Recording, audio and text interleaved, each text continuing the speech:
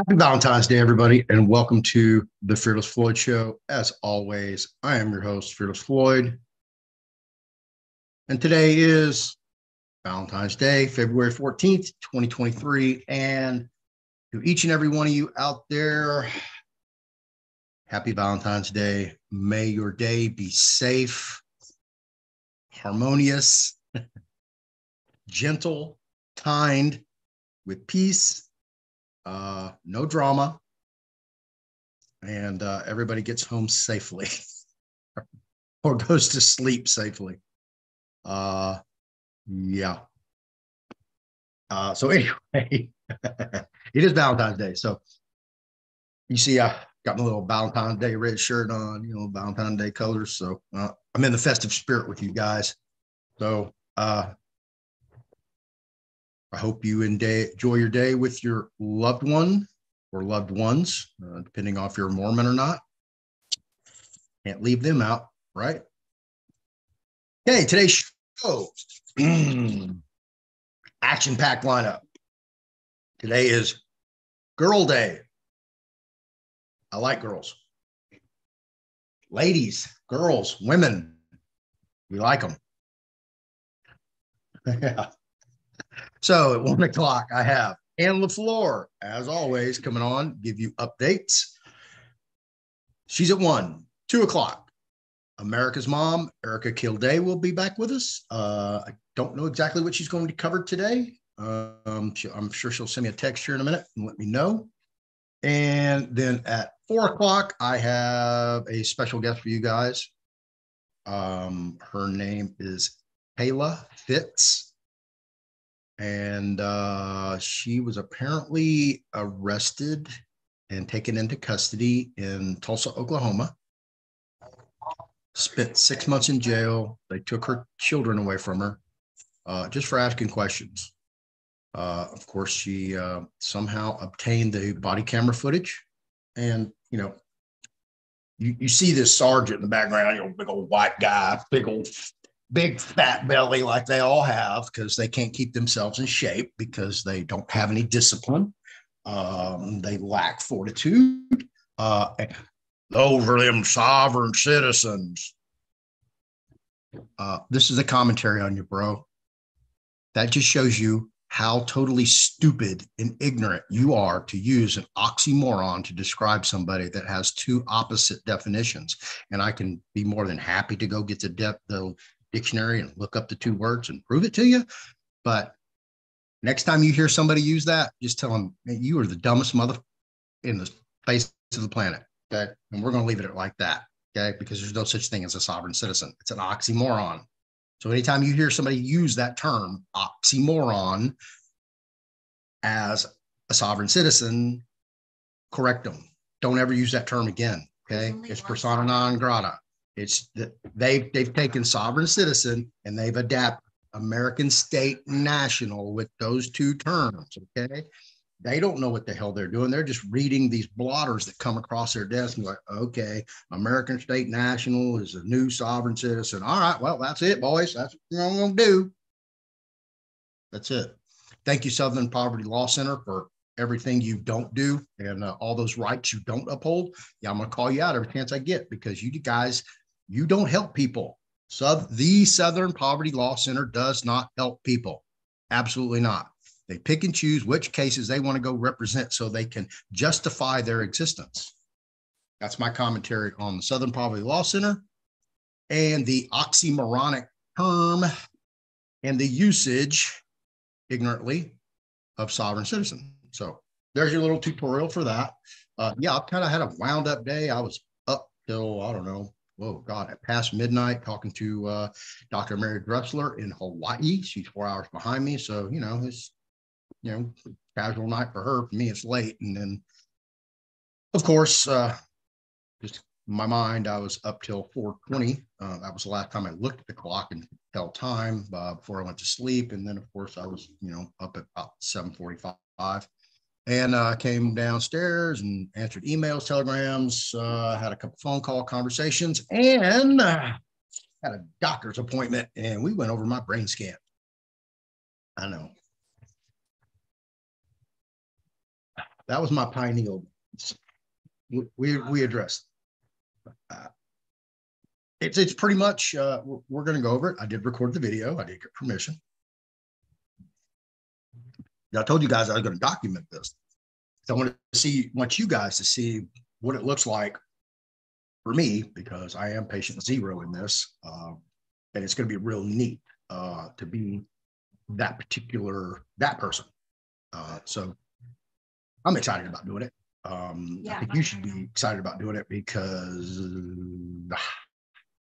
uh, the knowledge he gains from doing research on me with my whole mouth amalgam metal mercury fillings uh, before, you know, while they're in my mouth, and then after I have them removed and replaced with uh, a non-toxic uh, filling caps, crowns, whatever that looks like, because uh, there's going to be a lot of it.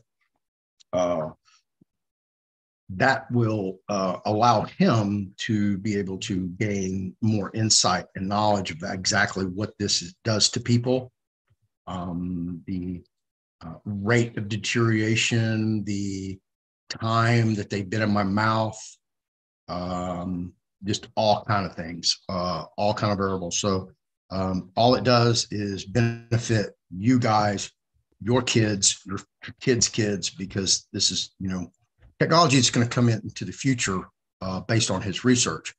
He's dealing with dementia, Parkinson's, Alzheimer's, all these brain issues that we have, uh, chronic wasting disease, which are the uh, mad cow disease, but you know, it, it, we have it. It's prions, and that's why some of these people are, you know, they they they just go nuts so quick uh, because the um, encephalitis prions are in their brain, eating their brain uh, and creating and make, make basically making Swiss cheese out of their brain.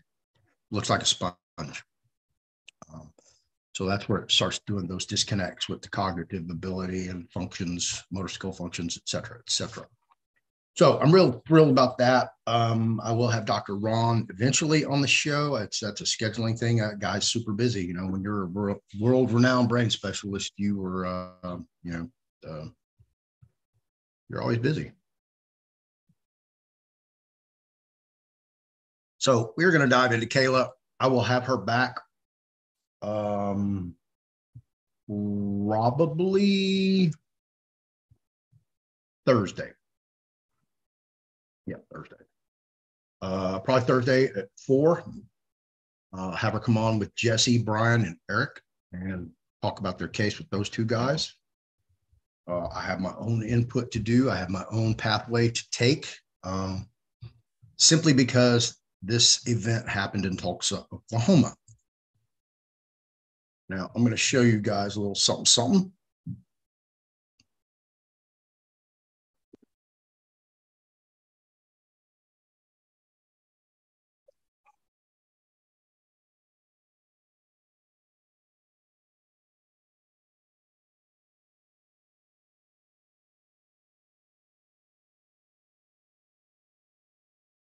you know, tell you guys all the time that, you know, I, am just kind of a unique person. Um, just, it's real weird. Um, you'll, you'll never meet anybody like me or who's done the things that I've done. All right, this was uh, issued July 9th, 2020. Uh, McGirt versus Oklahoma Supreme Court case. Okay basically what this is is uh, let me find held for MCA purposes, land reserved for the Creek Nation since the 19th century remains Indian country. Okay, now to back that holding, because that's what this whole case is about, and I'll, and I'll read you this. The Major Crimes Act MCA provides that within the Indian country, any Indian who commits certain enumerated offense shall be subject to the same law and penalties as all other persons committing any other any of those offenses within the exclusive jurisdiction of the United States. Title 18 United States Code 1153A. Indian country includes all land within the limits of any Indian reservation under the jurisdiction of the United States government, Section 1152 of Title 18 which is interesting. They have that under a criminal code.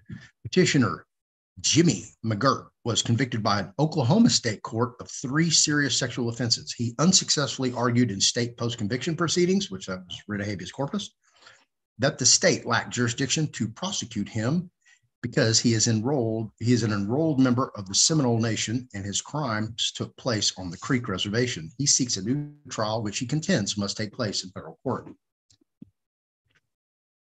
Okay. Congress established a reservation for the Creek Nation. An 1833 treaty fixed borders for a permanent home on the whole Creek Nation of Indians after they freaking walked us across the United States from Alabama in the Trail of Tears to Oklahoma. Yeah. Thank you, Congress. Appreciate you doing that to my ancestors. That was real sweet of you guys. Why don't y'all uh, go take that walk today and see how it feels?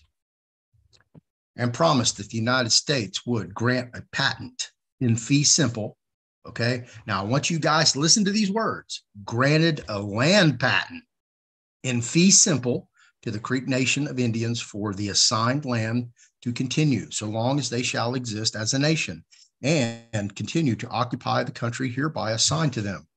Uh, it at uh, seven statutes at large 418 at 419. The patent, the land patent, formally issued in 1852.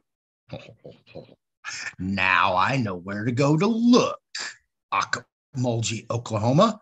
Please beware. Fearless Floyd Pleasant Tarvin the fourth is coming for our land. So fair warning. Though the early treaties did not refer to the Creek lands as reservation, similar language in treaties from the same era has been held sufficient to create a reservation.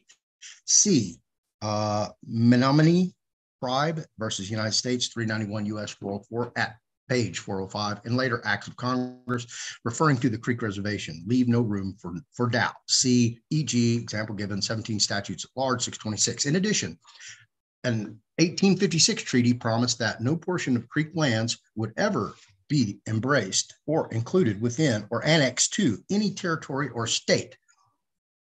Statutes 11, 700. Ooh, David Hill, I may just file a lawsuit against you, sir, and the Creek Nation for violation of the treaty because you have ceded, okay, our land over to the state of Oklahoma and all, all those de facto corporate government counties, towns, parishes, townships, whatever that looks like. Mm, ah, did you get permission from the people to do that? Because I don't think you did, and you served the people because the people elected you, right, David Hill? I'm calling you out, bro. If you're going to be a chief, be a chief. Sounds like you're being an Indian and you're subservient to the man, Uncle Sam man. All right. Congress has since broken more than a few promises to the tribe. Really? Not Uncle Sam. He's so honest and truthful. He wants everybody to come join the military. Nevertheless, Creek Reservation persists today. Once a federal re- reservation is established, only Congress can diminish or de-establish it. Doing so requires a clear expression of congressional intent.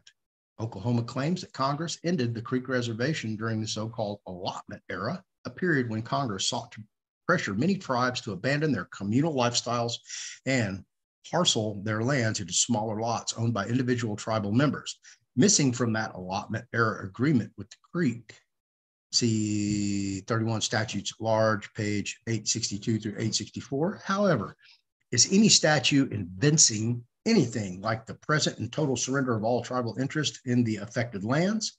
And this court has already rejected the argument that allotment automatically ended reservations. Hmm. And I can keep going on and on and on and on and tell you this story. But what really happened is, of course, the case got reversed. Uh, Justice Gorsuch, Associate Justice Gorsuch, delivered the opinion of the court, which Ginsburg, Breyer, Sotomayor, Kagan joined. Chief Justice Roberts filed a dissenting opinion in which Alito, Kavanaugh, Associate Justice joined, in which Justice Clarence Thomas joined, except as to footnote nine. Justice Thomas filed a dissenting opinion, which I have read this opinion word for word, cover to cover, many, many, many times okay? Because this deals with me. So what happened is Mr. McGirt apparently committed some crimes on Indian land. He was tried in state court. State court did not have jurisdiction. And in this action, it realized the United States Supreme Court realized that Congress didn't recognize all the land that was ceded to the Creek Nation. And in doing so, we received back, I think, three something million acres. Uh, let me see if I can find that number in here for you guys. An astounding amount of land. And I'll show you a map. Um, I'm looking for my Muskogee Creek book there.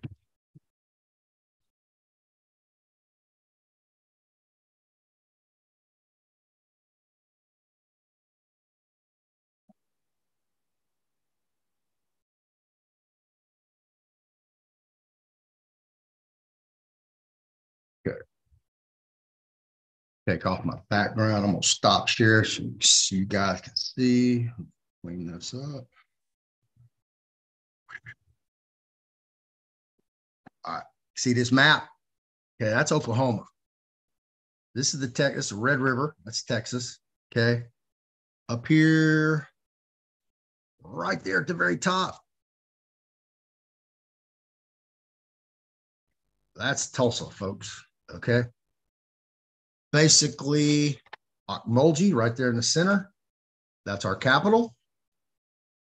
All that land is ours. And we own, get this, the entire eastern half of Tulsa, Oklahoma belongs to the Creek Nation. Absolutely. So, what is Chief David Hill doing? Is he collecting taxes from the city of Tulsa, Coweta, Okmulgee, Dewar, Okemah. I mean, I just go on and on and on. Uh, what about all these oil and gas wells that are on here? Are you collecting revenues from those people? Are you taking over our stuff and giving it to the people? You're not David Hill because you're running a corporation. You have created a de facto Indian nation, not of the people, by the people, for the people, but it's for the government, the Muskogee government, okay, the corporation, because you corporatized it. It's incorporated. Absolutely. I'm sure you're registered with Dun and Bradstreet, right, David? well, that's not how Indians roll, right? You have casinos up there. You're generating income for the tribe, right? You have all these taxes you're letting go to uh, someone else. You have all these mineral rights and mineral revenues that you're just letting go to somebody else. So, David, we need to have a meeting. Okay. And we need to find out why you're doing what you're doing, why the Muskogee Creek people are suffering, why they're sitting in jails, addicted, and being mistreated. Still to this day, racially discriminated because they are Indians. Absolutely and you're allowing that to happen. That's on you, David Hill, and I'm calling you out, putting that on you. Now, so y'all want to know who David Hill is? Well, this is who David Hill is. It's David W. Hill. He's the principal chief right there for the Muskogee Nation. Calling you out, bro. Remember, I'm a card carrying member. Can't wait to get my new card. Oh, they better not. Better not. Here, I'm gonna call him out. I'm gonna call a spade a spade when I see a spade. It's a spade. It's not a club. It's not a heart. It's not a diamond. It's a spade. Yeah, absolutely. Aw. Jesse's over here doing laps. Man, I got him so excited. He's like a puppy dog running around. Indian blood running around. Indian blood. Uh oh. Let me see. Get my backdrop up. We're doing some planning. That's why I've got this uh, big calendar behind me. Uh, okay. Let me uh, get to where I need to get, show what I need to show. And I'll get over to the chat here in a minute. So, anyway, I got Kayla coming up, four o'clock. So we're going to talk about all of that. And of course, Valentine's Day, I've got to give the gift that keeps on giving. Oh, it's so wonderful. I wish it would hurry up and get here. But today is, uh, and I missed it yesterday, your Christopher Allen Hauser update report from the Tennessee Court of, or Tennessee Supreme Court. No opinion has been filed yet. And we are uh, approaching into the 11th month. So we're two days into that. Uh, so, Chris, I know you are sitting on pins and needles just waiting for this to come out so you can prove your point that you claim jurisdiction and state had no jurisdiction over you, and you're going to get your case dismissed for want of jurisdiction. And never once mentioned jurisdiction. How does that work?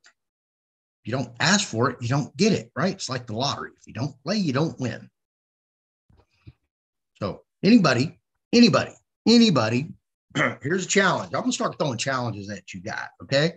I'm gonna have to start backing it up with some real fucking money. I'm gonna have to start showing you guys cash money. Make it rain. All right. So here's the deal.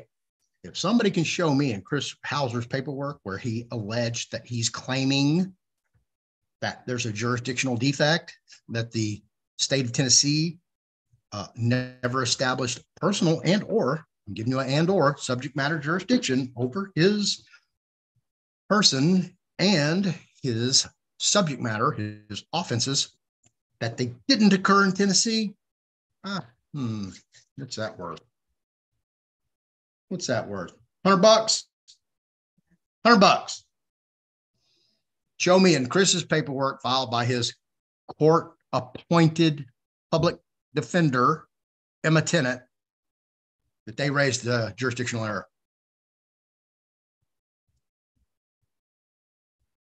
Jeez, I'm being just flooded. My phone won't stop ringing, right? I'm gonna prove to you guys beyond a shadow of a doubt. Okay. Chris Hauser's a fraud out of his own mouth and you guys still want to listen to him and follow him like, oh, he's a guru. He's a guru. Everybody worship Chris Hauser. Let's go to his house and worship Chris Hauser and bug his wife and make get his wife all pissed off. So he's got to go on and do a YouTube video just about why people are showing up to his house and telling him to stop. Okay. I've been doing this for a lot longer than Chris Hauser has. And you know what? I've never had anybody come to my house ever not even try, not even attempt, not even call me up and say, Hey, Floyd, can I come over to your house and see you? I've had people say, Hey, can I meet you? I need some notary work done. or can we go do lunch? So, yeah. Chris, dude, you're killing me. You're just, you're, you're, you're perfect, man. You just set yourself up as a punching bag and just leave yourself wide open. You're no defense. So appreciate that. Um, you give me plenty of fodder, cannon fodder to shoot at you. So, uh, what? Oh yeah, yeah. Okay, so that's the Chris Howler story. You guys already know. Already went through McGirt. So let me jump over here. Ah. And this is, uh, of course, February 14th, 2023. It is uh, roughly 8.25 in uh, PM in Iraq. Al Sudani directs those that fail to implement the recent decisions. Let me share my screen here for you guys you can see what I'm doing. Right here, February 14th. No lie. Here, I'll even refresh it for you guys. So you, uh, no, I'm not bullshitting. All right, here we go. Prime Minister Mohammed Shia al Sudani directed those who failed to implement the recent decisions related to dealing with the exchange rate fluctuations and their violation of issued instructions be held accountable. Prime Minister Mohammed Shia al Sudani stressed the need to expedite the implementation of the previous decisions of the Council of Ministers, which he took in the session of last January 17th regarding the work of electronic card points of sale, POS, which are supposed to be implemented. Hang on, I need to mute my mic.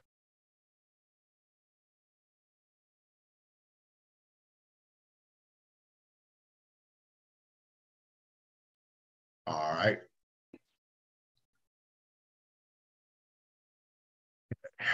Uh, let's see where it was. Sorry about that.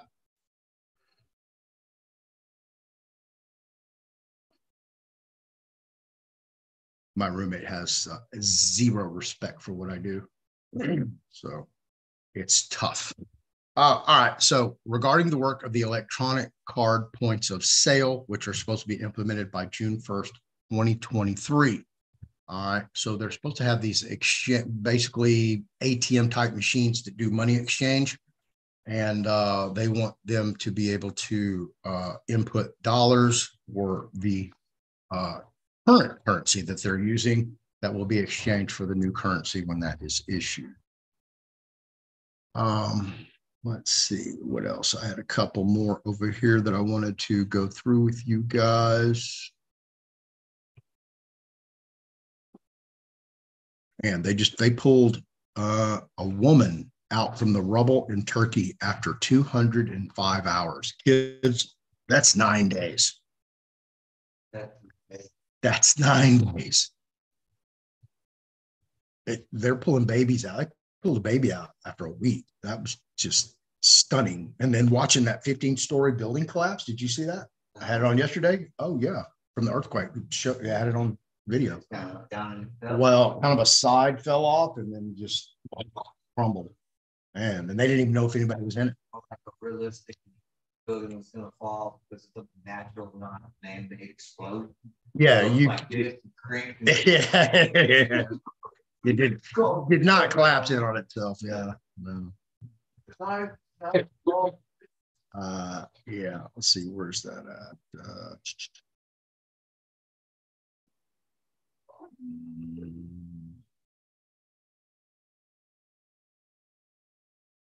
Stony.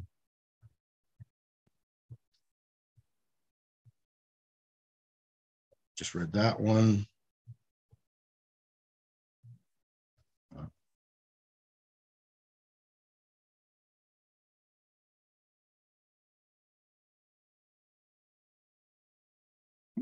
Open this one up. I haven't even looked at this one. Let's see if this one has any uh, good news in it. Uh, the Council of National Security Agents held today, Tuesday, the third session of the current year. The National Security Advisor stated in a statement, Councilor Kasim Al Araji presided over the session in the presence of all members of the council, discussed the issues on the agenda and took the necessary decisions and recommendations regarding them. Well, they don't tell you very much, do they? The session discussed the issue of electronic lease contract and directed the council to approve recommendations submitted by the military ministry of communications public peace company, which is consistent with the governor's government's directions for the regovern for the e-government project. The council also decided to approve the conclusion of a memorandum of understanding between Iraqi National Intelligence Service and the State Committee for National Security in the Kyrgyz Republic. Hope I said that right. After amending it according to the notes raised in the session. So uh, that's not what I was looking for. Uh, And basically, this one right here talks about uh, the exchange rate. It's still the same, nothing new there. Uh,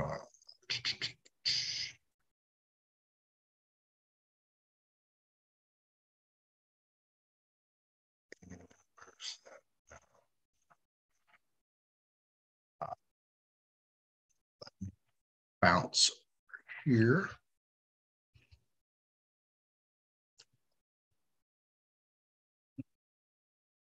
Several articles in this one I wanted to read to you guys. All right, it's the cradle. Uh, I, I read this to you yesterday, right here.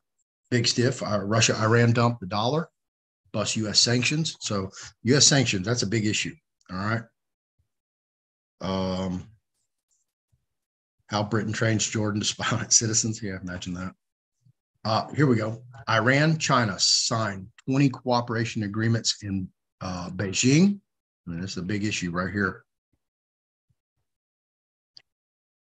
Okay, because I talked, I told you guys yesterday about the the Russia, Iran, China, and India those four countries because with just China and India, you have one third of the world's population, just those two countries. That doesn't include Russia and Iran. So they, um, Iran and Russia have developed a cross-border platform payment. Uh, China, which I talked about yesterday, has one of the the, the best in the world. Uh, so they're trying to link all this up through BRICS. Over the last year, oil exports from Tehran to Beijing reached 12.6 billion. Chinese President Xi Jinping, Xi Jinping received the Iranian counterpart Ebrahim Raisi on 14th February in Beijing, where the two signed 20 cooperation agreements to bolster relations between Iran and China. The two met at the headquarters of the National People's Congress of China to discuss improving bilateral cooperation in the fields of crisis management, tourism, communication and information technology, trade, agriculture, exports, healthcare, media, sports, and cultural heritage. Raisi thanked Xi for the constructive support from the National People's Congress of China in advancing the strategic ties between Tehran and Beijing. Raisi described Iran and China as two friends in hard times, emphasizing the necessity of using the capacity of regional and trans-regional mechanisms regarding joint cooperation. Xi also affirmed his support for a proper resolution of the revival of the Iranian nuclear deal with Washington and expressed Beijing's support in safeguarding Tehran's rights and interests, according to Chinese media. Xi further assured Raisi that China would continue to participate constructively in talks and resume negotiations on in- implementing an Iran nuclear agreement. After their meeting, Iranian president told reporters that China and Iran have similar perspective on fighting unilateralism and inter- at the international level. Last year, Iran was officially included in the Shanghai Cooperation Organization, SCO, which I mentioned yesterday, as a permanent member. The nation later applied to join BRICS, which I just discussed the two international organizations in which China and Russia play a significant role, which I just told you about. China remains Iran's largest trading partner and leading buyer of its oil. Over the last year, oil exports from Tehran to Beijing reached $12.6 billion. Iran also plays a crucial role in the Belt and Road Initiative, BRI. Told you they led these acronyms. A mega infrastructure infrastructure and economic initiative launched by Beijing to link the economies of Europe, Asia, and Africa with an eye on expanding into Latin America. Here you go. Okay. They're taking over the US territory. Slowly but surely, inch by inch, uh, we will no longer be a superpower in the world uh, if we continue down the path that we are currently endeavoring with this current and I, it's hard for me to pick out an adjective to describe the current uh, executive administration on the federal level of the United States of America because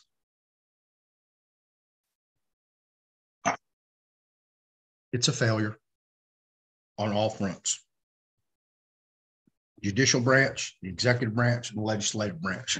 You have all failed American people. In 2021, 2022, and in 2023. Calling you guys out. All right. In 2021, both countries signed a 25 year strategic cooperation pact with political, strategic, and economic components. Raisi's visit to the Asian giant is part of his administration's Look to the East policy, which seeks to build alliances with non Western world powers that bear similar political structures to Iran and opposed US led Western domination of international affairs. Okay. I'm telling you guys what's coming. So when you read these articles and you read them with me or I'm reading them to you, that's what's going on. Uh, let's see. There's that.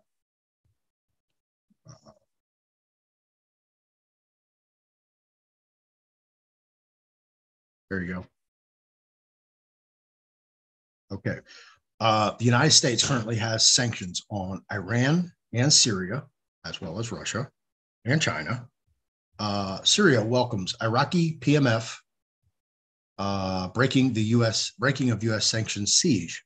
Last week's devastating earthquake has shined a spotlight on Washington's brutal economic sanctions on Syria while encouraging solidarity between the country and its neighbor Iraq. And this, excuse me, this is from the news desk. February 14th. A member of the Syrian People's uh, Assembly, Mohammed Fawaz, lauded Iraq's Popular Mobilization Forces, PMF, for their success in breaking the harsh economic sanctions imposed on Syria by the United States. The PMF sent aid and delegations to Syria to assist in the wake of last week's devastating 7.8 magnitude earthquake. Fawaz said on Monday, 12th of February, that Iraq is the strategic depth of Syria and its back. And this was embodied by the entry of the popular mobilization convoys into Syria, breaking the unjust siege on the Syrian people and in defiance of the Caesar Act. He added that the visit of the Iraqi deputies to the Syrian People's Assembly came as a political condemnation of the inhumane sanctions on the Syrian people as and raised the voice uh, from Damascus of the need to speed up the lifting of this ban. Another member of the Syrian People's Assembly, Nasser Yusuf, praised the PMF and called for strengthening cooperation between the brotherly countries of Syria and Iraq. U.S. planners imposed additional harsh sanctions on Syria in 2019 through legislation known as the Caesar Act. These were added to sanctions imposed at the start of the Syrian conflict in 2011 to complement the U.S. backed jihadist insurgency in the country. The act was named after a report uh, issued in 2014 claiming to show evidence of the uh, industrial scale killing by the uh, Syrian government. The report, authored by the U.S. law firm Carter Ruck, claimed to verify photographic evidence provided by a defeated Syrian Syrian Arab Army SSA photographer known as Caesar, who had smuggled 55,000 photographs out of Syria. These photographs allegedly documented the Syrian government's torture and killing of some 11,000 detainees. However, as journalist Rick Sterling has detailed, over 46%, over 46% of the photographs, uh, 24,568, did not show people tortured to death by Syrian government. Rather, they showed dead Syrian soldiers and soldiers and victims of car bombs and other violence. Thus, nearly half of the photos showed the opposite of what was alleged. After reviewing the Carter Ruck report, Dan Murphy of the Christian Science Monitor similarly concluded that Carter Ruck report and allegations made by Caesar were not credible. In addition, the U.S. imposed sanctions to Syria. U.S. planners have sought to block trade and cooperation between Syria, Iraq, and Iran by maintaining a military base on the Syria Iraq border at Al Tanf. While the Israeli Air Force has regularly bombed PMF and SSA targets on the same border further to the north and near the town of Al all with U.S. approval. okay, so you know, there's a bunch of crap going on. Uh, let's see.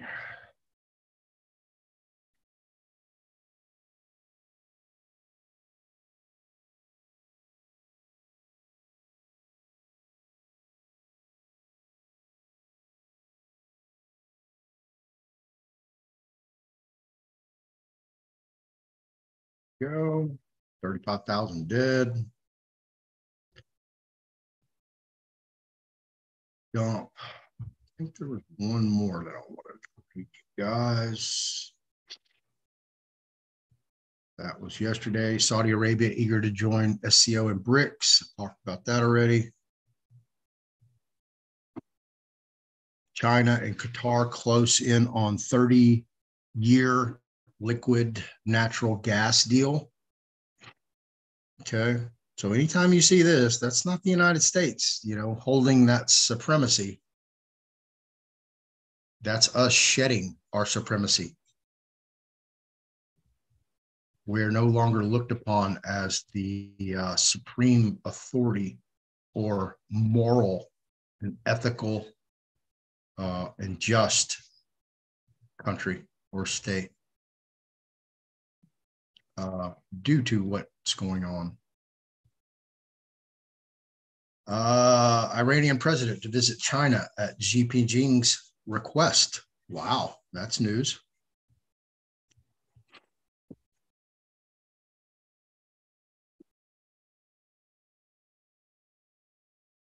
And I believe that's it. Yeah, these are all older. All right, so that was the cradle. Where else did I want to go?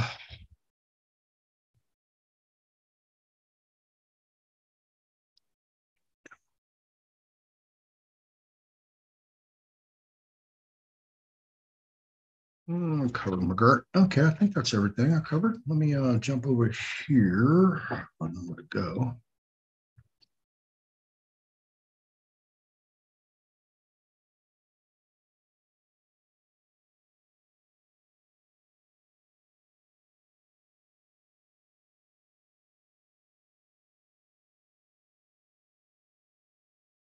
No idea where this is running.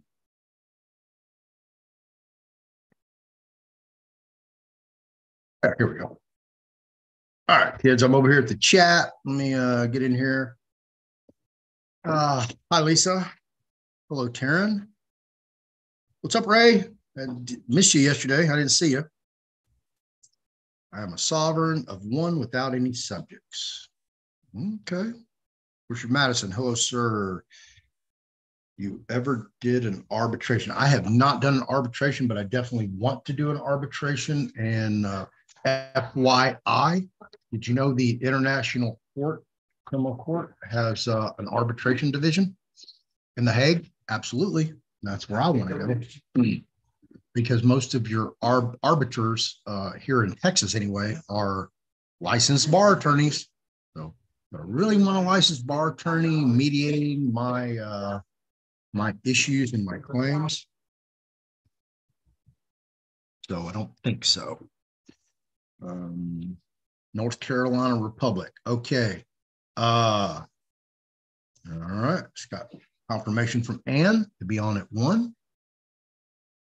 And of course, Arica will be here at two.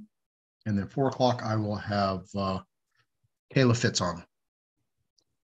Uh, North Carolina Republic. Martha Sullivan. Would you please contact me in Telegram and uh, send me a uh, direct message? Iowa. Uh, going to self-identify as innocent. Hmm, that's a good self-identifier. I'll go for that. Um, see what else was I going to talk to you guys about? Do you have any questions or anything? What y'all think about yesterday's show? Uh, what y'all think about Kia, Dr. Kia Ebling, and uh, her stuff?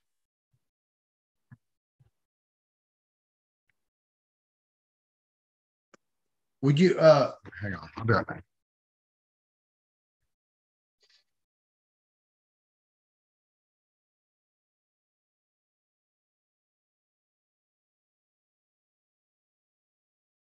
Okay.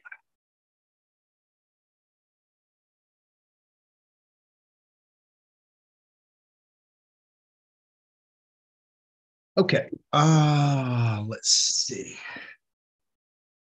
Uh, I need to edit the video and get that cranking for you guys.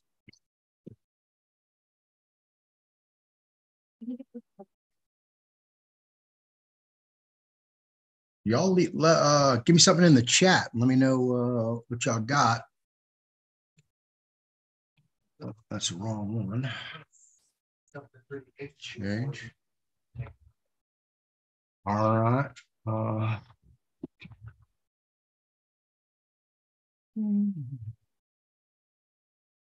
all right, got that. Oh, I've got to go back and edit the um, the description and get that down to 5,000 words. I forgot to do that last night. So, uh, well, me pop this open real quick. I don't know, cascade of stuff here.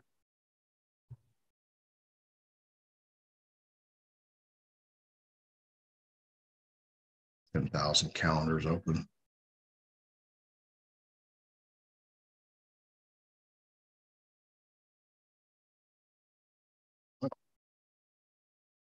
Pretty crazy.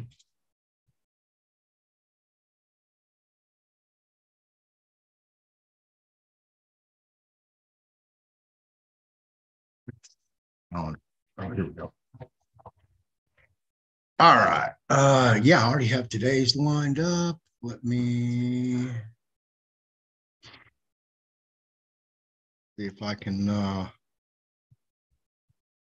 scrape uh, 5,000 word characters on here.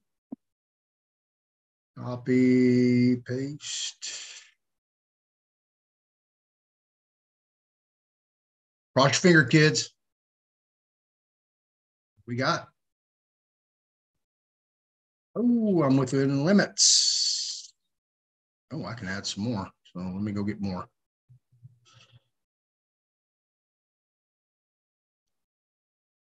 I get about 1,500 more.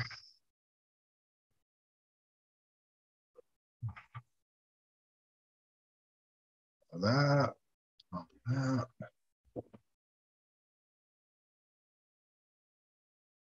I'm hurrying. I know. Better hurry. I'm trying.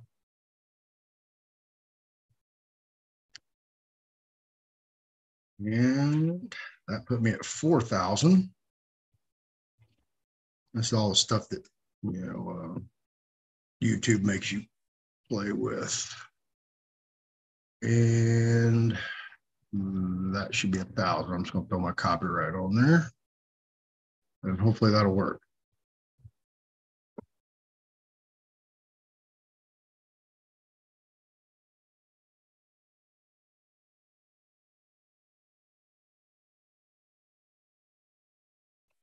And that works. So I'm gonna save that.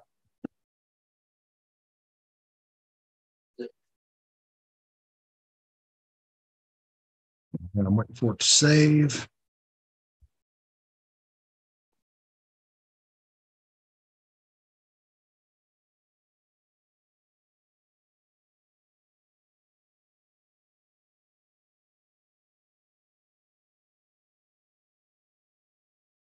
And here, let me show you guys something real quick.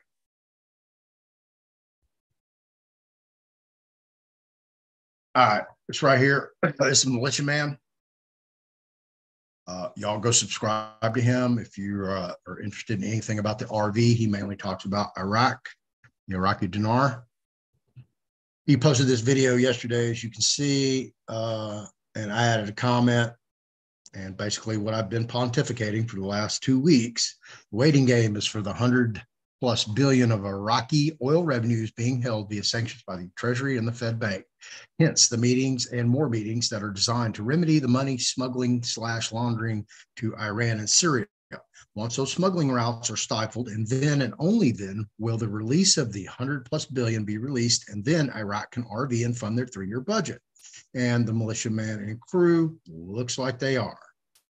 Okay, so boom, there you go, kids. That's what's going on. Say, and I'm being supported by this guy's been in it for at least a decade, I think. Um, so just wanted you guys know that uh, I am uh, I'm cutting edge with everybody else. Sometimes I come out 24, or 48 hours before everybody else. That includes Dr. Tia Pruitt, original Mark Z, um, all these different dinar gurus, seeds of wisdom, all of them. Uh, because I'm doing my own research. That's how you get your answers. You know, don't re- don't rely on what they're talking about and all these chats and telegram rooms, all that crap. Go look for yourself. Go read the articles yourself. Go do your own investigation. That's the only way you're going to get knowledge. Let me put this back so I don't lose my map.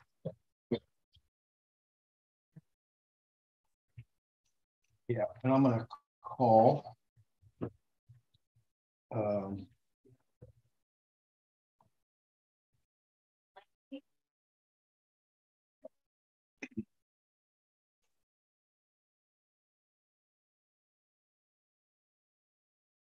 Yeah, is what I do with my uh right here. I don't you can't see it. Oh, right angle.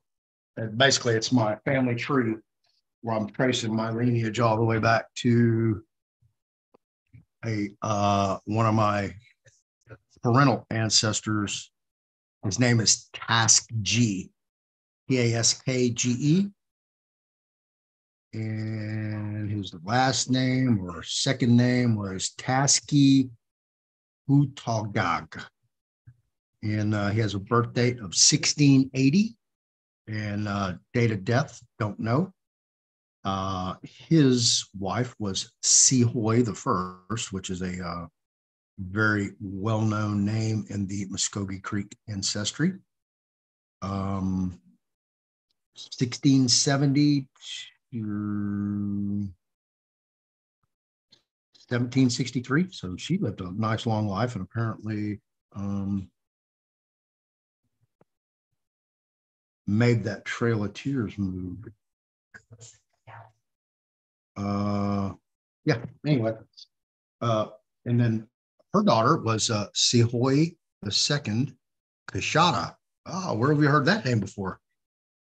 The Coushatta Indian tribe in Louisiana? Yeah, could be. Mm-hmm. And then their daughter was Sehoy McGillivray, who had a son called, uh, let's see, Alexander McGillivray. Mm-hmm. And then it goes down to Colonel Adam David Tate and Sehoy Weatherford, or William Weatherford, Chief Red Cloud. And then it goes back to Alicia Tarvin and Teresa Ann Tate. And Alicia would be my great great great grandfather who um, uh, he lived in Maryland, and then he had a son, Dr. Marion Alicia Tarvin, who was actually a dentist in Galveston, Texas, of all places. And then uh, he married Sophia, and then they had Floyd one, and then Floyd two, and then Floyd three, and I am Floyd four. That's my lineage. Back to 1680, United States America, before America was even America, right? There you go. That's how far back I go. And I can take it even further uh, across the pond, as they like to call it, over to Tarvin, England, which I have described uh, many, many, many times. It is 1253 and we'll be on here shortly. Let me dive over here, see if you guys have any questions or anything. Um, anybody watching this, um, if you have a topic, an idea, a guest, a host, uh, a show idea that you would like to produce or um, conduct, contact me, the Fearless Floyd Show at yahoo.com. Send me an email, call me, text me, uh, hit me up on Telegram. What I'm trying to build for you guys, okay? And this is a show that's going to run Monday through Friday from 12 to 5.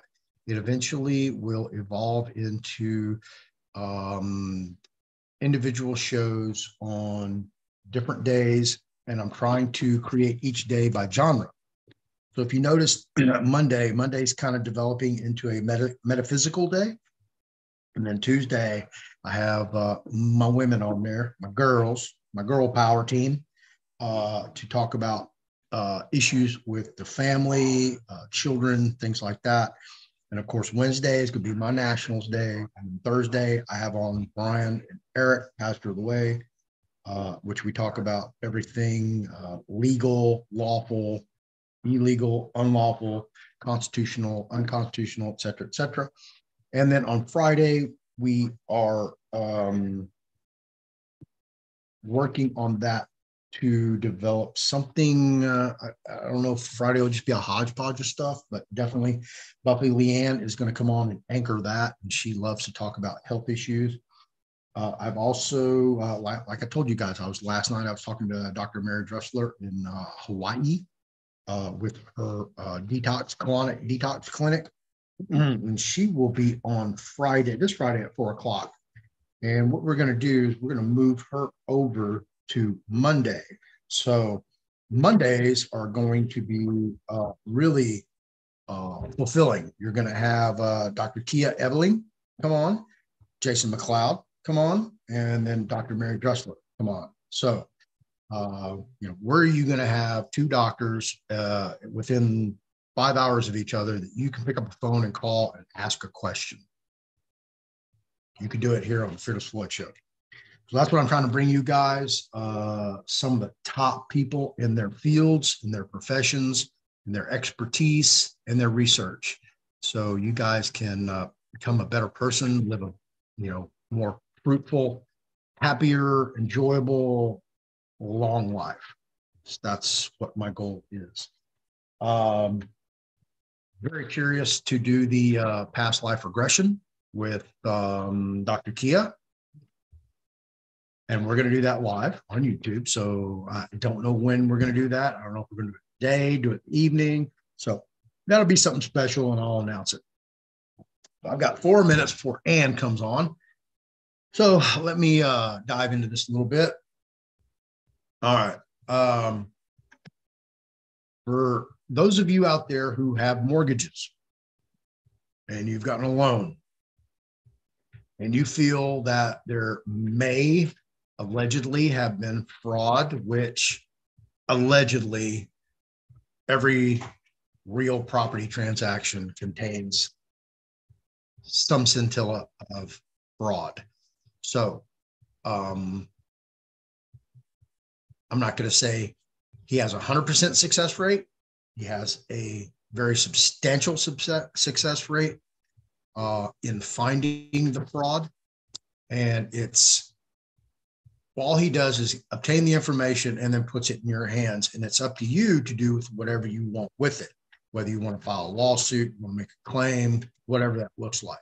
So basically, what Sean Adley here at Mortgage Audits Online does for you guys is does the forensic audit of the complete financial transaction and uh, obtains uh, he has soft, special software that he uses for this and obtains all the all the fraud lays it out for you and then um, gives you the file and you can pursue that, that matter any which way you, you would like uh, some people take it, you know, all the way to the wall and uh, they recoup um, all the fraud that they lost. Others, um, they make a choice to where they can't play that long game and they have to play the short game due to economic and financial hardships or maybe even residential hardships because we are all talking about um, uh, real property here.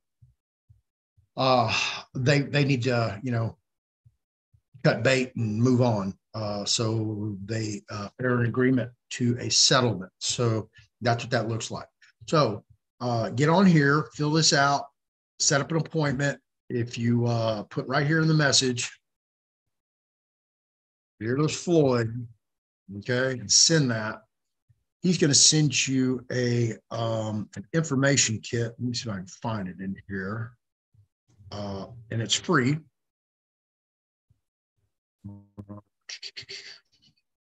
It's an info kit.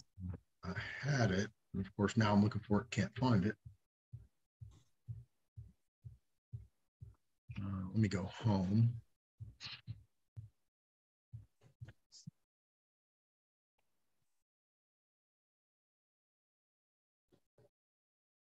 Uh-oh.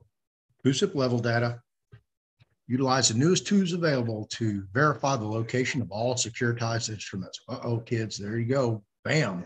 Didn't know he had that. So all you people looking for CUSIP numbers and CUSIP accounts, go see Sean. Uh, and I'm looking for this kit.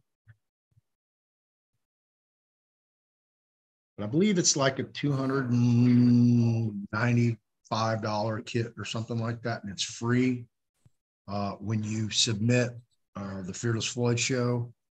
Um, in the message, here you go. Find out if you have fraudulent loan, uncover mortgage fraud, mortgage lending law violations, loan balance reporting errors, sales, transfer of loans, securitization of loans, chain of title, and more. So anytime that there's a uh, an error or mistake or disruption in any one of these, they can find the fraud and you have the potentiality of obtaining your property for basically what you've already paid for it and possibly get a refund of what you've done due to the fraud.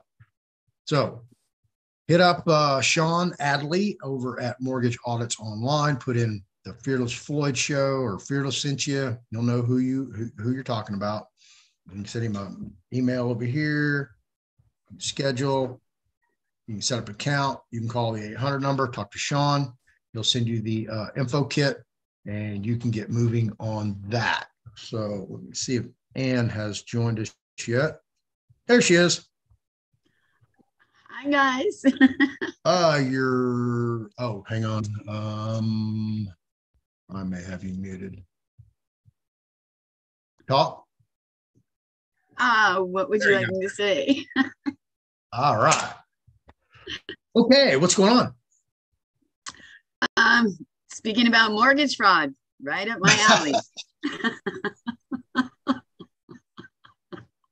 No, that never happens in the United States. There's no mortgage fraud. Everything is on up and up. It's straight, lawful, legal. Yeah, no ifs, ands, buts about it. Right? Uh, wish that. Oh God, here we go. Internet Yeah. no. crap. You look so cute doing that. I know. Isn't that lovely? Know, Yesterday it cleared up. Today it decided it wants to do it again. Oh my God. Um, yeah, it has to do with weather, internet fraud, I mean, internet connectivity, and all kinds of other crap. Don't ask me why, but it seems to like it on your show. Hey, at least you're smiling. So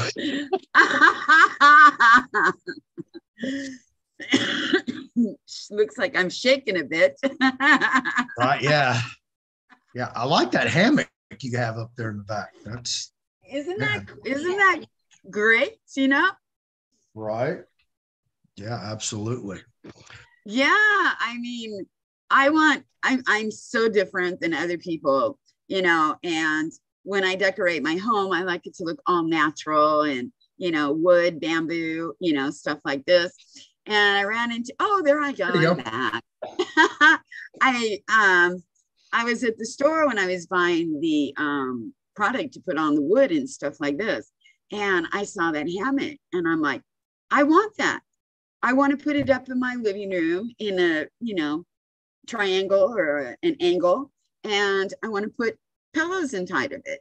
And it was a, it was a, an adventure because my boyfriend is like, uh, are you going to let people sleep in that? I go, hell no. I said, come on, there's not enough room in the living room if somebody jumps in a hammock and it moves back and forth. What are you going to do? Right. Bust the windows? I said, it's a decoration. That's funny. Jeez. Yeah, so I mean, uh, inside of it has got pillows of two different colors, and it absolutely matches my couch. So let's see if you can see my couch. So it matches over here. Voila! Oh, okay. Yeah, and up in the hammock, it's got pillows in it. So yeah, it's unique. Jeez, man. I still, I still want to come visit. Uh, yeah. Uh, my house is very unique. It fits my lifestyle.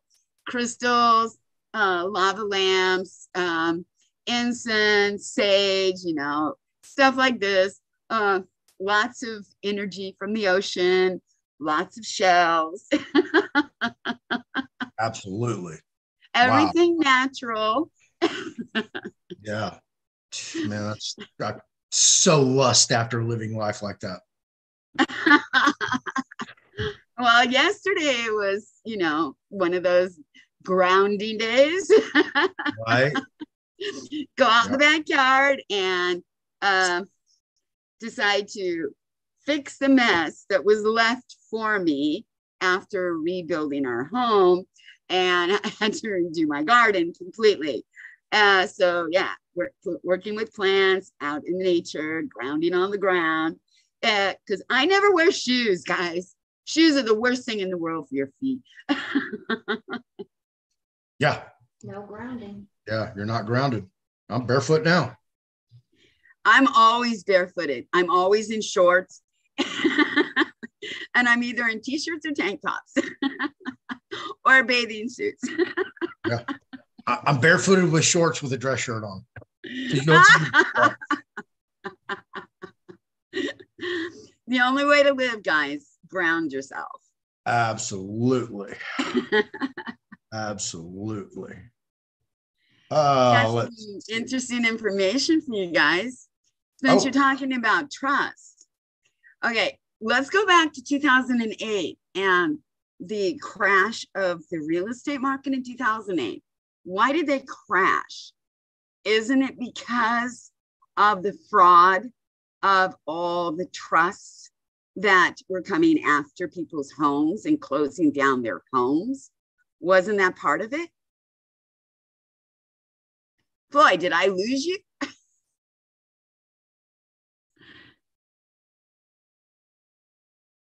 I'm here.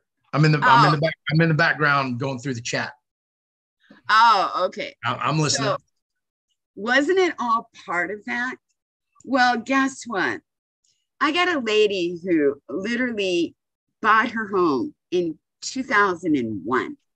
One mortgage, one loan, no refinancing, nothing changed on that loan. Wells Fargo, oh, I love Wells Fargo. Uh, they have so many claims against them. It's totally insanity. So, anyhow, she has a trust company that was opened in 2019 claiming her home. And I'm like, okay, how can they do that?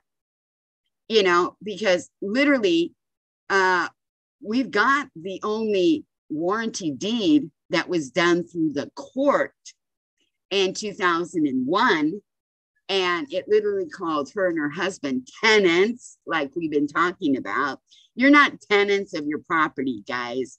You know a tenant means you're paying rent you're paying restitution to them. So one of the most important things we have to do is correct those damn warranty deeds. And not only that but they use fictitious addresses and fictitious, you know, coordinates on the deeds when they register them. So whenever you see your address on something, you're in military jurisdiction and they can do what they want to you. So you literally have got to get a P.O. box at the post office and get rid of that damn home address. Correct it. Seriously correct it. And, you know, put it onto um, your warranty and create a brand new warranty deed. And you guys can write them. It's so simple. You don't even need to be a rocket scientist. You can just basically take what they've written and modify it to to you know to give it what you needed to give or what you needed to say. Now, here's something very interesting. So as I was digging into this company it's called Mill City. Okay, and uh, we couldn't find anything on it. Uh, we didn't. She we couldn't. She couldn't figure out who the address was, who who the owners were, anything else. Well, it's all come down, haha, to a business address. and this came off the federal government website, guys.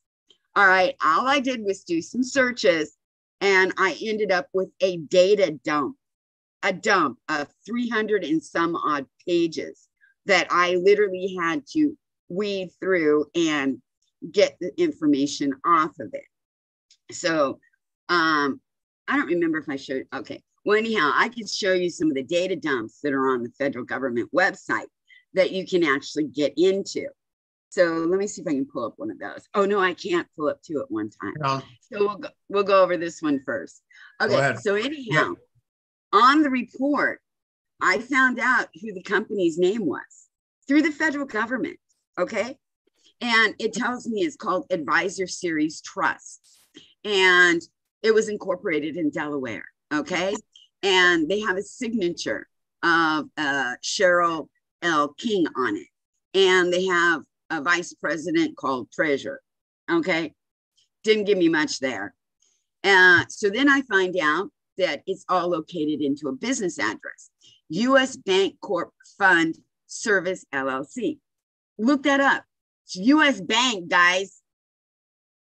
The company's name is US Bank. Okay. So this this uh, one pool, we're going to call it a pool because that's what it is. It is a mortgage pool. So in a pool is like I uncovered the fraud of the insurance companies uh, in bonds for the win. Uh, a pool means you have multiple people coming together and putting all their resources into one account and then they diversify this account. So literally, if a company is coming after you, they have literally claimed uh, if you go into some of the stocks and bonds and the international numbers and things like this, they literally are using your property as a security to create fictitious bonds and securities to sell worldwide. This is what crashed the market in 2008. and we thought it was gone.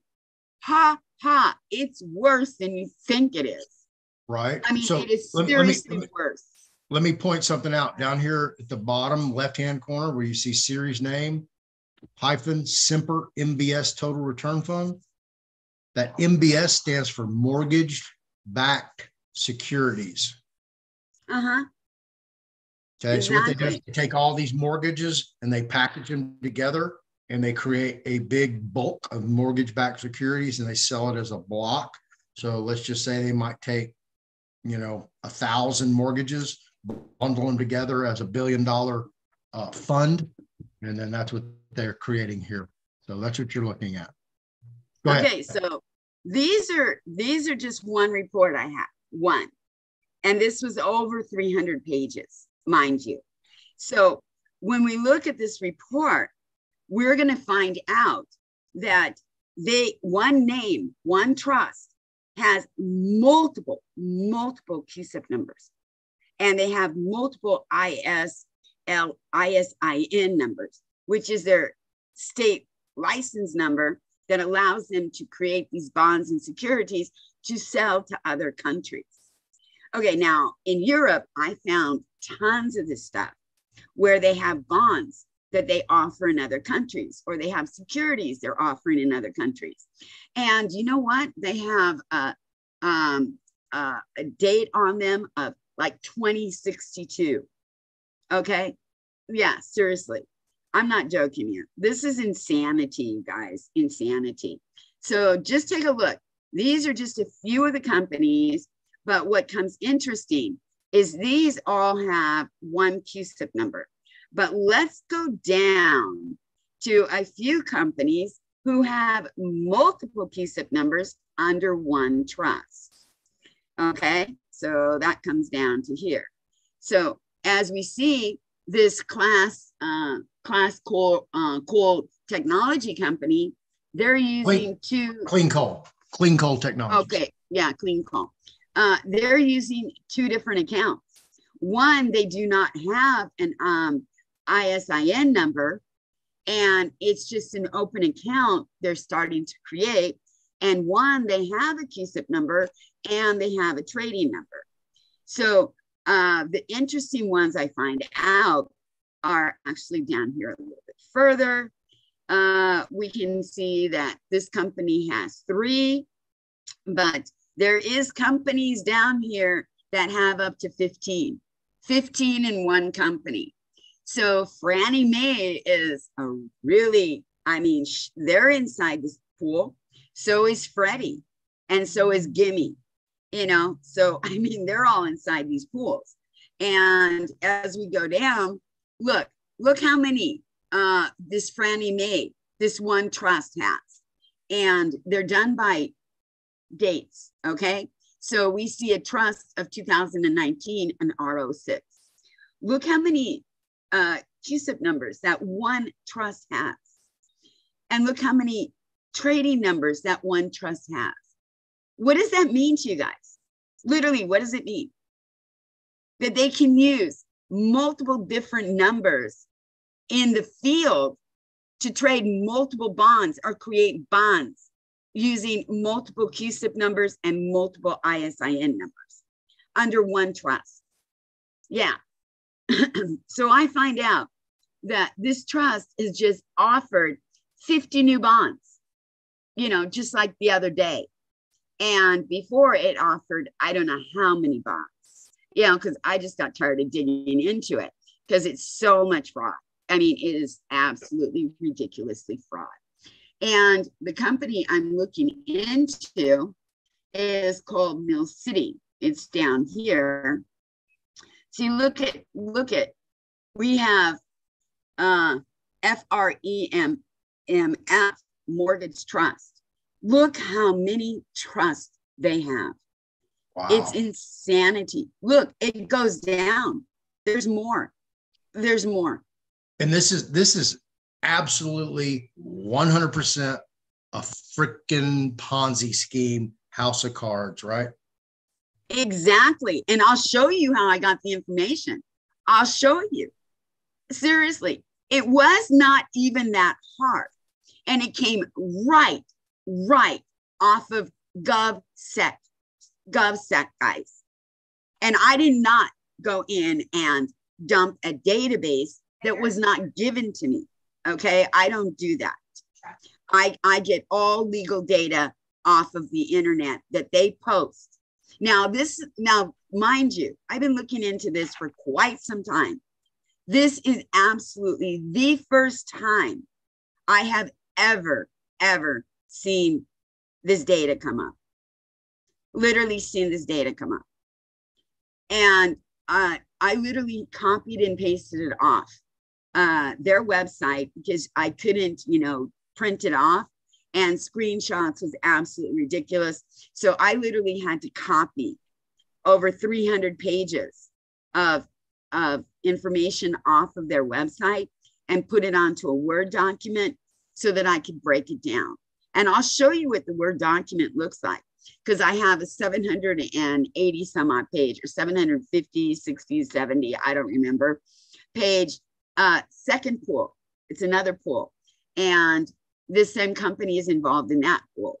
Then I have tons of information about the company where they're in all kinds of securities, all kinds of, you know, businesses, all kinds of, you know, things. And it talks about their bonds. It talks about the, the life longevity of the companies.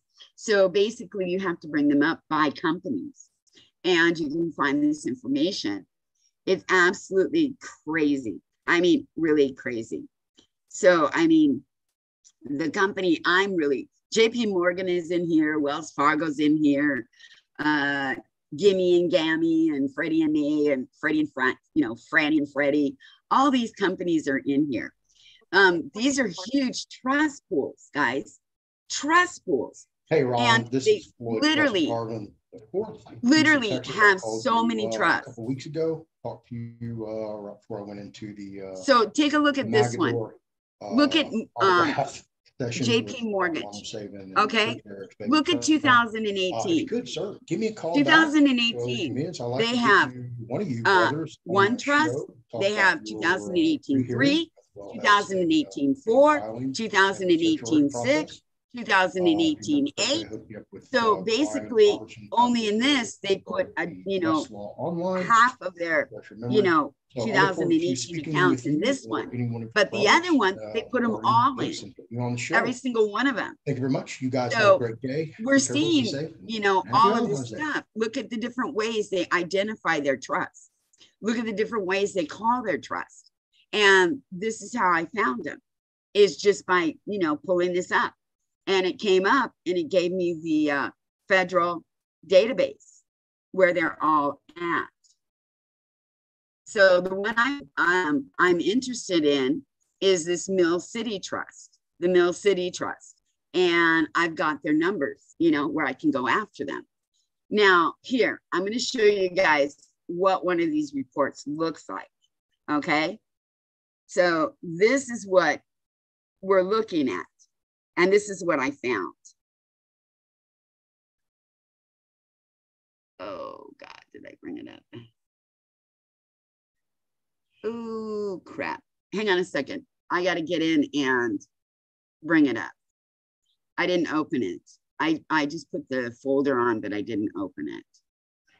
Just a second, guys.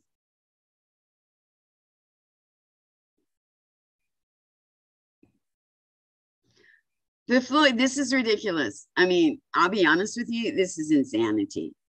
What's going on? And they say that all these, you know, trust accounts and all this stuff is gone. It's not. It's worse than you ever could imagine. Oh, yeah, I totally one hundred percent agree that it's when this, when the, when the bubble pops, Oh, Um, it's- it's- people are gonna be devastated. Uh, yeah, that's for sure. Okay, hang on.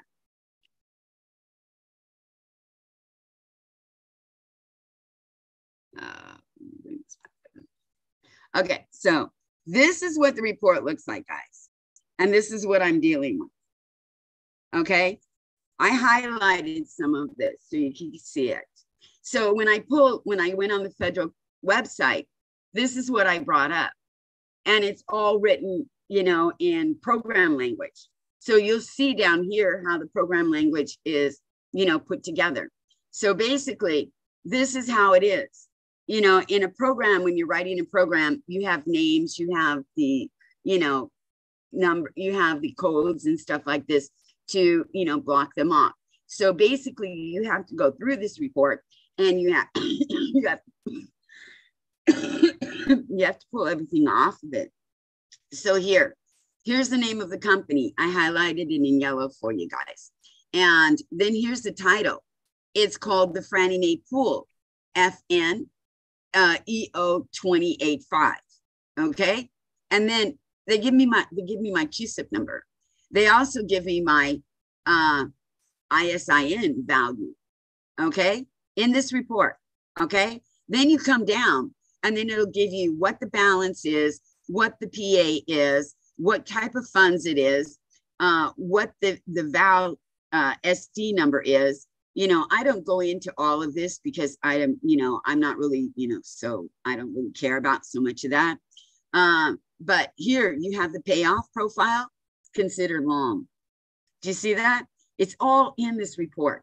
Everything you need to know about what they're doing is in this damn report. And then you have the, uh, the uh, issuers uh, identification. So you have to understand what these uh, USGA means. So that's, you know, usually in the um, profiles of other companies and how they identify uh, the companies. So they're usually, you know, hedge funds and stuff like this. So they're you know? so they're getting five percent annualized return on whatever the note is. Uh huh. And they're using your home to back these notes. Wow. Yeah. Uh huh. And then they're turning around, and because they have, they're they're claiming your home, they're literally selling bonds, creating bonds, so they're making even more money. And then they're offering, you know, like a 13.2 return on the bonds after maturity and usually they'll create the bonds uh, the year that they've opened this up. And then they'll keep creating the bonds, you know, as w- with the same trust. They'll keep creating it. So they'll issue so many bonds. Um, I found them issued in Germany. I found them issued in Switzerland. I found them, they're worldwide. They issue bonds all over the place. And they're on the worldwide market. And they sell these bonds. And then you have, they, they have two parts bonds they put on they they sell and then they have the second part is called securities. So they're selling bonds and securities on the worldwide market. So as you you know you come down this gives you all the information you need to know about that company. But keep going down. Here's another one okay? And it gives us the same information. And we can scroll down. Here's another one and we can scroll down. Here's another one. You guys see this this all belongs to one pool, one pool only. Okay. This is all a conglomerate of putting this together. Now, one of these reports took me, you know, five days to go through it, five days to compile it. So they're not easy. I mean, it, it's time consuming, but if you want to prove fraud and you want to close down these accounts, this needs to be done. Seriously, you have to do a forensic audit. And you can audit their letters, you can audit their accounts, you can audit whatever you want. Wow. Yeah. So you want to talk about fraud, and maybe I should talk to Sean and give him some of the information I have. um. Yeah, that would be an interesting show. We I can set that up. I'm sure Sean will come yeah. on.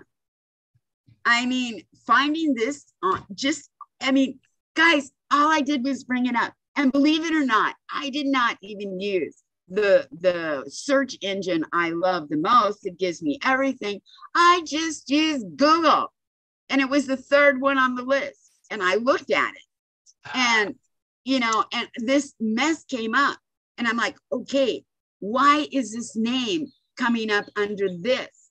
And it took me three days to find the name inside of it. This is what's crazy. this is where we're at, guys.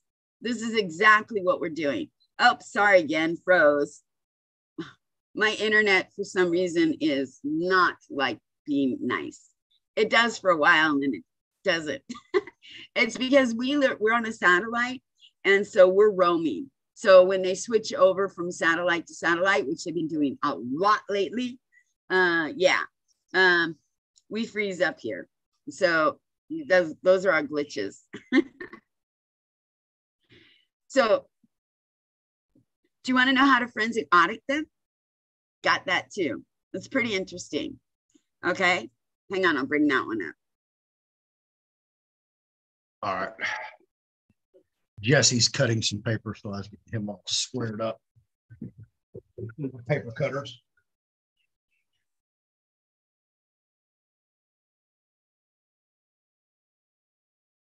Okay. Let's start down here. And then we'll go back up to the text. I did not say see parse syntax grammar, did I? Uh-huh. oh boy. Here we go. All right, kids, get out your go get your pens and paper, pencil and paper, and get ready to take some notes because yeah, I can see that where this is going already. So all right, okay. let's let's get it. All the letters you get are fraud. Okay. You're getting a letter that says, Our records show that you, okay?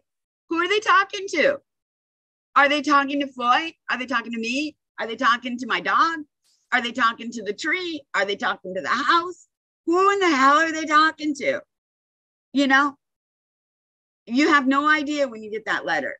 But because we're so well programmed, we can we automatically assume it's us they're talking to. They're not. You is anybody in the world. Just like if you go into court and they call Mr. Jones. Okay, how many in the people in the world are Mr. Jones? Okay, we don't know. But yet you want to be identified, or they want you to identify yourself as Mr. Jones. Well, if you ask the court, which Mr. Jones are you referring to, or would you like to talk to? Oh man, that will blow up your courtroom and you will be arrested just for asking which Mr. Jones they want to talk to. And just, uh, you know, bringing it out in the courtroom. Do you realize there's probably 15 Mr. Joneses sitting out here in the audience right now? Which one do you want to talk to? My name is James Earl. Are you, do you want to talk to me? No, I want to talk to Mr. Jones. Okay, which Mr. Jones? Identify which Mr. Jones you want to talk to. They cannot. They will not, and they never will. Even though they have it on their damn piece of paper right in front of them, because that's their script. That's how they get you inside their jurisdiction. So be careful when they say you, you did this, you are guilty. Who is you? There's hundreds of you in this courtroom. Who are you talking to? Can you not say my name? Can you not identify me? I'm a person. Okay.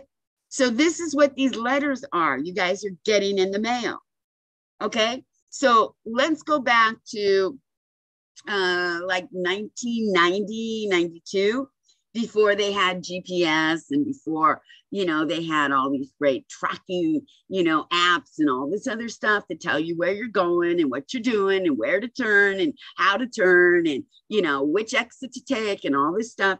You had to learn how to read a road map, correct? Okay, so what was on a road map?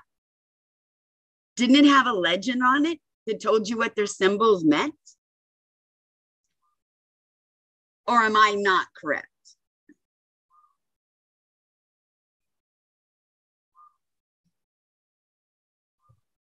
Floyd, yeah, am I correct or not? Don't, don't mind me. I'm giving directions back here. Oh, okay. So didn't old road maps have legends and they told you what the symbols meant on them? Like if you saw a little house or something, or you saw a dollar sign in it banking, or if you saw a little house that said or, uh, you know, a little house with an R, it was rest area or toilet or something like that.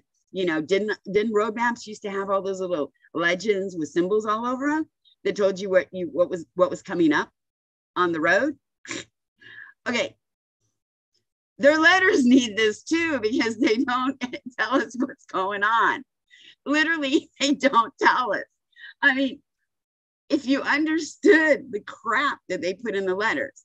And see, I tried to explain this the other day to my VCR class, and all I kept getting is, well, I'm just going to go in and do quantum grammar. I said, I don't want you to do quantum grammar. I want you to do syntax, grammarly correct language. No, it's quantum grammar. No, it's not. Guys, get it through your heads. Um, I'm not an English expert. Okay, I'll be honest with you. I didn't get to America till late. Um,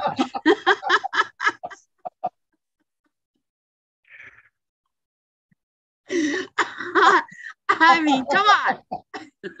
I, I'm sorry. No, Ann is not an English expert. Uh, and there is a loss in translation from French to English and back and forth. So whenever you're looking at Ann's documents, you have to know that she's translating from French to English, and sometimes it doesn't always come out properly. So be aware of that. So thank you for that caveat. Okay, but anyhow, um, when I got into, I think it was junior high school, just before high school, um, they threw me in an English class because I literally could speak English because my mom made us learn to speak English at home. Um, but you know, school did not teach us English, you know, that was not part of the, the curriculum. And they didn't teach us all this crap of breaking down sentences.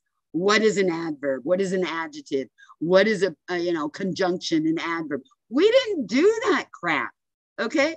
But in America, you guys have to. And oh boy, could I bomb that one out. Um, the only thing I actually knew was what a verb was and that was a person, place, or thing. And all I would do is go through and figure out what everything was because there was tons of things, every person in there or every place. And I would just write V all over my paper and handed it. That's all I know how to do. uh, yeah. So, but looking at this document, I literally could do any document there is. This guy laid it out so well. It was sent to me. And literally, he has his legends in here. Look, zero, you know, zero means conjunctive, one means adverb, two means verb, three means adjective, four means pronoun, five means prepo- um, prepositional, prepositional, okay, preposition, okay, whatever he wants to say. Uh, six is an article, you know, seven is a noun, and eight is past time. Then he comes up here. Preposition. Um, oh. Yeah, okay. Prepositional phrase, preposition, whatever. Yeah. she, she, told y'all she wasn't an expert. I'm not going to hide it, guys, and I'm not going to lie to you. You know, you guys have to realize work is work and it's not so easy. Okay. So, I mean, if I can sit there and do it, I think all you guys can too, unless my brain's different than everybody else. I don't know. But anyhow, all you have to basically do is take their letter, their offer, your assumed debt that you're assuming you owe to them, and break it down. And it's so well broken down that you guys can follow this example, even if you're not an English expert like am, like me, and and go through it seriously. Look what this guy did.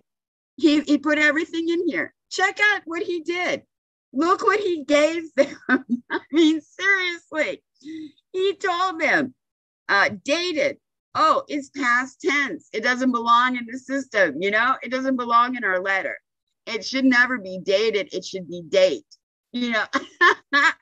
and then what does he say with CEO? It's no, it's no compliance or no offer. Uh, CEO is a number three. It's an uh, um, an adjective. Okay. Then he comes down nine. Nine. What is it? future time. So we've got past time and future time in the same sentence. Do you see that? I've never seen anything broken down like this before. So this is new to me. It is absolutely beautiful. Seriously. And what you put with it is even more beautiful. so look, he's got this thing broken down like you've never seen before in your life. I mean, look, four, two, six, seven, zero. Jeez. Right there. One, two, three, four, five. I mean, this guy must be a major English grammar, you know. But anyhow, what I'm saying, guys, is we don't have to be a grammar expert to do this.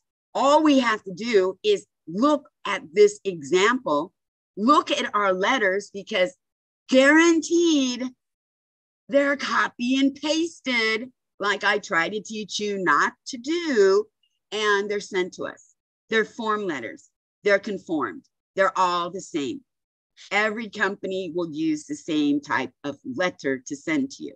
So I don't see any reason in the world that people cannot do this. Do you see any, Floyd? I mean, tell me if I'm wrong or I'm over assuming. um, if they would acknowledge this as um, lawful, you know, showing the fraud, yeah, I'd agree with that. But you know, like I said, I've never seen this before, so this is all new information to me. Um, you know, and I'm no English expert either. You know, I didn't pay attention in school. I didn't want to be there, but had to be there. Uh, yeah. I Wow. either spent my day, I either spent my days in high school sitting on the grass playing a guitar, at the beach surfing, or in an art class designing, or actually in college in some, you know, advanced math class because they couldn't keep me in high school because I was so advanced in math. And so this is how I spent three years of college in California. I mean, yeah, a high school in California, excuse me, not college. Hmm. Yeah. I got picked up every day to be taken to a college course uh, for, you know, calculus, trigonometry, uh, you name it. I ended up in it, you know, because they had to keep me busy through the three years I was there. Ah, okay. yeah.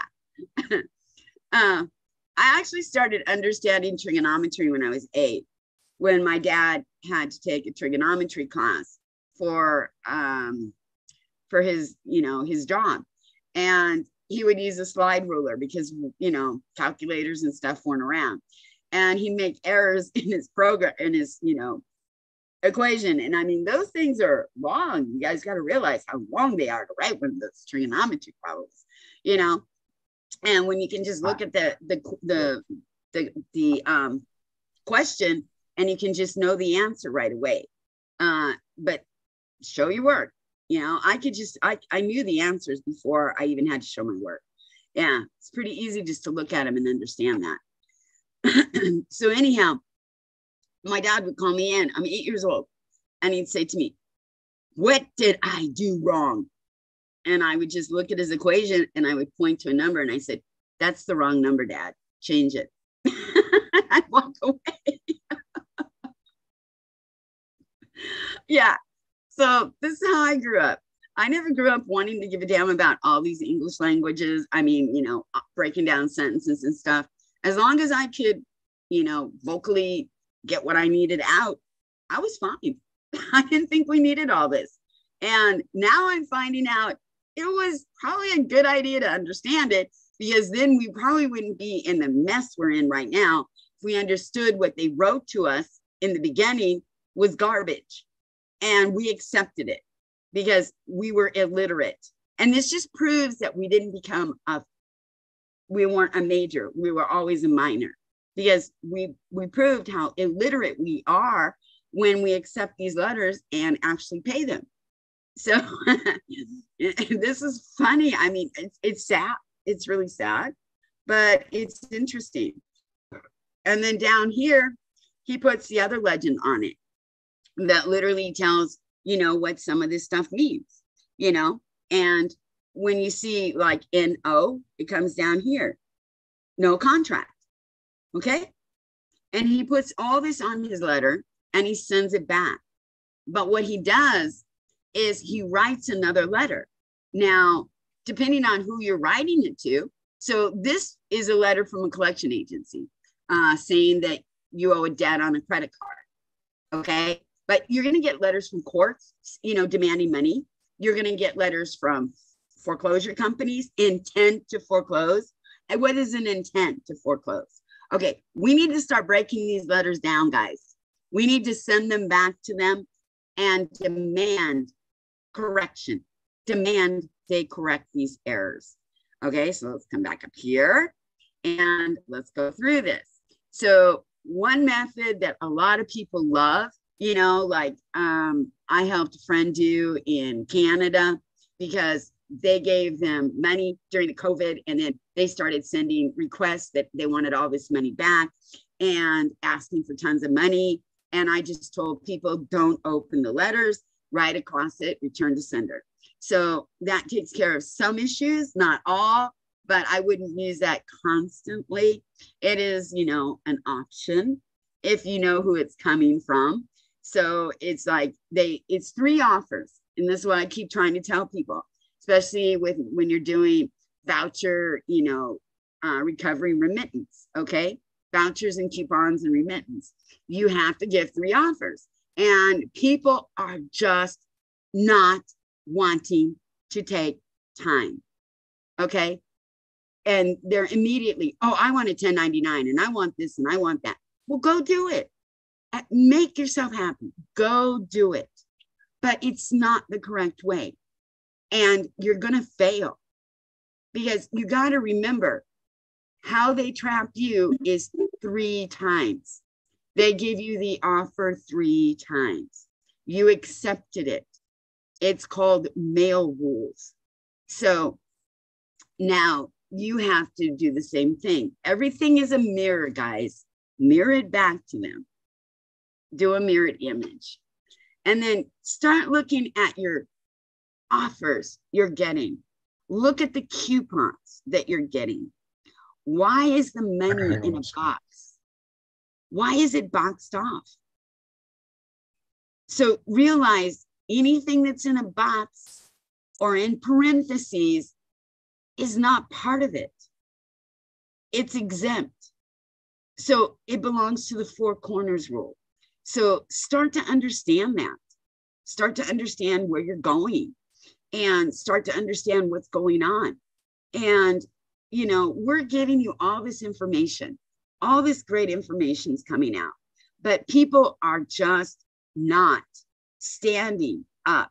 All they want is us to write the letters, us to do the work, and us to give it to them so they can reap the benefits.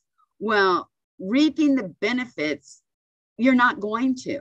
I'll be honest with you, you'll never reap the benefits because you never learned how to stand on your own two feet.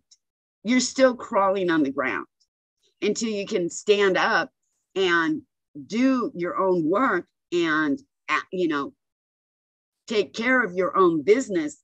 You're not going to get anywhere. This is what this whole thing is about. This is why it's so messed up um, because everything has been spoon fed to us our whole lives. We were spoon fed how to think. We were spoon fed uh, what was on television. We were spoon fed the notes. We were spoon fed that mortgages are the way to go. We were spoon fed that credit has got to be wonderful and everybody has to have credit. We were spoon fed that we have to pay taxes. Okay, none of it's true. You got to get out of that. You got to break the matrix.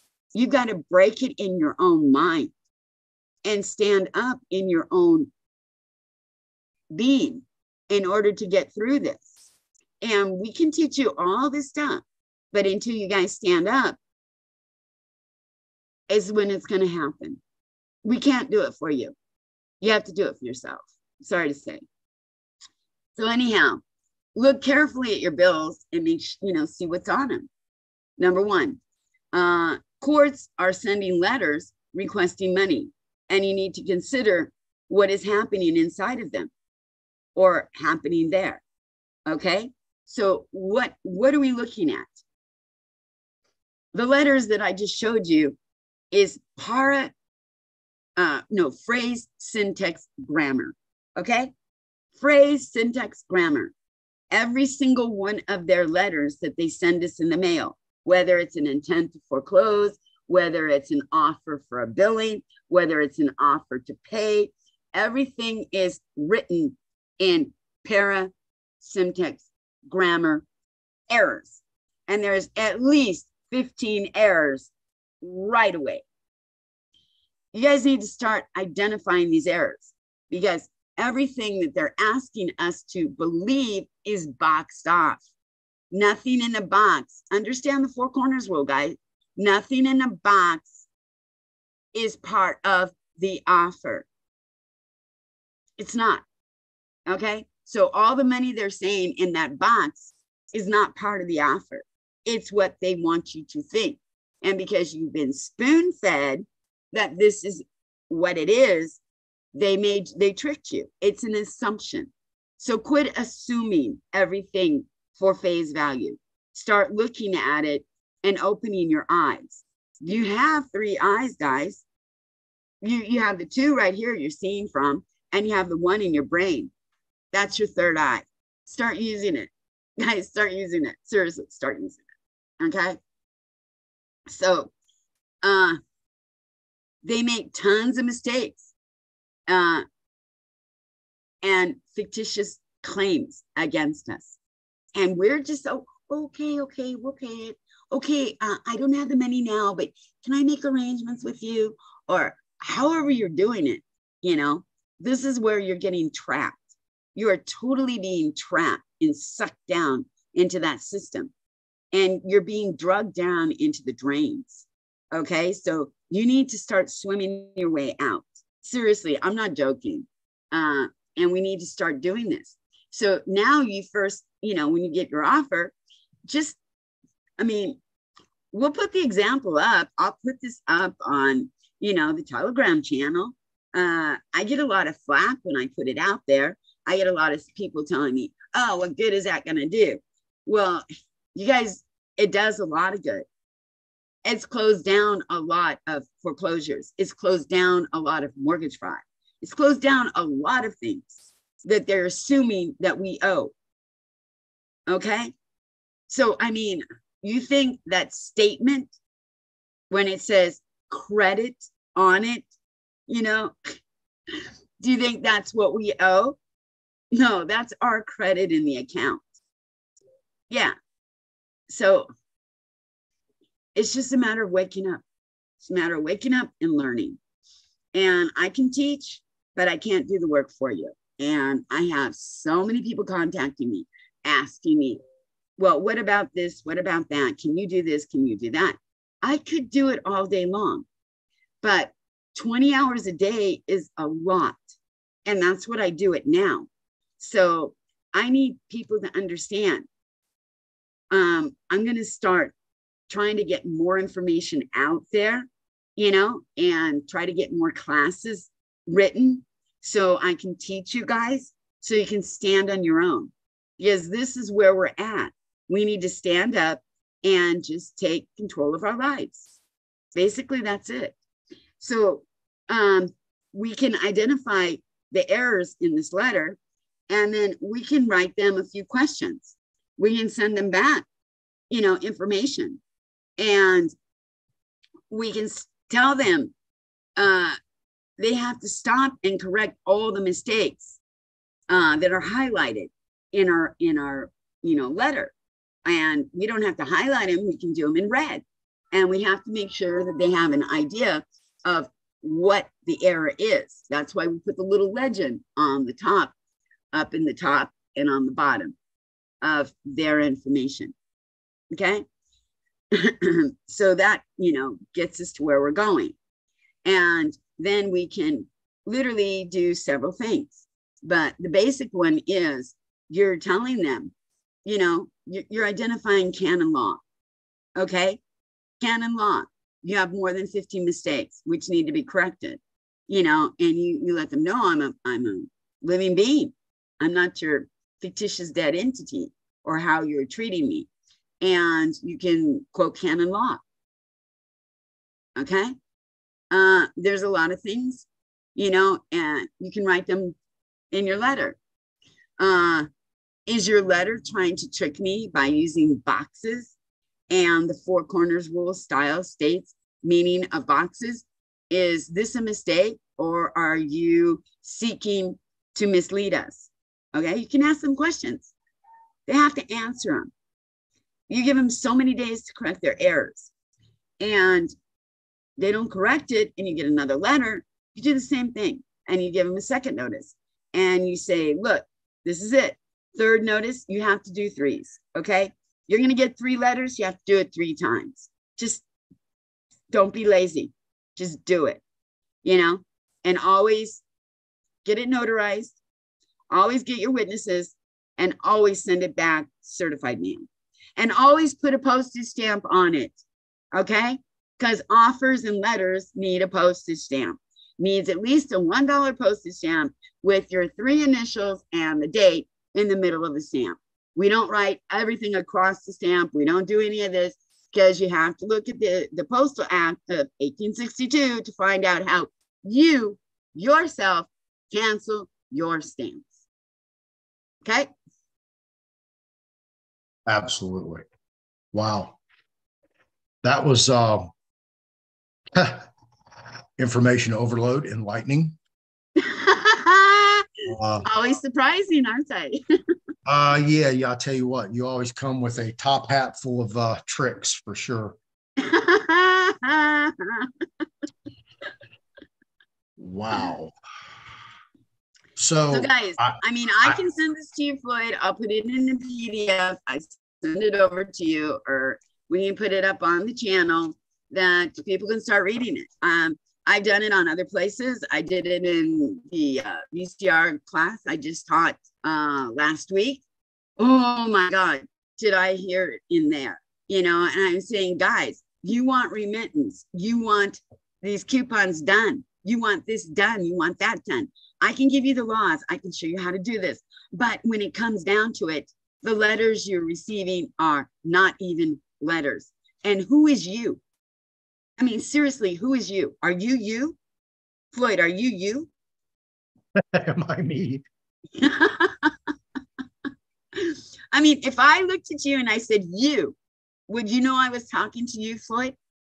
Uh, no. Okay, so why are we accepting it? That's my question. Why do we accept it in these letters? Uh, ignorance, programming, and institutionalism. Spoon feeding. we were spoon fed how to think. That's how I look at it. And I'm not going to spoon feed you how to unthink. You got to do that yourself. Ouch. That's going to leave a mark.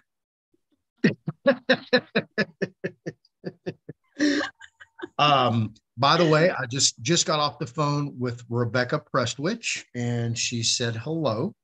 oh, great. How's Yeah. she doing? Uh, things are turning around for her. Um, Great. of course- yeah, she of course she got the court order from one court giving her daughter back to her, but she can't fulfill that order until she deals with this other uh, existing litigation. So um, she just accepted a, I guess, a court-appointed attorney uh, to handle that particular issue. We really didn't get deep into it because she was contacting me about um, a guest I have coming on at uh, four o'clock, uh, Kayla Nicole Fitts, who was at a uh, her and her, I believe her husband, um, significant other, and five children were in a hotel in Tulsa. And apparently, law enforcement showed up and they asked questions and labeled them sovereign citizens and manhandled them and took them to jail. And um, somebody in the Tulsa government, I'll say. I don't know exactly who or where or what or why. Uh, anonymously sent her the uh, body cam videos of every police officer that was at the scene. Ooh. And they are all on YouTube. So let me uh let me go pull those up for you guys. But guys, Um, realize, just let me say one thing. If you guys want to get out of these court cases and you want to get rid of this mess, what you need to ask these courts is one simple, lousy question. Okay, can close everything down. Will the named building, okay, building, that's what we're in. Will the named building making the claim? Because who's making the claim? Isn't it the, the court of whatever and it's on the name of the building? Okay, so ask them, are you willing to come to a courtroom, to a jury trial? And all people can have their cameras, recording devices, and whatever they want during the trial. And are you willing to testify? Okay. We'll close with that. right.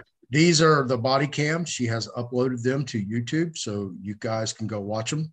And that's her right there. Wow. And I So where are her five children? uh, CPS took them and uh, adopted them out. What? How And two- long ago? Two of them were six months ago. Two of them were born without any birth certificates, registration, no social security numbers. And now they went and uh, the government went and got them social security numbers, get birth certificates. Oh, yeah. Yeah, she is not happy. She would like your assistance with this matter. What I'm doing, uh, I just talked to Rebecca about this and I talked to Kayla last night as well as Felicia Beverly. Uh, they will all be on at four o'clock today, Central Standard Time, um, to talk about this case. Um, maybe we just briefly discussed doing a fundraiser to raise funds for Kayla and her family uh, to help support uh, their effort to uh, uh, reobtain their children back and get her significant other who's still in Tulsa County Jail, I believe. Uh, so Honey, it's- we need, you know what we need to do? Literally with this footage, with all the stuff that she has, I'm gonna be honest with you. Um, it's called one three eight one eight, human trafficking. Okay? And I have 14 offices listing of them that uh we just need to compile the data correctly, do the affidavit, do the indexing, do the information, and turn it in to these departments to have it investigated. Okay? Seriously. Absolutely. Because So what- what- afterwards they're saying they're they're What- I mean they're literally stereotyping these people as what? State nationals, you know, they're calling them terrorists. That's stereotyping. That's called racism. That's called, you know, uh, federal bureau discrimination. Yes, discrimination. discrimination. Uh-huh Yeah. So there's plenty out there. There's there's Yeah, plenty of places that I am starting to literally compile all this stuff with affidavits, affidavits Okay. from other people who've seen it, so Right. that we Well, can start sending them out. Yeah, well, well, this is what we're going to do, Ann. Uh, and I talked to Rebecca about this. I also talked to Kayla and Felicia. I'm going to create another Telegram group that is going to specifically be for uh, CPS issues, um, any kind of issues like probate, uh, where you're dealing with your kids, trying to get your kids back, kids being taken away from you, uh, adopted out, et cetera, et cetera, just for these folks who are going through these uh, issues so y'all can exchange information. I'm going to set it up. Everybody will have full administrative access. You can transfer files, videos, open up chats, have discussions, share information. And if we all work together, uh, just like they did with Bonds for the Win, we can create a um, a protocol, I'll say, uh, to um, annihilate child protective services and the human trafficking that go, goes Floyd, on. Floyd, Yes. let me put something in here just for one second, okay? Sure. I always had an issue when I went to America. Uh, where I come from, whenever we wrote our documents for school or we turned in our homework, we wrote our last name first, comma, our first name. That was the format. Okay. Everything in France, Europe, and all of the countries is done last name, then your first and middle name. That's it. That's the way it goes. And America is the only one that puts your your name, your your God-given name and your middle name first and then put your last name. They programmed you to do that because here where I come from, it's nom name, nom, prenom, your name, surname, your middle name. Okay. So when they're saying first, that's your nom. Okay. Your name. Everybody needs to correct the goddamn birth certificates. Seriously, you need to do a legal name change in the court system. It's not hard.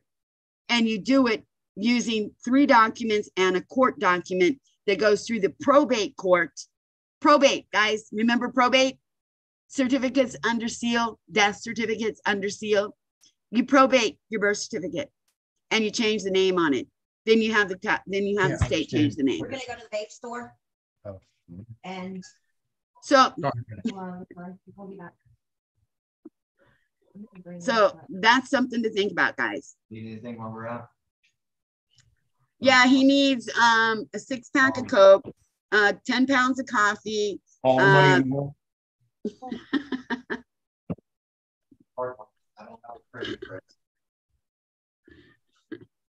Jesse was asking me if I needed anything from the store, and I said all the money in the world. Do you realize you generate that with your own electricity in your own body? you generate it yourself. You're Right. worth more than anything else. Uh, yeah, apparently this is them uh, doing an unlawful search and seizure without a warrant. You can see how they entered the house. The keys are in the door right here. And Wow. this guy's got a shield. This guy, And they're holding this guy's back, like, you know, Yeah. protecting. Oh my God.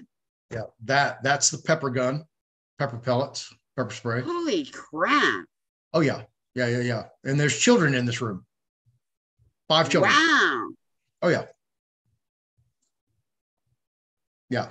E- each one of these guys, that's aggravated assault with a deadly weapon, aggravated kidnapping, aggravated robbery. Oh, what is that? Is assault. that is that a stun gun now? Yeah, yeah, that's a taser.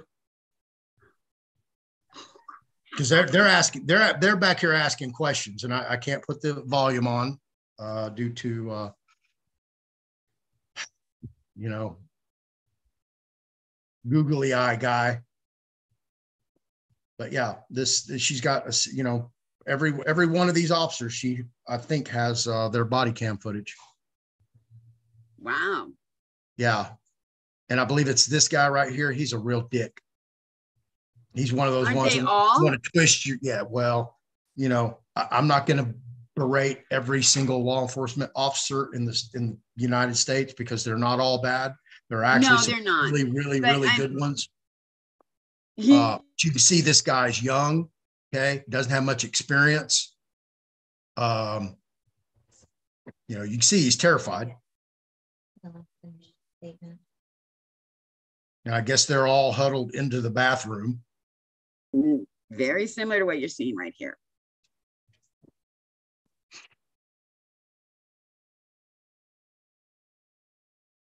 Wow. Yeah. What? Yeah. Look at that. And so all of her kids have been adopted out. Yeah, that's a child. That's a child they're pointing weapons at. Wow. What? Mel would like to know what day she set forth Tomorrow. Wednesday. Correct? Sure. Time? Two o'clock central. Two o'clock. then. Okay, thank you.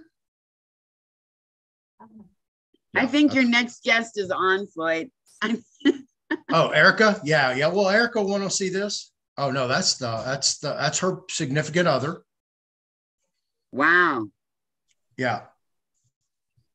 And and they're gonna what they're gonna they're using static handcuffs that don't have a chain to link them. They don't twist. So they lock your wrist in place. See how that see how they have to get it in there just right. Wow.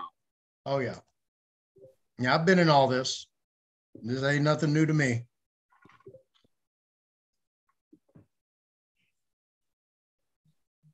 This is There's insanity. There's nothing any one of these guys have have you're gonna see that has not been done to me. Absolutely. What were their charges? I mean, why in the hell did they break into this hotel room? Uh, I believe he's still not charged. And uh, I believe Kayla s- sat in there for six months without charges. And They finally released her. They can only hold them 21 days.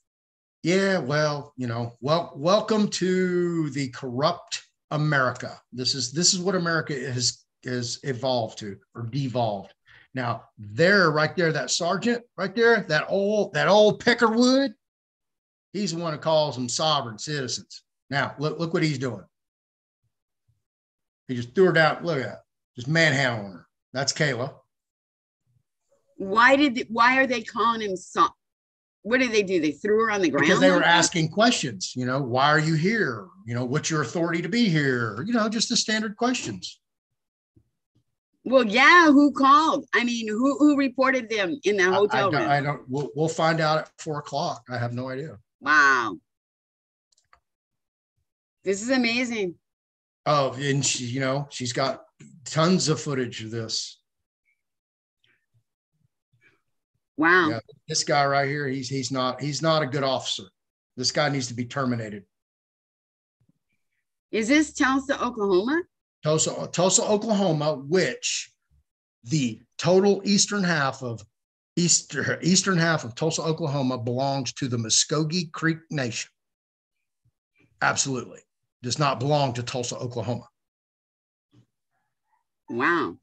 Oh yeah and i'm i'm livid that this this crap is going on You know, Okay. um, I need to get you that list of um, addresses and information of where they need to start, you know, getting their affidavits together and sending it in, especially Well- with all this video cam footage.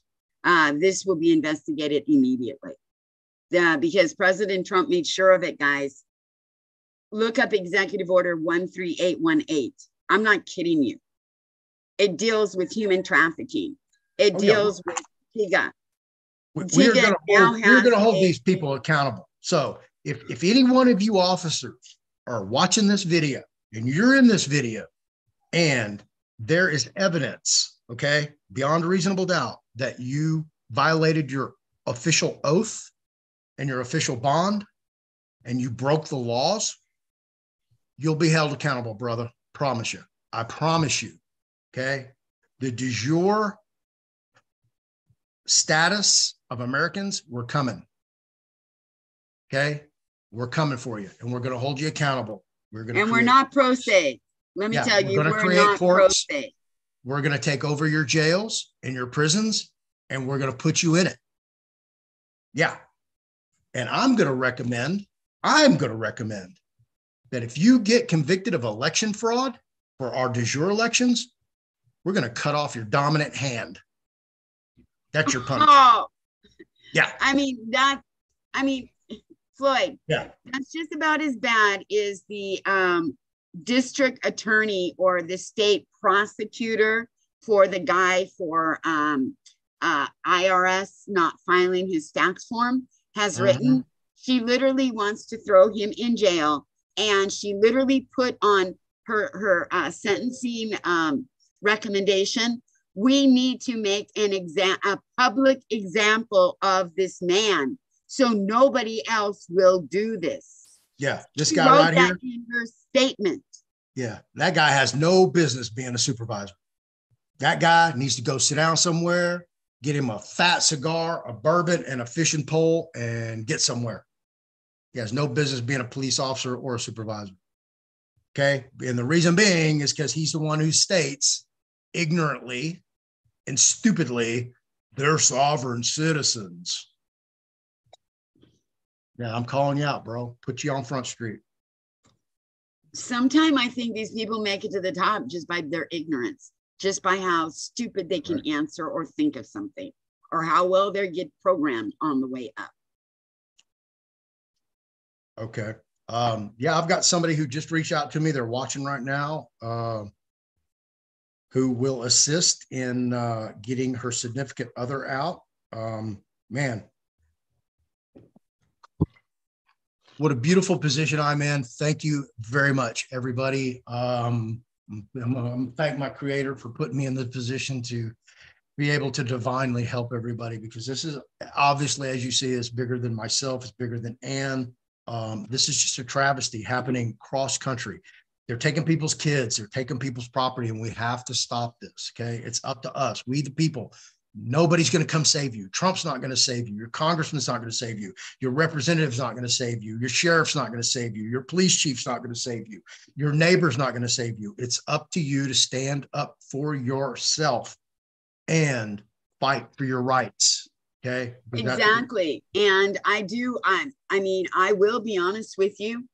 President Trump did write that executive order 13818, guys and he did set up the Department of TIGA, T-I-G-A. Yeah, and um, believe it or not, I'm using it, and I am getting response back from it. I actually got a letter and giving me the information, the investigation number, and it is being noted.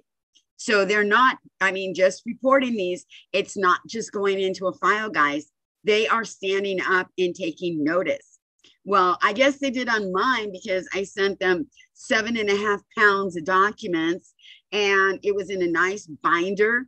It had the affidavit, it had the entry letter, it had the index, and it had everything in order, correlated in order for them to go through this. So uh, yeah, I guess um, I made some sort of impression on them, but this is how it happens. This is how it works. Yep. And you can see he's not being belligerent at all. You know, he's cooperating, sitting there calmly. He's not yelling, not screaming, conducting himself with honor. So sad. Mm, this isn't the first time I've seen that. I'll be uh, honest yeah, with you, it's not. Yeah. And it's it's you know it's to the point now where if people do not stand up and literally come and say something to these people, then you guys are the ones who are losing out. We cannot voice the opinion for you. You have to voice your own opinion. And that's what it means by standing up and becoming a major and stop being a minor. Absolutely. Wow. Well, Floyd, gonna run. yes. Um, I'll I'll contact you later this evening. Well, actually, we have trust class tonight. At, yeah, I have class with you later this evening or later yeah. this afternoon, my time. Okay. okay. I'll get on there. All right, okay, Ann, thank you. Okay, All bye right, guys, and hello for the yes, next guest. See you guys soon. Bye. Yeah, yeah, yeah. I got I got your text. Hang on, I can only do two two things at once. All right, bye. Okay. Happy Valentine's Day to the gorgeous America's mom, Arica Kildae. Man, you look stunning today. Thank you. You're welcome. Thank you. Yeah. I love your festive shirt for the holiday. Oh, thank you. Yeah. it was actually in the very back of my closet. So there you go. Well, it was worth the hunt. So nice. Yeah. Well, thank you. Wonderful. Uh, wow. So what did you think about uh well Ann's presentation and then diving into Kayla, which is coming on after you? and you're more than welcome to stay on with uh, because Alicia Beverly's coming on, Kayla's coming on, um, and they're inviting a couple other people. I need to send Eric the link right now. He wanted to jump on and chime in quickly. So uh, let me do all this. Um, and meanwhile, while I do that, um, what are you going to talk to us about today? Well, first, I want to say um, that was really hard to watch. and I feel like I needed a trigger like warning. And I'm not a snowflake, but that was really upsetting. So, um, it's horrible. Yeah. yeah. I mean, fought- I see this stuff and I, you know, I read this stuff, you know, because you guys, you're always reaching out to me for help. And, you know, um, if I could, you know, have a magic wand and solve your problems, I'd love to do it. And I try to connect as many people as I can to assist so we can find remedy and resolution. Um, and, you know, sometimes I'm not 100% effective, but I do the best I can with what I have. Thank God I have people like Arica and, you know, Felicia Beverly, my assistants, Nathalie, all that who do come in here and help me out. So this is something that I think we all need to work on. Uh, Arica, you know, for some reason just found out today that I set up a Telegram room for her,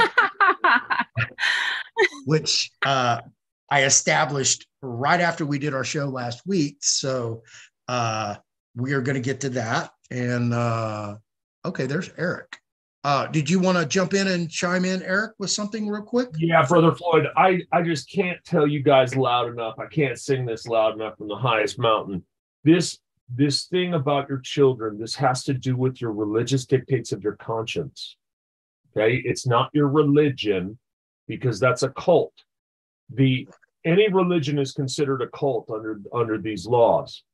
Okay, as soon as you name the religion, but what is tested is your religious dictates of your conscience. And so people have to start um, expressing their trust that these children are, are in these positions because of the religious dictates of my conscience as a parent.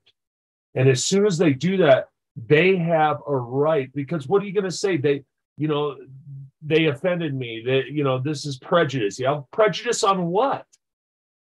What prejudice? Because what? You know, your teeth don't shine? Like, what prejudice? And that's why you have to establish evidences that your religious dictates of your conscience is the reason why you take these steps. It's just so critical. And when people start writing those words and start speaking those words, that is the expression of the trust, and they can uphold that because they can evidence it in a civil court. I yield, brother. Thank you very much for that, Eric. Um, man, I look forward to you coming on tomorrow. Um, I'm going to bring Kayla on the last hour tomorrow at four o'clock and uh, have you, uh, as well as Brian and anybody else who wants to come on that show, uh, talk more at length. Today at four o'clock will be mainly an introduction to Kayla, her circumstances and uh, what she's currently existing and going through for herself, her children, and her significant other. So each each one of you who have uh, reached out to me or want to reach out to and assist Kayla with the recovery of her family, because that's basically what this is, uh, send me emails, telegrams, call me, text me, whatever.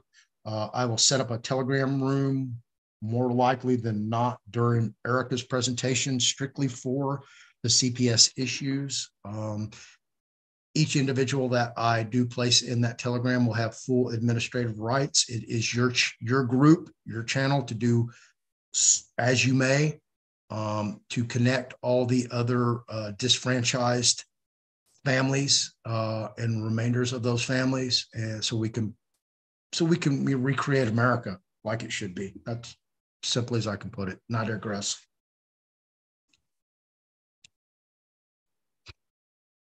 Okay, Arica, floor is yours. Well, I think I'm going to have to cut my content. Why? So um, I'm going to adjust. I, I was going to make this up my homeschool day, but um, I'm going to share some of the stuff that I've been working on this week um, instead. Okay. And um, I would also like to announce that I have a guest coming on next week, and oh, I'm really awesome. excited because she is um, a like minded mom and she homeschools. She has a couple of businesses.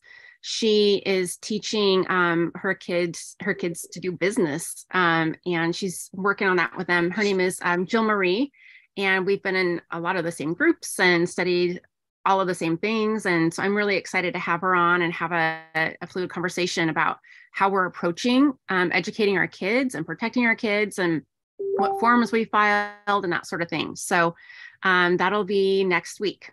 So, wow. So what part of what I'm going to start doing on a, a, weekly basis is to kind of update everybody on what forms I've been filing for my kids, and then an update on hey, have these been well received? Have they been received at all? Have I had a kickback because I think that it is um, important to find out what's working, what's not working, or I had success with this. And so I just want to, um, since I'm actively working on this stuff, I want people to be able to see what has um, generated results. So um, let's see. I'm going to go back over. Um, we went over the 4-H paperwork in my first um, in my first uh, time with Floyd this season, and um, I also did the youth group paperwork. And I have not heard back from either um, group about those. Um, a little tip that I wanted to share with um, with everyone was that I oh I have a tracker on my email and if you don't utilize a tracker, I highly recommend it because it allows you to see who's opened your email, when they opened it, um, and then how many times it's been opened. And I, when I'm doing stuff for my kids, I'm not necessarily sending everything out certified mail with the return receipt and all of that. So this enables me to get quick access to information and also it's documentation that an item has been received.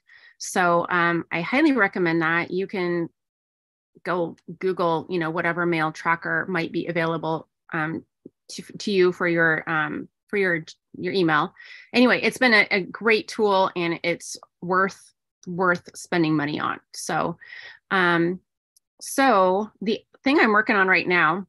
And, and how much is something like that? What's the monthly subscription? Man, I think I paid for a year for like 15 bucks or something. It's really Oh, cheap. That's Totally their worth it. Yeah, Yeah. absolutely. Okay, I digress. Oh, and, and you'll even see like, hey, somebody opened up that email from six months ago. And then I, I always find that very curious. so um, anyway, uh, let's see. So the first thing I want to talk about is my um, the hunters class. I'm trying to sign my son up for. And Fearless Floyd, I might need your thoughts on this because I'm a little bit stuck. And I think these are the parenting things that we need to sort through. And it is, I need to get my kids signed up for this class. And he just walked away. so I need to get my kids signed up for this class. Um, I need to, I need to just bust through this because I know this class is going to fill up. But guess what? Uh, the Kentucky Hunters Association or wildlife and game or whatever it is that puts on the hunters class, they need your social security number. And I didn't get anywhere with it last week. I didn't get anywhere with it today. Um, or I'm sorry, yesterday when I talked to them and I was told to put in all nines on the online form, couldn't do that. So I finally called in and talked to someone and it did not go well for me. And we could not come to a meeting of the minds. And I was asked, Are you an attorney? And I'm like, Well, no, I'm just citing the law and um,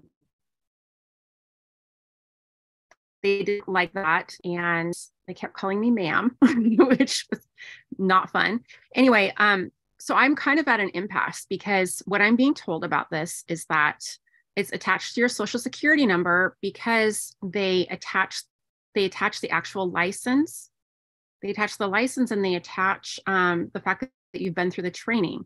So, as she put it, it will follow my child for 70 plus years of his life, and it will always be on his record that he went through the, the hunter's class, right?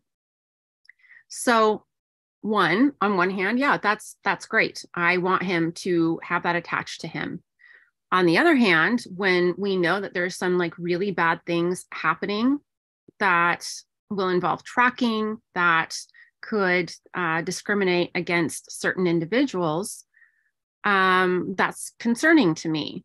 Um, so I'm honestly not quite sure what to do with that because I feel like I'm in this really awkward place.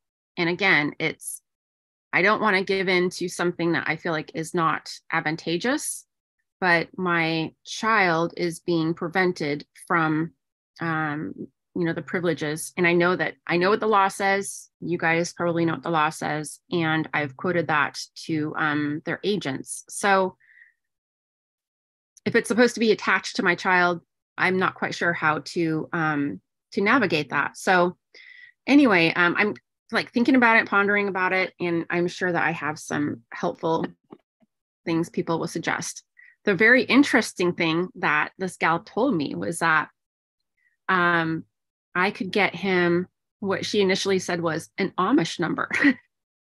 I'm like, oh, an Amish number, huh? And she's like, yes, that's how we. And then she like stopped talking and she backtracked and she said, I mean, uh, so she called it some other kind of number. And so I thought that was really interesting that they had that available, but it's still a number attached to your child.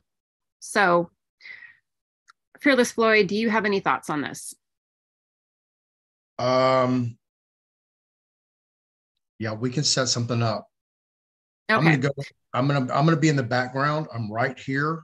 I'm just on the other side of my desk at my other laptop. And I'm gonna create the Telegram channel for the That's CPS. right. I forgot. Okay. I'm going to just keep going.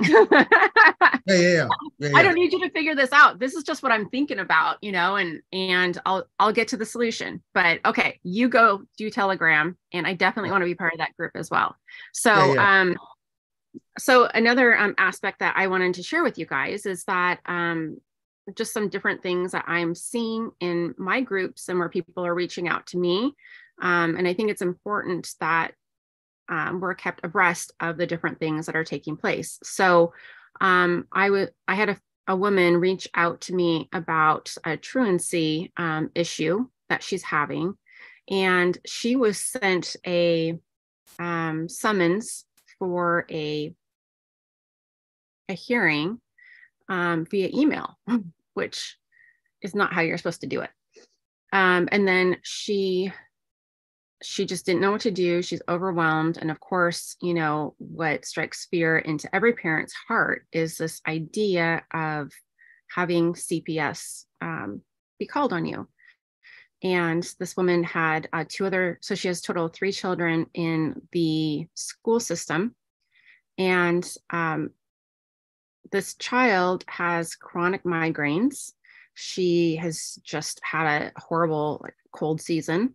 And you know we've gone from all the grace in the world for absences. And absence uh, you know if you have a sniffle right to now this child having significant medical issues and they're calling it truancy. And i really see that parents have had a lot of whiplash. I mean we all have right? But um, to see the whiplash that's occurred for um, for families who have their kids in school with everything changing, um, I, I see that that has been difficult. So um, I went in and created a packet for this mom, and um, I started researching before I put my packet together. And what I researched was, you know, all the things under the Texas truancy issues and came up with some very um, like concerning things, like really concerning. So, the first thing I want to say is do not let your child sign anything. Do not allow them to sign their names. At this point, I would say don't even don't even teach them. I know that's unrealistic, but don't allow them to sign to sign anything because here's what is allowed in Texas. You can give the truancy if you if you're involved in the truancy um, facilitation is one of the the verbiage one of the the words that they used. If you're involved in the truancy program two things can happen. Your minor can sign away their rights like their constitutional rights and they can do it themselves without even talking to the parent uh, or involving the parent. The child can just waive their constitutional rights if they're involved in um, this hearing process um, the other thing is that they can sign away the power of attorney to the truancy board or officers until they're 19 years old. And I saw this just, we know that the school district is inserting themselves or in the government is inserting themselves in the place of parents. But just to see this in black and white was really surprising. So of course I went back to that mom and just asked, "Hey, has your kid signed anything?" We're, we rescinded everything anyway, but um, I just wanted to see what had been done or how that situation had been approached. So um, this is the packet I put together for her. Um, we did a conditional acceptance, and I just went through and I poked holes at all their assumptions and presumptions that they were making, and even the audacity to send this mom a summons for they call it a truancy tribunal. Just so, i mean if you if you don't know how to handle yourself of course I, i'm like okay this can easily be solved right? But if you don't know how to handle yourself you don't know your rights of course that's overwhelming. You know put yourself in the position of i'm a mom with a sick kid. I have two other kids i'm dealing with. I'm working full time. I'm just trying to keep my head above water. And then you get you know these ridiculous um, summons in the mail when you're just trying to be a mom. So, you know, one of the assumptions that they're making is that they can make better parenting decisions than you can. This mom had called out every time her child was staying home or was sick, but unfortunately for the school, the school district felt that it met their um was it a threshold of too many absences. Um, so again, don't let your kids sign anything. So we did the conditional acceptance. We poked, you know, holes in all the presumptions. I did a, um, we rescinded her signature and any power of attorney that was assumed on behalf of the school district. Um, we did a trust for her family and wrapped all the children into that trust. Um, we did a declaration of status, um, a cease and desist with a list of activities, um, a fee schedule, and um, then we also did a no trespass uh, sign for her to post at her home and then a fee schedule. So both of those would be posted um, at the edge of her property. Um, I'm not quite sure what her living situation was, but it was either at the edge of her property, laminated. Um, and I sound like a homeschool mom with my whole laminated thing, but really, um, it, a laminator is useful for many things. So this being one, um, you could change your fee schedule out at any time and repost. So, um, and then, you know, to put that at her door as well.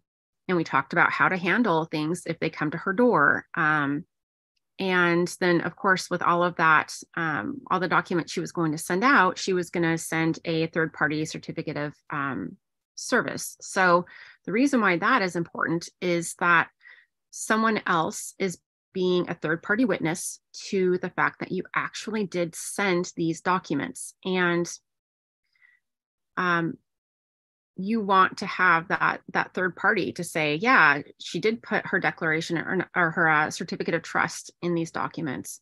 And so in adding in the certificate of trust we wanted to send a message to um, the truancy people to the principal to um, the texas education association which is their like state school board and then the regular school board for school district that this, and I also sent it to the health department um, for Texas as well.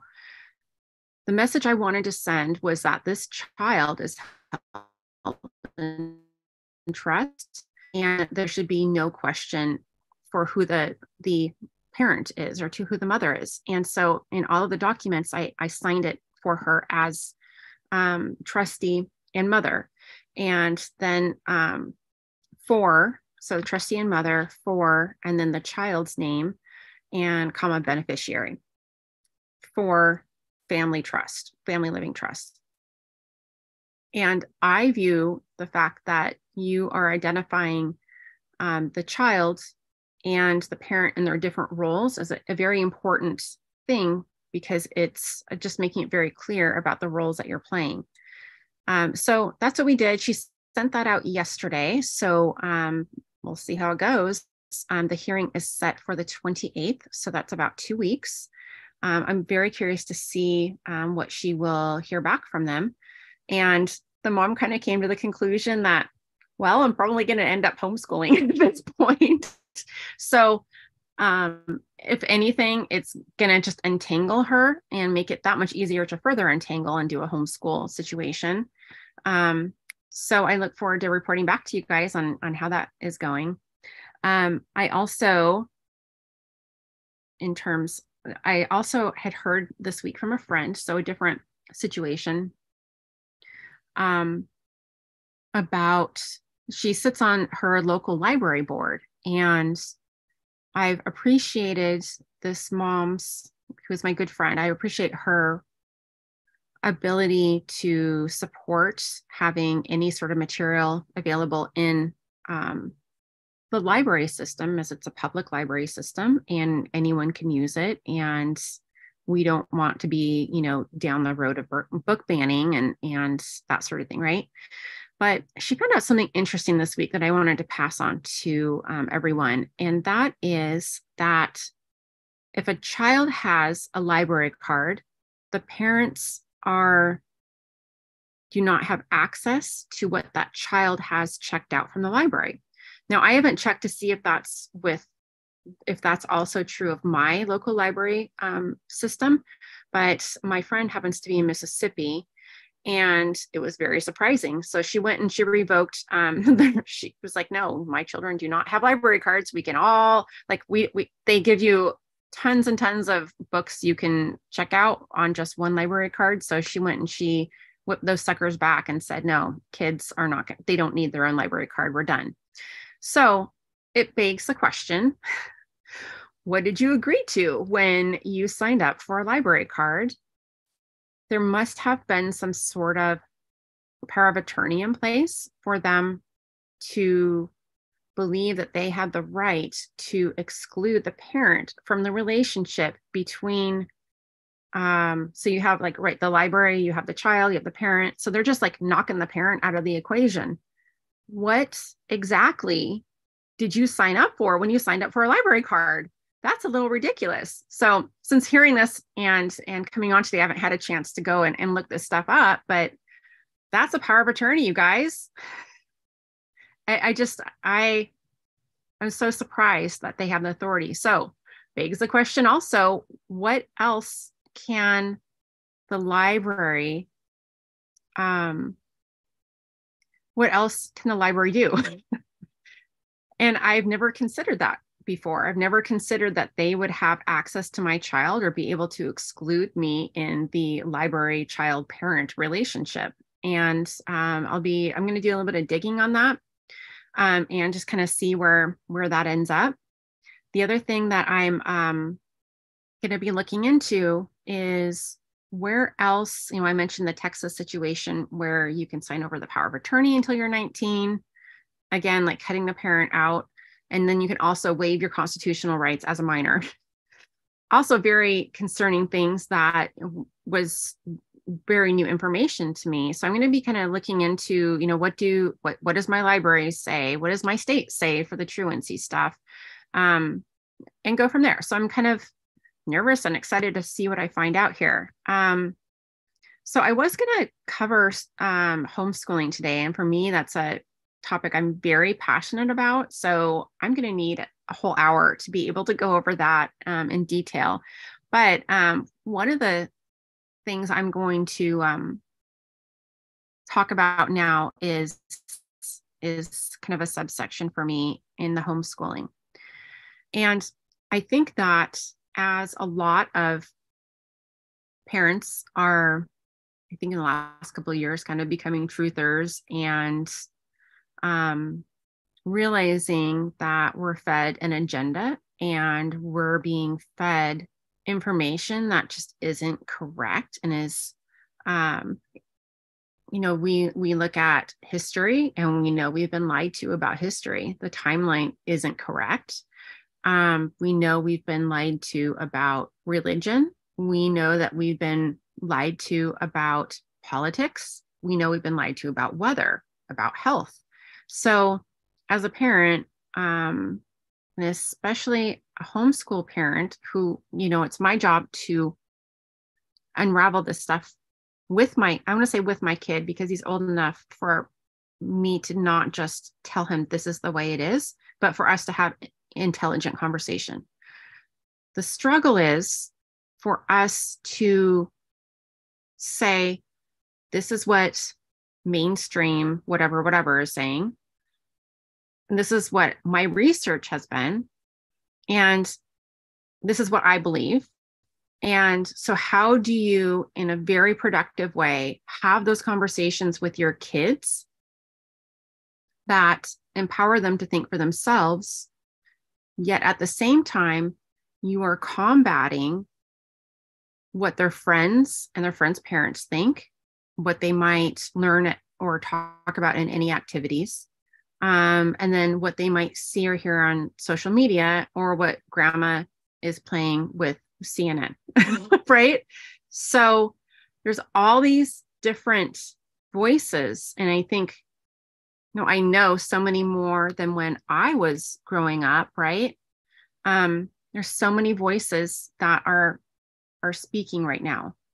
And um, I just want to acknowledge that it's hard. It's really hard when I'm going through a period of time where I'm realizing, wow, like history is a lie.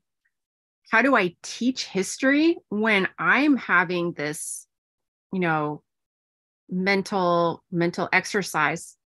And how do I move forward in a really productive way when I'm dealing with a teenager who's embarrassed of mom anyway. so, you know, like there's that's a conundrum. and and what what do you do with that? So I just want to acknowledge that I think a lot of parents are in this position of, you know, what what do we teach them about the Civil War when it's not just it's it's just not simple. So I just want to acknowledge that that's where a lot of parents are at. That's it's been a lot of um, a lot of a, a, challenge to break it down. There's a mom that um, I follow on Facebook, and her name is There's No Place Like Home. So she's a homeschool mom of like six or seven kids or something, and super smart, intelligent woman. And she's also a truther. So she's exploring different topics like were there fairies, you know? and you know, what is the real timeline? And you can kind of see her progress over time where she's really talked through and dealt with with these topics and then her struggle in trying to teach that stuff to her kids. She has a recent video called uh, the Truther Homeschool Book Haul, and she has two videos on that. Um, I'd really recommend going and taking a look because she's got some excellent resources there on um, books and different things that are useful for for me and for different families. So you know I, I would recommend her. So she's called no place like home and she's on youtube and she's a great resource. So um the other thing that i wanted to talk about was um let me see. Oh and this is why this was pertinent today. Um a lot of times you see people wonder like when you have to pull um, kids out of school or when you can pull them out of school and when you can start homeschooling. And it's just a really heartbreaking time of the school year um, for me to watch what what happens in the in this specific time because you're into the school year you're not at the end of the school year but kind of at the end of the school year at the t- you're at the the backside right and parents think oh man i don't want to like i don't want to make things difficult for my kid if i pull them out right now. Um, i don't want to um, cause a disruption. I want them to finish the school year. And i just really want to encourage parents that you can pull your kid out anytime anytime today if you're feeling convicted that your child should not be in public school you can drive to the school, pick up your child and all their stuff and say, um, we're we're not enrolled here anymore. We are done. We are done with the system. Bring your kid home and, start your new path to homeschooling. It's possible. so two of the things, a couple of things I've seen this week that really brought this to mind. Um, one has been the illness thing. Um, I know of someone who was so scared of the school district because her kids had been sick for three days. She didn't have a doctor to bring her children to because what we're also seeing is that pediatricians are refusing families to, to go in and they're refusing to see families who aren't uh, the V word, right? So families are being prevented from getting health care. So in this case, and it's actually been a couple of people I've talked to this week, the kids had legit been homesick. They were told if they didn't come back within that three days and show their faces at the school, then they would call the truancy officer. So, what does this mom do? Her kids are very sick. She drives them to school. She has them go into the classroom being ill she has her children, she instructs her children to raise her hand and say, I'm sick, I need to go see the nurse. And then child goes to the nurse, the nurse calls mom who's out in the car. That's ridiculous. like, yes, that's ridiculous. But this same mom also, um, because she doesn't have a doctor who will write her child a note because they don't have the the V word. So we continue to see ourselves in these conundrums. And I know that that it is my conviction and my family's conviction to homeschool, but that's that's not everyone else's conviction, right? And I I one of the things that I so I asked, I interviewed my son today and I said, um, because I wanted to include that in part of my presentation today. And I asked him, Do you think that everyone should be homeschooled? And he said, Mom, no, not everyone should be homeschooled. We're all different. We all have different needs. We should all be doing something different if it suits the kid. And I was like, Well, you are right. I'm so proud of you. so, um, That's phenomenal. yeah. Yeah, that was pretty encouraging that he's open-minded. Um anyway, I can share more of that conversation later, but um and and I believe the same thing. Like every kid has different needs, but the conundrum is can't find a doctor that will be accepted by the the school. A doctor won't see you, so you can't get a doctor's note. So here we are back to you know 2020 2021 2022 you can't send your kid to school if they've even seen someone who has sniffles that lives next door to you can't be absent for more than three days without a doctor's note. So this particular mom i was just telling you about that had been absent for three days sent her kids to school she's planning on homeschooling next year. I, I don't understand. I don't understand that at all school isn't working for him um why why not just call it a day? Why do you need to finish? If your child is struggling right now pull your kid out today. That is an option and it's an option available to you. And i'm going to tell you how to do it and this is part of my my thing today but i think it's really important that every parent who is wondering should i pull my kid out? Um today is the day. Go do it. There's another child who uh, a mom reached out to me and she said, listen, I don't know what to do. I don't want to pull out now. And you know, that whole time conundrum that that parents are finding themselves in. Like, oh, we've done half the school year. We, we just have a few more months left. Well, this child has a tummy issue, and the teacher is only allowing the child to go to the restroom on get two breaks a day, on two potty breaks a day. He's in third grade. The mom was just like, I just, I don't know what to do I just don't know what to do. And I'm able to look at a parent and say, you know what to do. Trust your gut. God gave you that gut. God made you that child's mother. You just need to listen to that.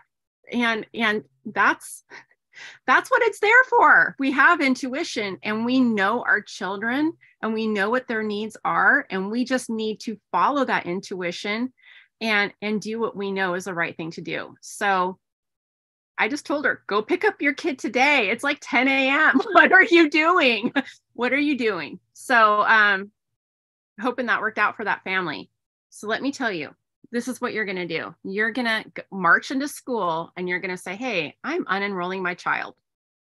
There will be a letter that you will need to send to uh, the school district.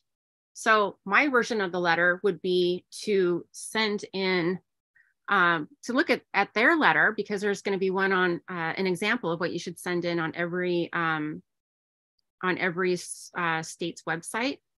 And you're going to mm-hmm. revise that letter. So do you, have a temp- do you have a template of that letter on your facebook page or? No but i made one today in, in, the telegram group that you have i can screen share and show it hey, um, there you go yeah okay you know me and my challenge with screen sharing. Um, let's see, screen share. Practice makes perfect. I know.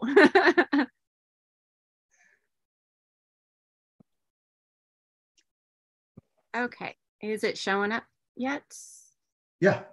Okay, so the um, top letter here is the letter of intent that the uh, Commonwealth of Kentucky would prefer you to send to them.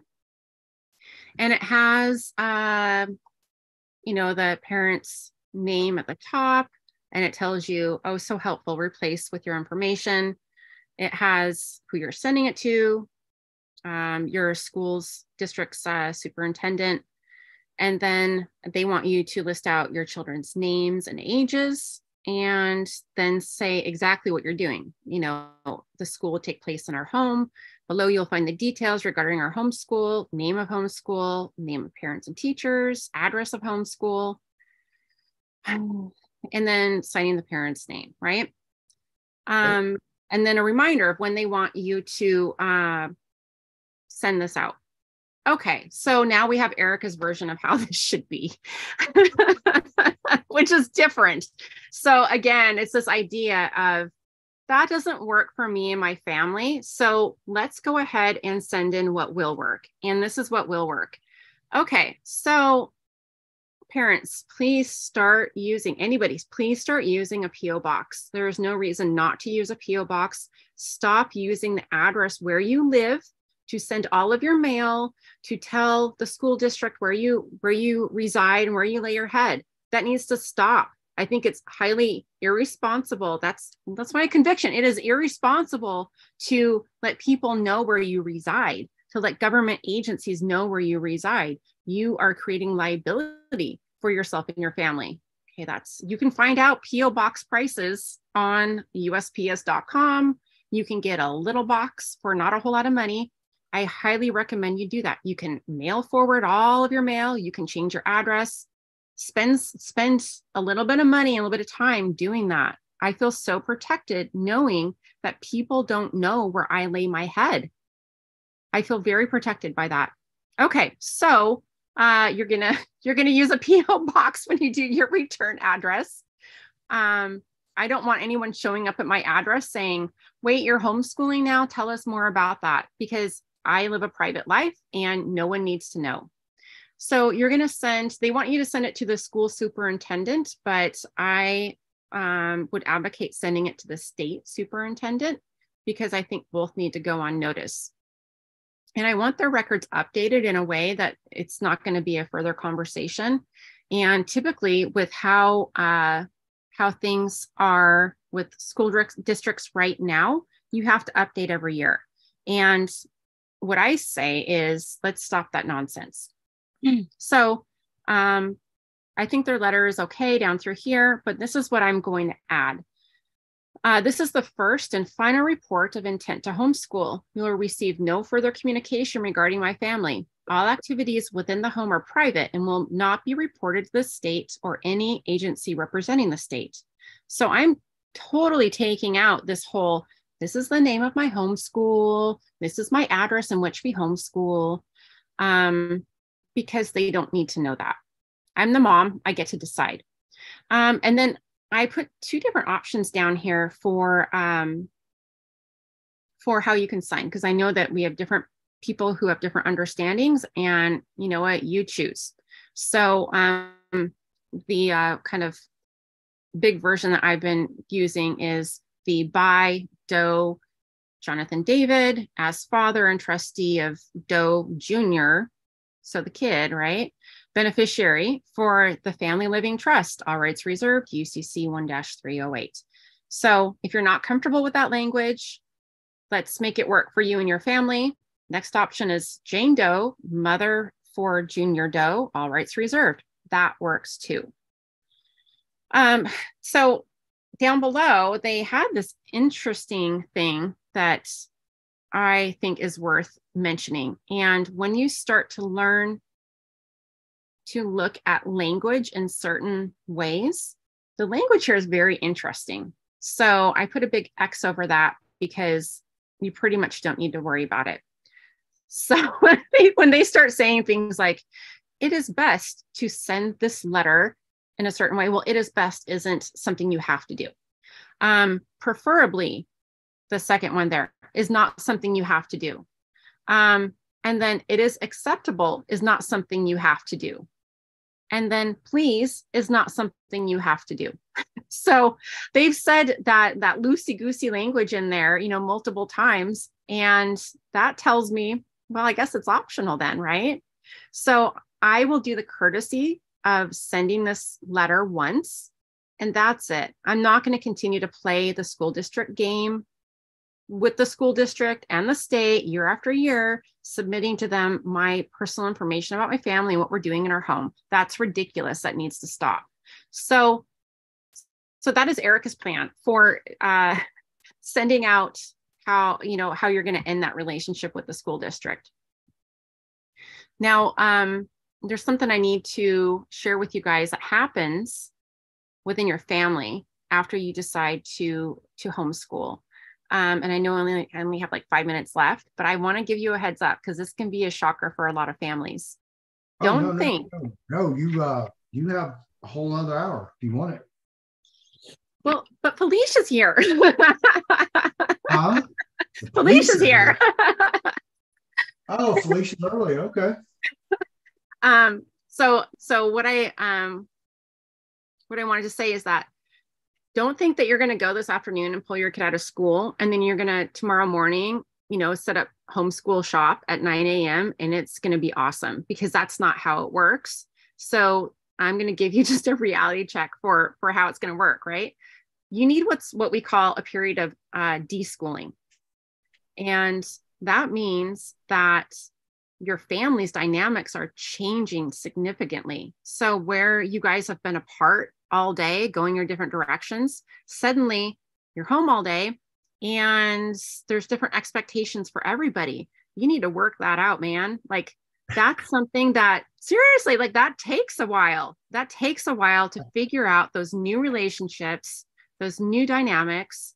And there's also oftentimes like think about each of these kids. They've been traumatized being in school going to school sick and then being jerked out of the classroom and having to call the nurse like or not being allowed to use the potty when you need it as a third grader. That's trauma. That's trauma. Who knows what else you know has been taking place? Um i could make up things but i think you can you've got an imagination right. so it's all it's all stuff that needs to be unwound. So I can't remember what homeschool moms like what the standard is, but it's something like for every month your child's been in school, you need a month of deschool, which is kind of interesting. And this, it's been, I, I believe that that's what it is, but it's, it's, there's some sort of um, guideline that a lot of um, homeschool moms will, will kind of give that you can't expect that today you jump out of school and tomorrow you have a magical homeschool experience where everyone is well behaved and doing what they should be doing. Well, what you should be doing is is uns, is deschooling. Here's what happens for moms or, or dads or whoever's doing the homeschooling, right? Or grandmas or aunts or uncles, anybody can do it. Um, you're not only learning those new relationships, but you're also learning that school and education and learning looks different and it can be different. And if you have bought into the educational system for years and you were raised that way, it's going to look very different when you finally bring your kid home and they don't want to get dressed all day and they want to just get up and read for a couple hours. And in your mind, you're thinking, well, reading is only 20 minutes. What do you mean you want to continue to read in your pajamas on the couch? Right. Uh-huh. And and in my home, that's okay. Like my kid didn't get dressed. Let's see, it is four o'clock. He didn't get dressed till probably two o'clock today. And you know what? That's okay because we had the best day. His mental health is in check. Um, he he did shower, which is awesome. he's been fed. He's enjoyed reading. Like he's had he's had his best day and that is totally fine with me. Well guess what? Some other parents might not be okay with that. And that's a dynamic change and that's a switch that not just the kid has to adjust to but you have to be okay with how your kid wants to learn. They have to be comfortable in their home. They have to be comfortable in their own skin. And once you give them that time to breathe it's the most beautiful thing to see your child be comfortable. I I got up this morning and we were both like I was doing some show prep today and uh my, my son was out on the couch and he's reading like he's just reading. He knows what the expectation is because we've done the whole deschooling thing right? Like we, we know what each other's dynamic we know what the dynamic is and we're comfortable with that. So to walk out this morning and see him on the couch in pajamas reading it, that was that was cool. That's what should be happening in my home at you know 8 30 in the morning. So my encouragement is to you if you know you need to pull your kid out of school do it today. Or let them come home from school. Don't let them go in tomorrow. You march in there and you tell them this is this is not what we're going to do anymore. And i'm saying that in the tone of mom mom and dad and and whoever else might be the guardian for that child trust your gut. Don't don't keep second guessing it. If you know your kid's not doing well go grab them go get them out of school. And um, i want to i guess i'll end with this. Um, i was homeschooled on and off through school. I went to private school i went to public school and i was homeschooled. And then i graduated early. I went to college at 17 so I've had exposure, not just homeschooling my own children, but I've had exposure to um, a different educational um, background for myself. Also, if you're pulling your kid out, there are so many moms sitting on Facebook right now that want to give you advice. so, so take advantage of that. So many moms. So, so there you go. Okay, so let me tell you my story. Um, I was in eighth grade my sister is two years behind me, so she was in sixth grade. We were in middle school. Um, day after day after day, we were getting sexually assaulted as we walked down the hall. My mom, you know, we would come home and tell my mom about this. My mom was just like, okay, we're going to do something, right? Like she's a lady that got she does stuff. And she was marching into the principal's office. She was talking to the teacher. She was asking why aren't there people out there protecting my girls? My girls are coming home having a really difficult time. They are being assaulted. They're being grabbed.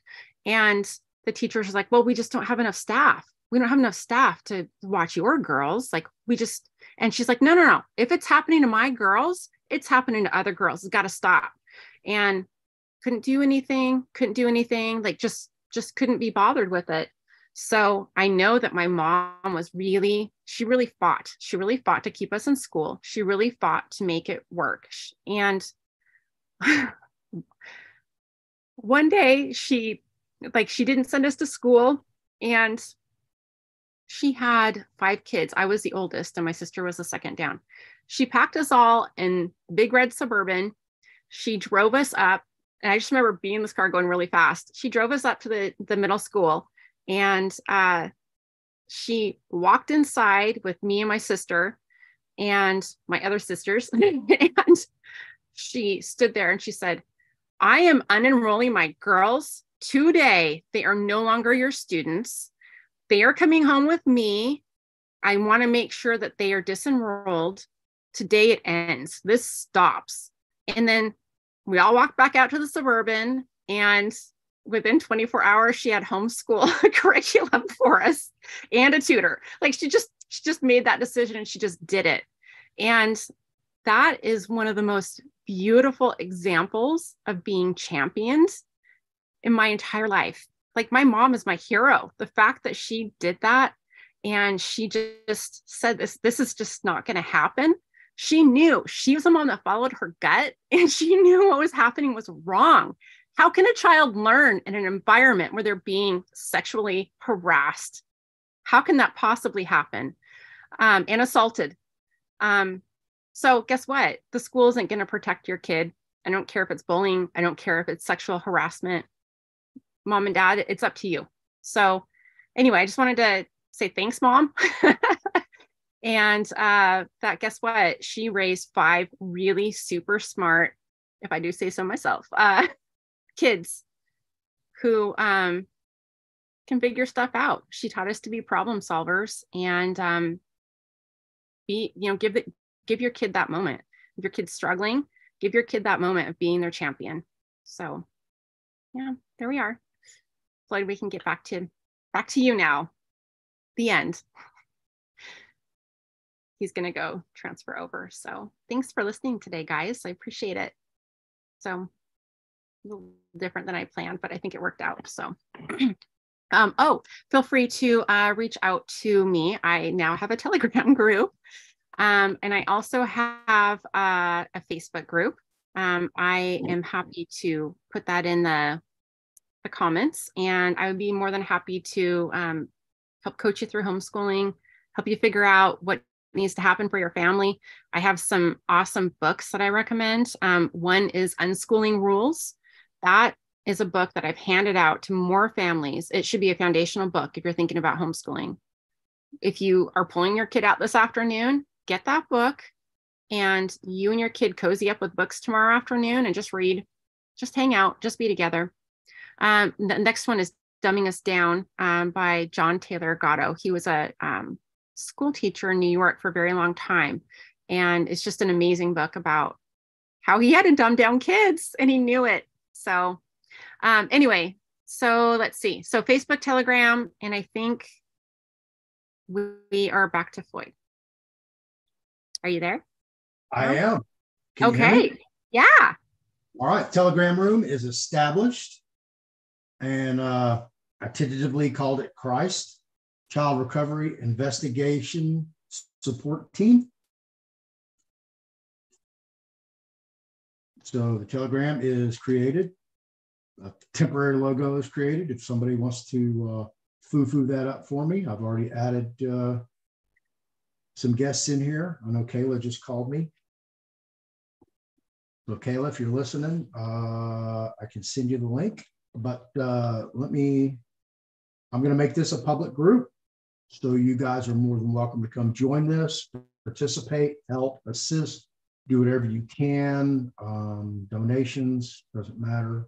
Um, so, and we have uh, your other group, if I can find it.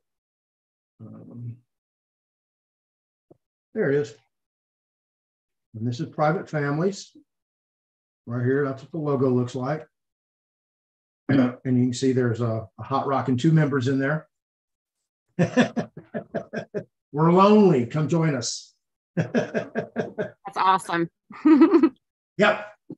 So uh, that- that's Arica's site. It's all hers. It's hers to run, to do what as she wishes, to make anybody administrator, help her out, uh, whatever. So that's hers. So now what you look like. Uh, same logo on Facebook, private families. All her information is in the description below. And it's also on the fearlessfloydshow.com. So go to the website, go to the team page, and you'll find Arica's information, all her contacts, and uh, her biography.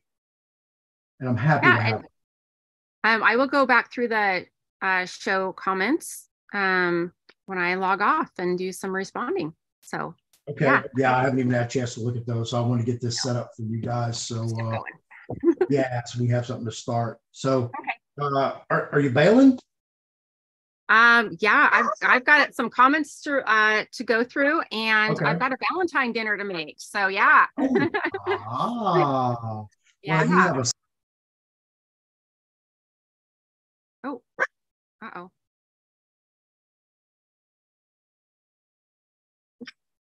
think I muted you. Oh my goodness, I'm so sorry. I was trying to mute myself. There, I'll unmute myself there. Here we go. I apologize. I have a little feedback. So let-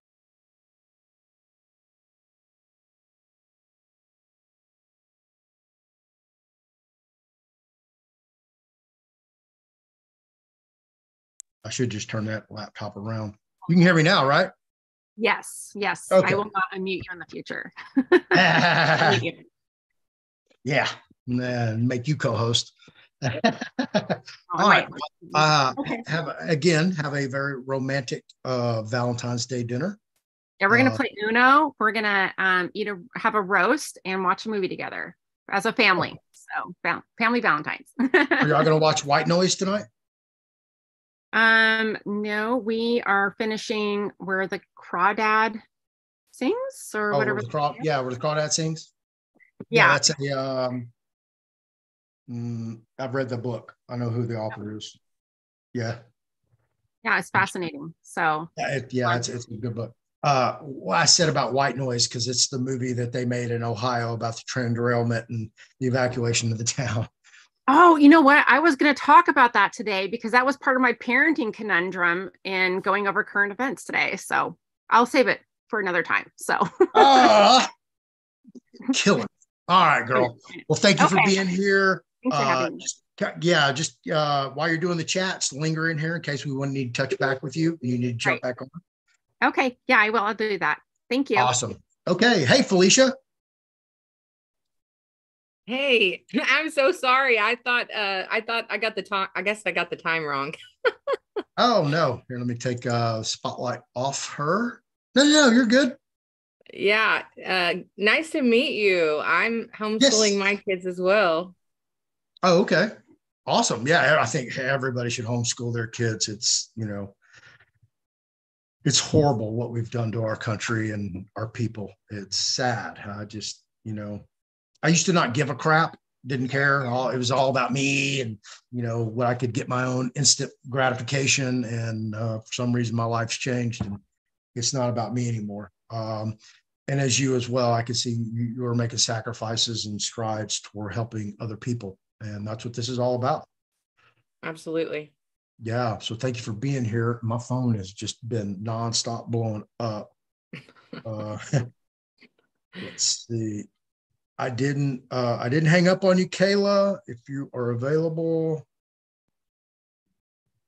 So I think I've sent her the link so she can jump on if she wants.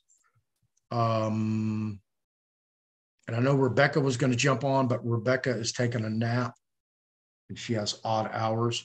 So she's going to jump on. Rebecca Presswich. Yeah. Yeah, I Uh, just spoke with them. She's making strides today. Actually, she called a U.S. Marshal and she's she's talking. She actually found her own case on Pacer, as she is Yeah. the yeah. So there's a Just lot going that. on. her. Yeah. Yeah, I found my petition on Pacer against them, and here's my proof of executor's EIN to the IRS. Yep. Oh, that's Kayla that found that. hmm Wow. That's crazy. Yeah, I can't wait for her to get on here. Uh, let me text her.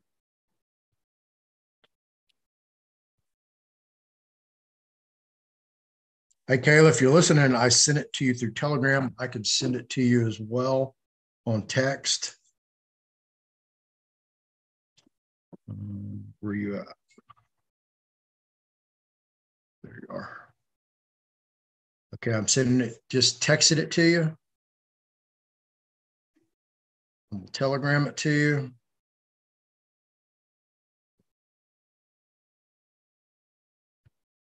And I just got a reply back from um, Dr. Kia Ebeling.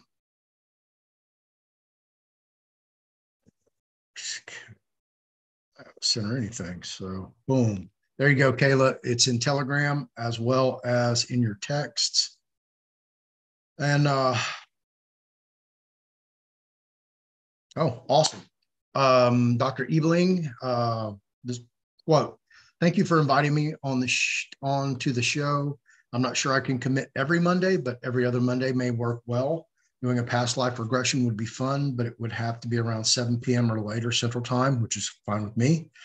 Uh, I'll reach out to Holly and coordinate with her being available to go live. I'm super impressed with Jason's portion. Wow. Yeah. Jason's a remarkable guy.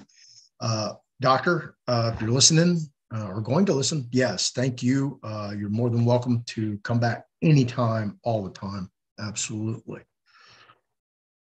All right, Felicia. Um, do you want to wait for Kayla to break this in? Do you want to do an introduction? You know, we kind of touched on it with Anne earlier.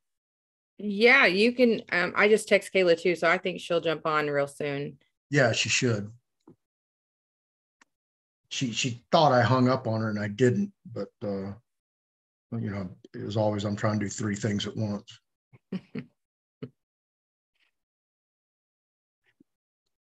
there she is.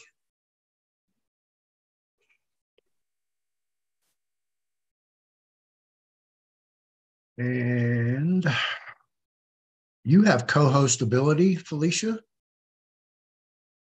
as does Kayla. So if you want to share anything on your screen, just make sure it's uh, okay with the uh, Google God.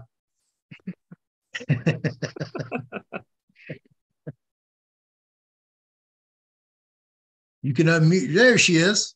Unmute yourself. Hi, you guys. go. Oh God. of the hour. Introduce yourself. Tell us who you are. Hi. Well, I'm a woman known as Kayla, and um, I don't know. uh, I, my apologies. You got me on the spotlight now, so I'm a little nervous. Oh no, no, no. no. Um, this is this is just me and you talking on the phone. Okay, okay, good. good.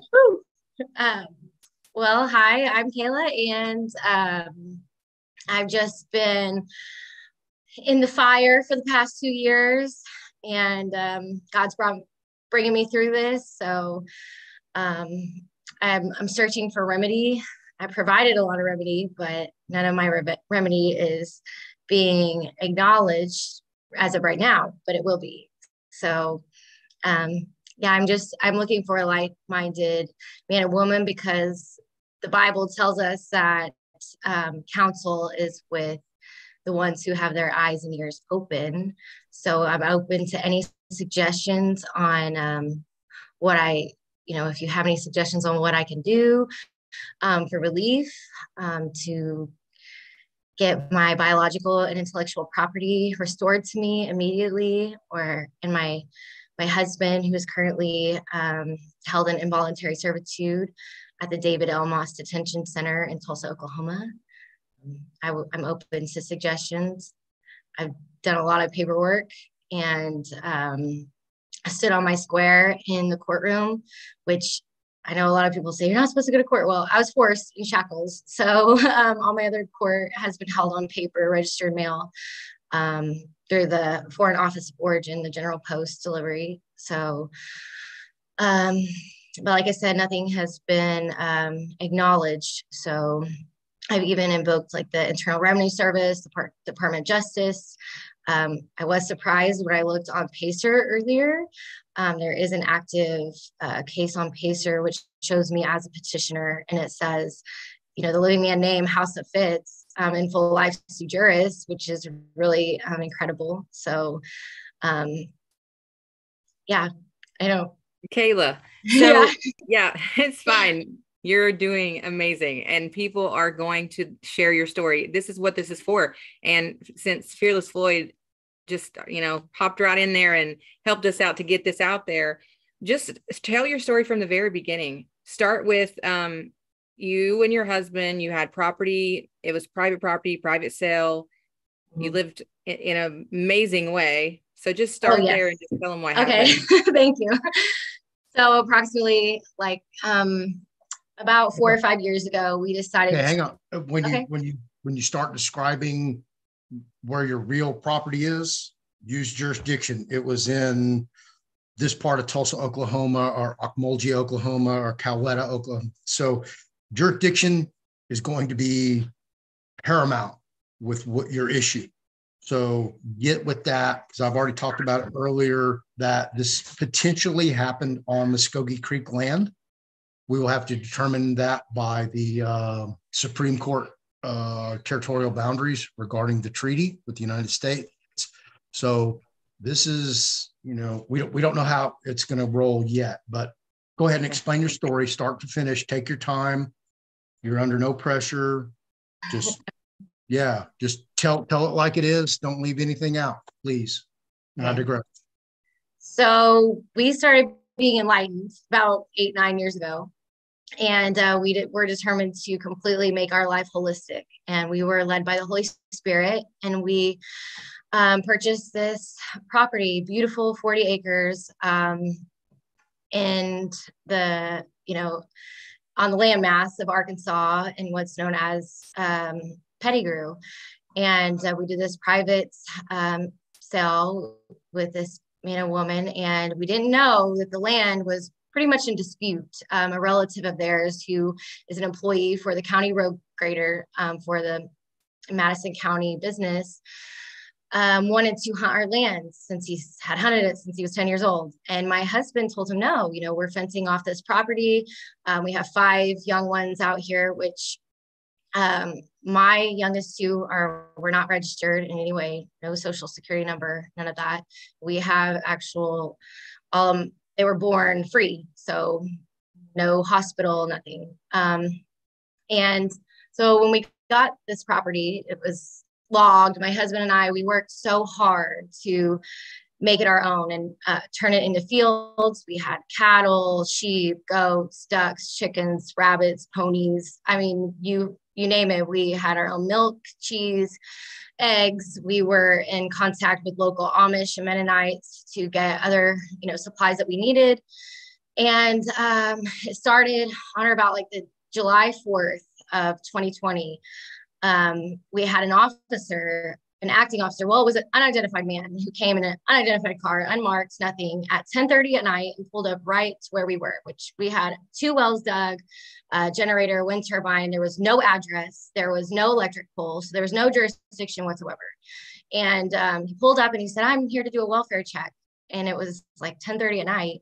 And my husband says, "Well, you know, where's your what authority do you have to come out here? You know, like I said, he was just looked like a man. And he said, you know, he was from the Madison County Police Department and he was doing a welfare check and he had to see our children. And, um, you know, so I said, you know, you need to leave. This is private property. It's all marked. We don't even have an address. You know, um, you need to leave and come back with a lawful warrant if you want to speak with us. Because he was trying to get our names and birth dates and all this silly stuff. So he left. And then the next night they came out with like two or three more cars um, to the property. There was a state trooper, a, a sheriff's, and the county police. And we did not have any participation with them at whatsoever. And then the next night they came out with like four or five cars um, coming out there on our property to look for us at dusk right before it got dark. And then the very next night, they came out with like five or six cars. I mean, there was a lot coming down on us.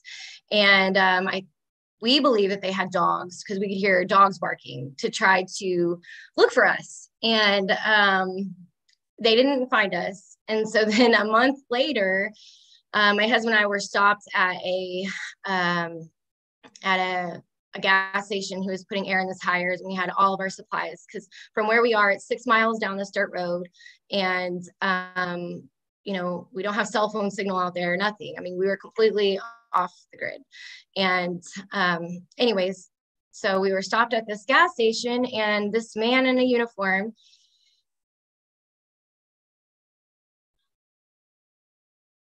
oh my oh, okay i see um, came up to my husband very angrily and said, I know who you are and you have warrants. And my husband wanted to see the warrants. I was at that time pregnant and due to bring forth life into this plane of existence that very week. And um, so they chained us, put us in their cars, and took us to the Madison County Courthouse and locked us in there for three to four hours. And then they released us with a charge to a misdemeanor charge to the estate um, for possession of marijuana. That's what they said. They illegally and unlawfully searched the vehicle and found an ounce of cannabis. And we had a hunting rifle and two registered pistols. And uh, so I wanted my babies back. And DHS, these acting employees for the Department of uh, Health and Human Services for the state of Arkansas came and took our four creations and transported them 50 miles away to where all of our my husband's relatives live. And his his um, blood relative came up to there and told him i want my nieces and nephews. And he's actually employed with madison county as a school bus driver. And they told him no. And he has a four bedroom house an 80 acre farm out there and they refused. So they took them over 50 miles away without our consent without a contract with anything um, and took pictures of them and put them onto an unfamiliar woman's uh, computer I found that out by my oldest daughter. She told me the next day they released them 24 hours later, no paperwork, no, no account of this event whatsoever was given to us, right? And so after that, I was trying to research what I could do for this because, you know, I know I'm not that person. I know I'm not that state. I already had known these things at that time, but um, I didn't have any papers on the record or any, I didn't think, I thought that I could stand on my square that my creator, I'm, you know, I'm a living woman and um, they don't care about those words when you get into those situations. So, um, anyways, um, about a month and a half later, the prosecutor and the clerk, the head teller, came in together and did an ministerial process and they created new charges for that one event running the misdemeanor and then they charged the state with a felony possession uh, marijuana or it was a it was a felony possession of a controlled substance with intent to deliver with simultaneous possession of guns um, it's like a class Y felony in Arkansas. And the statutes and codes, you go look, it's for gang members with priors, which could have never even applied to us, even if we were citizens, oath takers, whatever. Um, so they were running a misdemeanor and a felony concurrent for one event. And I didn't know at this time. So I had sent in my declaration of status and a uh, notice to dismiss for lack of jurisdiction on or about like December 15th, right? And then um, around January 19th of 2021, I hadn't heard back from the clerk. She didn't give me a new court date because I said, you know, I'm, I'm not going to appear uh, on this day. I'm not going to be at, I told her, you know. Um, anyway, so on January 19th, we were traveling through Arkansas. We were trying to move our farm to another man's farm because he knew what was going on. He said, hey, come here. You know, I've got this land. You can stay over here. We wanted to leave. Um, but we were arrested on the side of the road by two uh, by acting sheriff for Van Buren County, Arkansas, Lucas Emberton, and my husband. He pulled over to be a good neighbor and asked what the emergency was. Well, the sheriff pulled him out of the car and um, wanted to contract with him for over two hours. He kept asking him his name, his information. My husband didn't want to give it to him, but they left the car doors open. And my son was only four months old, and I'm breastfeeding, and my other four were all huddled, together to try to stay warm. And the officer said, Well, if you just tell me your name, I'll let your wife and your babies go. So my husband's like, Well, I'm called Colby. And immediately after he did that, they tackled him, put the cuffs on, and uh, they cuffed me. And this white van showed up, and this woman named Mary Ann Conley took off of my babies. And I was like, I love you so much. I'll see you soon. I never consented. I never even said my name. I didn't give them anything over me. Um, but they shackled us. They took us to the Van Buren County Detention Center, and then they transported us from Van Buren County Detention Center to Carroll County Detention Center, which because Madison County, the original, doesn't have a jail. There, it's just a small little town, you know. And so then they put us in Carroll County Detention Center, when we went before for the you know the bond hearing, uh, the judge muted us out. We were not um, we were not allowed to speak. He set the bond at fifty thousand. I had GSA forms with me, power of attorney, and a copy of the birth certificate. So this is a person. I'm you know. Um, and so I had those GSA forms. I when I was speaking to my dad, I said, please, dad, call, call the sheriff and tell him to come down here and get these paperwork. This will release us. Well, the sheriff sent somebody down there and got our paperwork. And then he brought it back to us and said, you need to get this to the clerk at the court. And I said, well, you know, you have fiduciary duties. Why don't you give that to them? Notice, you know, notice agents, notice principal. I had no way of getting it to the clerk. So uh, they wouldn't give it to the clerk. So we were forced to um, contract with a triple R bonds company to get out because I was expressing milk for two weeks and I had to manually express it in the shower. I had a DHS worker come and try to get my baby's information, like his birth date and all this stuff. And I was like, I don't have birth dates, you know, and it's none of your business. Um, but they were they were horrible. Um, so anyways, we were released about February 1st of 2021. And like I said, I had to do that contract to get out. He had to spend like 8,000 Federal Reserve notes. And then he gave them our $48,000 tractor that he had just literally received um, to get released from jail. So immediately after that, I did rescissions. I did rescissions on everything. Um, we were afforded a they sent us a message and said do you want to see your babies? Of course we did. And three of them were with blood relatives and two of them were with, in this foster care home right? And they put us on a screen on a zoom screen and my babies have never been to school. They we don't have any contracts with public school system. I homeschooled them.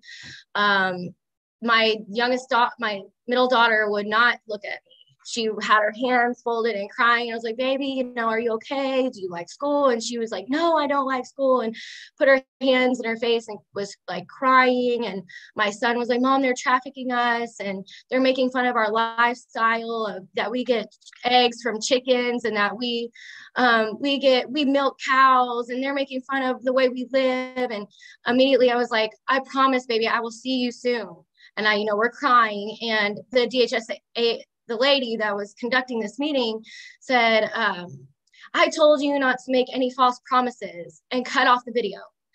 And so that is the very last day that I've ever seen their faces. They never off- offered like any, they wanted us to contract and make like do services and stuff, but we said we don't have a contract to begin with. You know, we sent, they gave us one presentment and it was by way of email.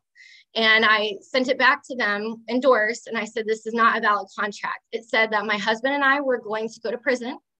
It said that um, we would give them authorization to perform all medical procedures, including amputation of a body part, um, that they would travel. Yes, I have the document. I cannot make this shit up. um, yeah, I know it's when it's too real. You just yeah. Un, yeah. I'm sorry. I don't mean to interrupt, man. I'm just. No yeah i mean this is how we felt. We were like in shock you know we were just like what yeah. the hell and, is and, it, and it only gets worse. Yes. And kayla okay. and just Please. to recap this all started because of a neighbor wanting to hunt on your private property and you saying no. Yes and then they said that there were warrants. They said there was a traffic ticket warrant from the next county over right? But they never produced a lawful warrant and if you're like me, we know that all crimes are commercial. It's all just give me the presentment, I'll accept all charges. I accept it all. You can take what you want, but my body is my God's. This is my temple to my God. Absolutely. This is your paperwork. Give to Caesar what is Caesar. That is what we want to do. That was our intention this whole time. So we got this case thing, and it said that they were going to be traveling in and out of the state of Arkansas for up to two weeks at a time with our babies. So I was like, I know what a contract is. I'm not signing this. I'm not accepting it. We went to court um, on May 8th, but we didn't go to the court building. I had sent them conditional acceptances. I said, I will accept your offer to contract upon proof that you are who you say you are. You know, bring me forth your W 9, your 1099s, your foreign agent registration, you know, um, your oath of office, your bond, give me proof of all this, and then I'll we'll talk you know? I sent them a default notice when they were in it. I filed the they were certified mail. I put them on the land records. I sent them a default judge you know a default notice because i did the judge the prosecutor the ad litem all of them. And i had a power of attorney over my baby's estate. I said do you have a power of attorney? Do you have any of this information? They would not provide it to me. So they offered us a zoom court right? Um, which we said we don't consent to but we had the judge calling us living man and woman they we never said Kayla or Colby. Um, we never said any of those things. And I asked them on the record, you know, do you realize that you're violating the holy covenant with God? The whole everyone was like, and like it shut down, like the shut down the whole thing. Cause I've asked them, where's your delegation of authority to take what I create and give to another for pecuniary gain without consent, without a contract, without you don't have you don't have delegation of authority. What law says that you can do this? Nobody has brought me forth anything yeah. Uh, they they started a page like a sovereign citizen page. They started calling me a paper terrorist because I was filing my documents on the record on May or April 31st. I was at the record with a witness um, and she put the documents on there for me. Um, an acting officer came out there, opened her car door, pulled me out, and said there was a warrant, took me to the jail. They beat me and forced my fingerprints and my photograph and everything for 13 hours, and they released me. There was no charge, no no warrant, no no nothing. They just did it for their entertainment, right? Because I kept asking, you know, I want to speak to the magistrate. I never admitted to being that name. When they released me on the website, it said refused in red. I this is in this is in Arkansas. Yes. It was at the Washington County Detention Center, and the sheriff there is Tim Helder, and he got several notices. So when they released me, I had noticed the the governor, the acting governor, Asa Hutchinson, uh, Leslie Rutledge. I had uh, John Thurston. I did all my revocation, all my paperwork sent to them, registered. mail, Please, right? please, as you as you tell this story, I want you to put out every name that you know, every title that you know, and associate those individuals that are wrongdoers who have evil in their heart, because what you're describing is 100% pure satanic evil. Right. You know, yeah. I mean, there's just you know, it's not illegal. It's it's evil what Yes. they're doing. Malum in se evil in itself. And when a contract is Malum in se is voidable, like it's void, it's null. There's no, there's no contract. That's what this is. And, you know, I've been asking questions this whole time. The Madison County Court official, um, her name is Judy Foster. And uh, I asked her, I Ma- called her- Madison County, Arkansas, or Oklahoma. yes, Madison County, Arkansas? Arkansas Court. Okay. Uh, she's the clerk, the head teller, Judy Foster. I asked her for all my documents. She will laugh at me on the phone and say, How do I know who you are? Um, and she's like, and I had been threatened by the acting sheriff of Madison County, Rick Evans. Um, let me let me pause you right there. Okay. Okay. As a duly commissioned officer of the state of Texas, do you solemnly swear tell the truth, whole truth, nothing but truth, so Mm, help you under your creator? yeah. Right. So stated. You are officially sworn in. Oh man, that's a good one. that's good. You know, I asked for their oath and bonds, and uh, the acting sheriff for Madison County said, if you ever come to my county again, I'm going to uh, arrest you. And I was like, on what grounds? Because he still held the warrant on his website. And I called him to ask him to take it down. I had these recordings, everything that I had called these men and women because they were not acknowledging my mail. I called them and I recorded everything. I had over like 70 or 80 calls from like all the acting departments of states, all these officials, the judges, uh, clerk, the judge's clerk, I don't know her name, maybe Stacy, uh, the judge, the acting judge for the baby's case is Diane Warren. She's actually lost her Oh, bar, her- Which which court? Which county? Madison County, Madison County Court for the case. What- We had two separate cases going in Madison County. Okay. Um, actually, Which three, courts? Do Because, they have court numbers? Ah, man, I don't, I do not know. That's fine. Yeah, I'm just trying to get you as specific as possible. So Okay. if people hear your story, you know, they, uh, somebody in your, that jurisdiction, because I know you're not there now, that they automatically know who you're talking about, what court you're talking about. They may not know the specific person, but they've been there, they know that. So what I'm trying to do is, and I had to teach myself to listen like this, to take generalities out of the conversation, especially when you're talking about things like this and under oath on the record, because this is on the record. This is worldwide. Um, you know, I'm accredited under IMDb, which is the uh, International Movie Database. So this is, you know, this is the real deal. You're on a real, a real, a real television program. Absolutely. Um, so, um, and you're under oath because, you know, I have my commission. So around here on the ground, uh, my notary commission. So My, have- my God tells me to say, let my yes be yes and my no to be no. And my Yeah. word is my Um, bond. And- And and I- yeah, absolutely. And I, and I, and before we go on, and, and I know this is a, you, you have as much time as you want. So we're not demarcated at five o'clock. So don't even think that. So if this goes till eight, nine, 10, 11, 12, midnight, February 15th, so be it. Um, and I didn't anticipate all this coming on this early. So oh, for one, um, I want to applaud you on your knowledge, your research, your diligent as a spiritual human being on this planet, raising your offspring the way that you've done that. I mean, when you described everything that y'all are living through, I was like, man, I so want to do that.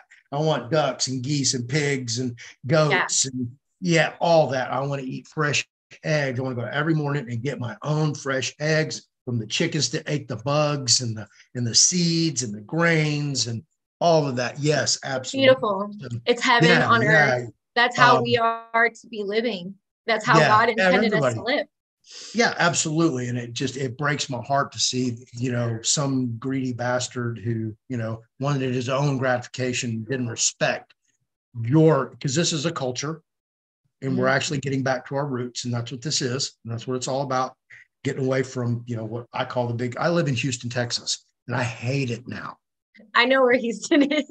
Yeah. and the house and, and y'all are going to find this crazy the house i live in now i used to hunt right here where this house is absolutely because there's a bayou that runs right by my house and i used to walk this bayou and hunt squirrels and rabbits and birds all that so your knowledge and your research uh, stellar. I, I just I, I, everything that you did and said, how you guys conducted yourself from what I've seen in the videos, you acted in honor, good faith, with clean hands, respectable.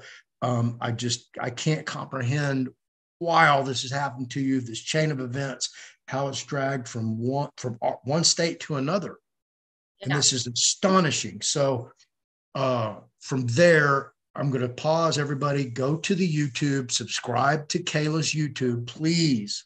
Um, we need to support people like this. We've set up a Telegram group. Um, I'll, I don't know if it's open to the public. I I don't have time to deal with that right now, but I'll go back over to the public if it's not. Uh, one of my, somebody who else is in there, please open it up um, behind the scenes.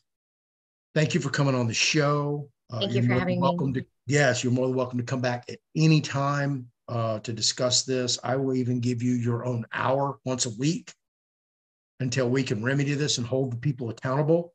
Uh, that's how near and dear all this is to my heart. I mean, you can hear it in my voice. Uh, this is, you know, um, you know, yesterday I walked outside and now I see all these damn chemtrails in the air, and I keep posting on Facebook. You know, and all my all the people I grew up with, they think I'm just lost my Right. goddamn yeah. And uh, you know, they just don't get it. I do my own research, just like you did, because the ability to um, elicit the vocabulary that you have, and you're talking above and beyond and past all the people that you're encountered because they follow policy. And that's all they know is policy. And that's a problem that we're going to have have. Now, I've talked to you behind the scenes. I've talked to Felicia and Rebecca behind the scenes. So you guys know what's coming. and I see that smile. yeah.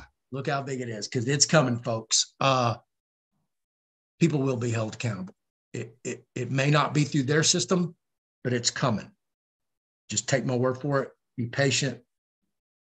Please be patient. It's coming. So uh, until then, we have to get in their sandbox and throw sand at each other, uh, unfortunately. And she came in and wanted to settle the claim honorably, and they and they they acted dishonorable, and that's what they're doing. So I'm going to allow her to continue. Um, also, give your contact information, your email, um, Telegram, whatever. Uh, go ahead and do that now, and then you can continue into your story. If Felicia or Rebecca doesn't have anything to add, while I've uh, made this little pause for everybody. Um, I just, are you gonna put this on your tele, are you putting this on YouTube or is it live right now? We are live, girl. Oh, okay, sweet. I um invited Deloy on here too, so hopefully he'll show up. soon. Oh, awesome. Okay, great. Thank Uh, you, Rebecca.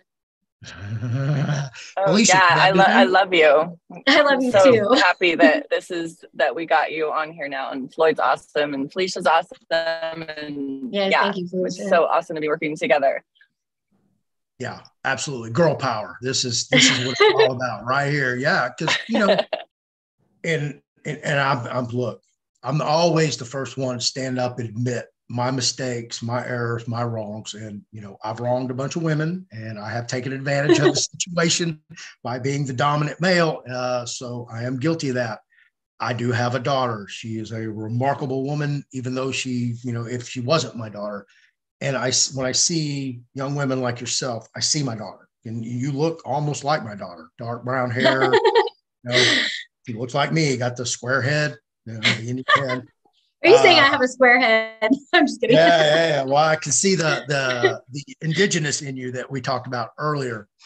Uh, so uh, my whole attitude towards women changed, and I understand that you know you you're the underdog, and you do need support, and you need dominant males who will act Yes. with integrity and honor and good faith, clean hands at all time, to be at your assistance.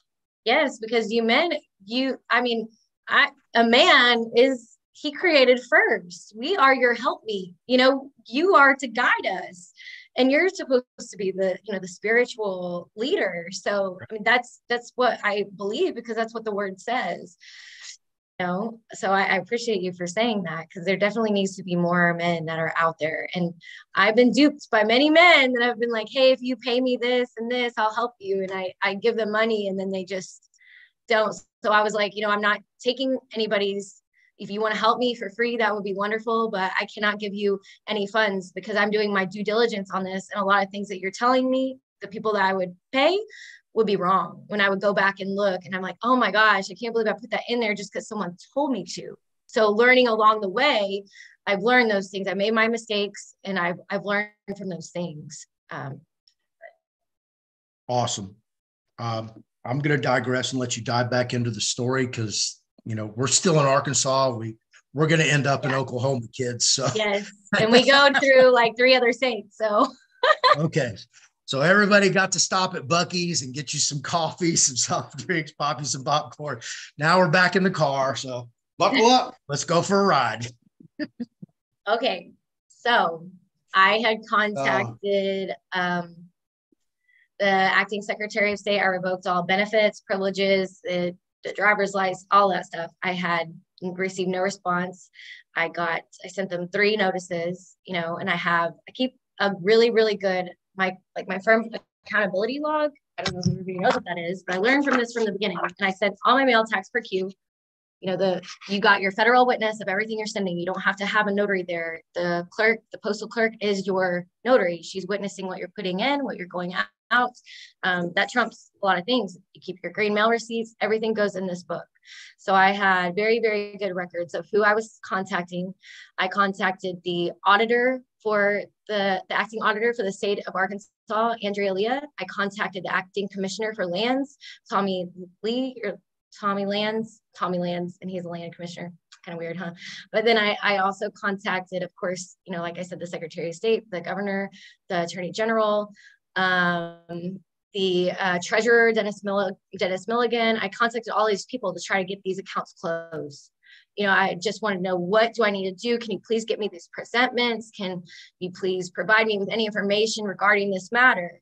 Um, I never got a response. And so when I had the I had the acting bondsman Jeremy Rowlands and Sabrina Creighton, and uh, the prosecuting attorney, the acting pros- acting debt collector for these accounts, um, Kelly K. Brown over the baby's case, and she's a virtual attorney. I hired a service processor to serve her. I could never get her, so I sent it to the United States uh, Courts Administrator in Little Rock, Arkansas, with no response, because um, that's where you could I could contact Melinda K. Melinda McElroy was the ad litem over the case. Um, and then uh, Britton Bryant was for the criminal charges um, or the civil charges, uh, was acting debt collector. He was noticed, acting judge, Mark Lindsay over the, um, the criminal charge, and Dale Ramsey was the misdemeanor charge. So we had the misdemeanor charge running for one event and the felony charge running for one event, which is double jeopardy. They cannot do that. You got to pick one, you know. But anyways, so I had them all in default. I had sent so many notices, registered and certified mail, and I had them all in default, default judgment. So uh, then I did an injunction for relief. Um, and I sent that to the um, acting marshal at the time, uh, Gregory Tabor in Fort Smith, Arkansas. I sent it to the Western District Chief Judge, Susan um, something. I sent it to the John Dan Kemp, which is the Arkansas Supreme Court judge. And then my husband and I, we were homeless because they took everything from us. So we had, we were staying in an area known as Branson, Missouri. Um, and we stayed there and we were just hotel to hotel because we literally had nowhere to go. And when we were staying there, we got another, when we were arrested on August 27th of 2020, they ruined, we had a Cadillac Escalade. It was beautiful. So our, each of our babies could have a seat, you know, and we, we knew we had to travel an hour to get to any town. So we wanted them to be comfortable. Well, when the police searched the vehicle unlawfully, they ruined it. They smashed the orange watermelon that a farmer had saved. We were so excited because we never tried an orange watermelon, right? They smashed it in the carpet. They took out the wood grain. They broke it, threw it on the, they trashed the whole vehicle. And so we sold it because they knew about it. And then we got a new one. And it was just a small crown, a little crown Vic. So it couldn't fit all of our babies. And our whole goal this whole time is to get them back, right? So we have to have two vehicles to get them back. So he per- made another purchase of a private vehicle in Missouri. The woman's name is Vic- Vicky Beechler. And we did a bill of sale, and I took that title and immediately deposited into the trust. And um, a state trooper, an acting state trooper, pulled behind my husband. We were on our way to take it to a storage unit so he could make repairs to this vehicle because it was an old Buick. He just needed to make a few, you know, changes, uh, make it better, you know. And so he was pulled over by a state trooper. His name is Zachary Costley. And um, my husband did not want a contract, did not want to give him his name. They um, pulled him over because there was no tags or the registration was wrong or something on the car. And he literally just purchased it. And I had no interaction with the officers at this time. I had no, no involvement. So they pulled him over. They put him in cuffs. You were, They, wait, Kayla, you were driving behind him, but you didn't even pull over when they pulled him over. You just No. went on. no, yes. And Yes, this, I- I and you went on. just picked up the vehicle, so it wasn't there. You didn't have time to register it anyway. so No. literally just picked it up. Go ahead. Yes, yes. So they put him in handcuffs immediately and they threw him on the cement, the asphalt. They stood on him while he was handcuffed. They tased him four times without notice. We have like the audio. They didn't have their body cam footage on, or if they did, they wouldn't give us the body cam footage, but we have the audio of it. And you could hear my husband like crying out, you know, I mean, in pain. It was awful. And you know, they're they beat him up so bad they took him to the hospital. He was in the hospital for three days. His kidneys shut down and they gave him a heart attack. He was released without any charges to the estate on that day, right? It was about, I think it was like August 8th of 2022. Um, oh, I think, yeah, I'm skipping a lot. that was an incident in Missouri. Okay. How old, how old is your husband? My husband is 38. 38 and he had what did they do to him?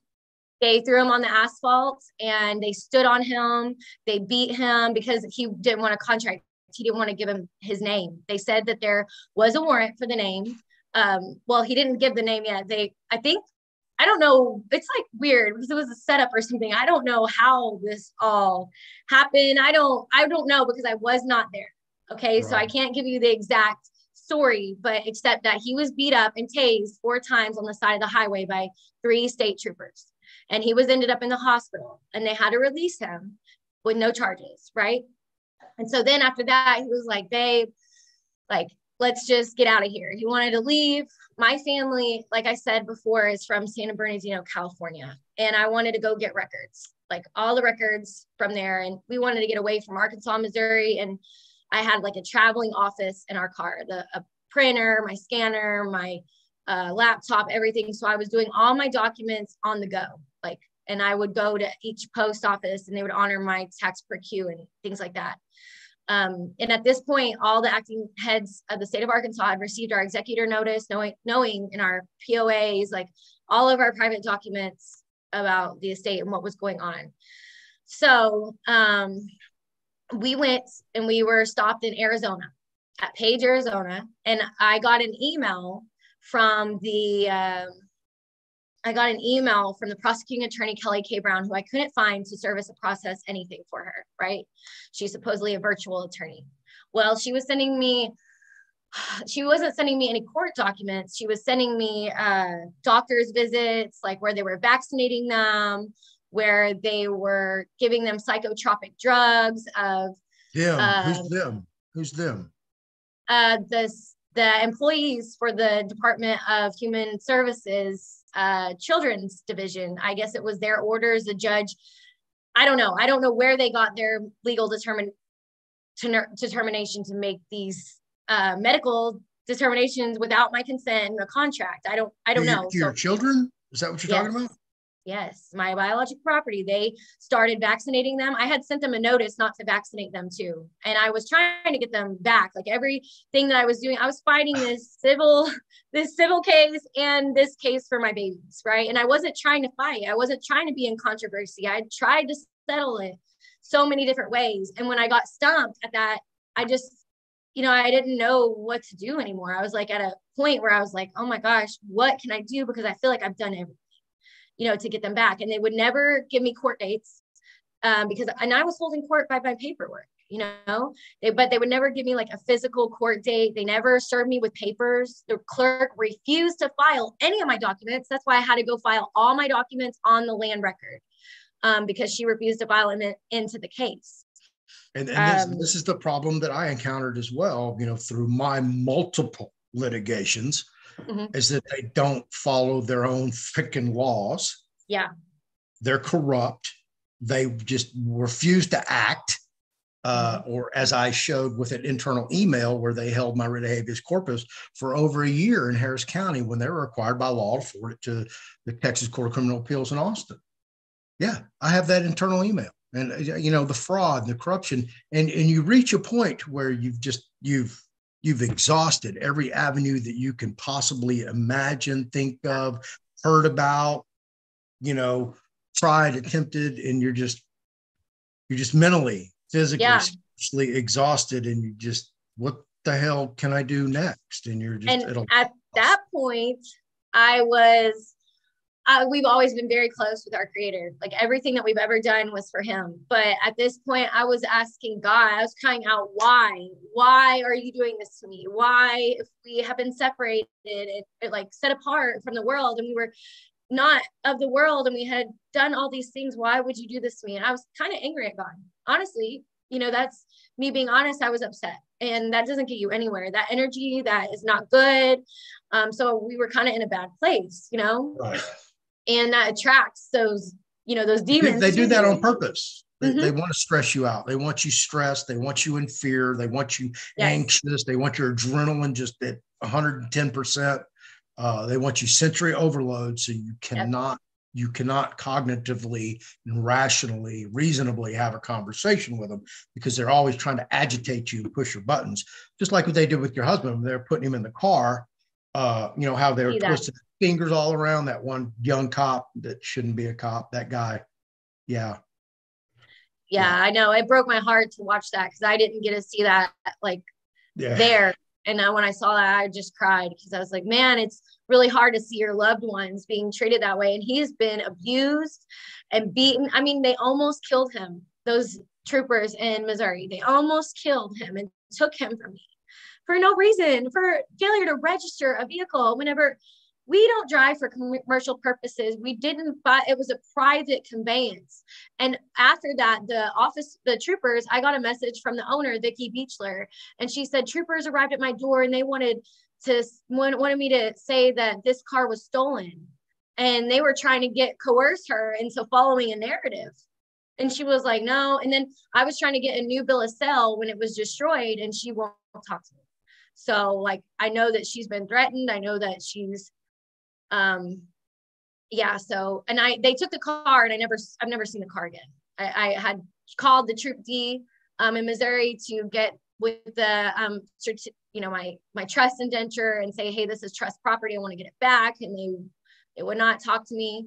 I had sent the commissioner um, a registered email and the acting judge for this county um, I noticed that we're not persons, we're not commercial commodities, you know, like we're private men and women, we're come in peace, you know, we're foreign nationals to jurists. Like I sent them notice. And that I don't I think that that's why they didn't charge his estate right away for anything. They dropped, they didn't do it, they released him from the hospital. Let me um, stop you um, right there, Kayla. Um, just because as we know, the media is used for all purpose of evil I oh, you, you, you said that they put a special Allegedly. like a special announcement for this cop that um he got your husband and he caught kidnappers and included you in that. Yeah. So tell that tell that what happened because they can look this up and see what the media did to try to twist to get ahead of the narrative to put this out. Um, about December 6th, you can go and look on Missouri. If you look up Zachary Costley, Officer Missouri, uh, they gave him a medal. Say, say that again. Say that again, real slow and Zachary, if need be. okay, Z A C H A R Y, Costley, C O S T L E Y. And he is with Troop D. He's an acting trooper for the state of Missouri. Um, on December 6th of 2022 or 20, yeah, 20. It's hard for me because I've been locked up for so long to even remember the year. Uh, 2021. Yeah, my two years are running together. You know, I'm going on three years now. I'm dealing with this. So, um, so on December 6th, they gave him an award because they said he stopped a potential kidnapping. And when they when they searched the car, they found duct tape and zip ties, and they said Hey, hold on, we hold were on. They, they gave him an award for arresting you and your family. for for kidnap- arresting my husband and beating him and almost killing him. And and again, Kayla was not even pulled over in the side of the road. She never even pulled over, but they included that in the report that they uh, stopped both of them. I mean, it's all fraud. Everybody has to know how bad the media portrays people just to help themselves. Yeah. Absolutely. And, you know, and, and, and, and I'll, I'll give you all an example, you know, because I'm full of them. Uh, my own life experience uh, when I was in prison second time, um, I got involved in a writing program with Wharton County Community College through a PhD prof- associate professor to um, her students would send us their essays and we would critique them and grade them and send them back. And it was a program to interact between the community. You know, it was a good thing. It was a real good thing because it got uh, prisoners who actually wanted to learn or wanted to uh, uh, become a better person to interact and get involved with kind of a you know a college educational thing. And I was involved in it until it fizzled out. And the reason it fizzled out was because of all the students' um, beliefs that had been programmed into them what a prisoner, you know, what they thought a prisoner was. So they really didn't, you know, understand that, you know, just because you're in prison, you know, you're you're not necessarily a bad guy. You may be in there because you had some addictions, uh, some behavioral issues. You know, it could be a whole host of different False obligations. yeah, and there's a bunch of people in there that are in there for that. You know, I mean, I even saw a guy in there. He he got convicted. He he got a misdemeanor DWI in Smith County, Texas, and they sent him to prison for his first DWI, and, and it's a misdemeanor. You know, you're not even supposed to really go to jail for that. But No. uh, yeah, I mean, some of the things I've seen. But anyway, that was my own experience in dealing with that. Um, so I'll digress and let you girls go. So when we left Missouri, we we traveled to we stayed at the location known as Page, Arizona. And when I was there, I got a email and it talked about that, you know, they were doing these experimentations on my baby. Can I can I pause you for one second and ask a Mhm. question? Apparently, you're doing a lot of traveling across the country, going from area to region to region, really. Um, kind of explain why you guys are traveling so much. well, we were left without a home. And my husband and I, Right. we wanted to get away from like the Arkansas, Missouri, because well, he look, he just almost, they almost killed him for nothing. You know, we felt like we just we needed to get away for, a second. You know, and I I had a traveling office, so I'm not I'm not leaving my my babies. I'm I, we're coming back. So we're just going there to San Bernardino, California. I was going to get records and I'm coming back, right? And we stopped in Page, Arizona, and um, I sent off a fax there from the hotel because when they send you something, you need to immediately get on it, right? I don't consent to you. They were talking about, um, you know, performing surgery on my youngest son's testicles. He was a year old at the time because his testicles hadn't dropped and he wasn't walking. All my babies walk at nine months old. They've never had a problem. They've never had a problem talking, never had a problem doing with this. So I had sent them every vaccine that they sent me that they were giving to my babies. I went online, I put in every ingredient. I it was like 18 pages. Every ingredient and what the side effects were for those harmful chemicals. And I sent it back to them to the, I sent it uh, certified mail and registered mail to like the doctors that were to do the, that were doing these things to my babies. And I said, look, you have trust property. These are, we, I, do, I don't have a contract. There's no consent. Do not vaccinate my babies. Do not put these harmful chemicals in their body. I sent it to the judge. I sent it to everybody. And, you know, they do not have the delegation of authority to, to vaccinate them or, or make medical determinations without your consent or authority to do so, you know? Um, so I sent them notice and then 24 hours later, um, at 7 a.m., my husband went out to the car to get his clothes. He was just in his, his shorts, shorts. That's it. And I was in a nightgown. I didn't even have any underwear on, nothing. And four marshals, they had marshal uniforms on and they were in a marshal vehicle. We're like, get on the ground and calling us vulgarity like crazy. They were like, there's warrants for your arrest. And I mean, they they threw me on my face and uh, my husband was on his face, two of them on him and two of them on me with loaded guns in our face. I said, Sir, where's the warrant? Can you please show me the warrant? And he brought out his phone, and the bondsman had put out a wanted Bonnie and Clyde $1,000 reward. So they were acting as bounty hunters for the bondsmen that were already in a default process, that had already received revocation, that had already received all of these things. And um, they took us immediately uh, they chained us, shackled us, and I I urinated myself because I was so scared. I was so scared, so scared for my life. I was just like, oh my gosh, you know. And I he was like, if you piss in my seat, then I'm gonna charge you extra and like all this stuff. And then they were whispering.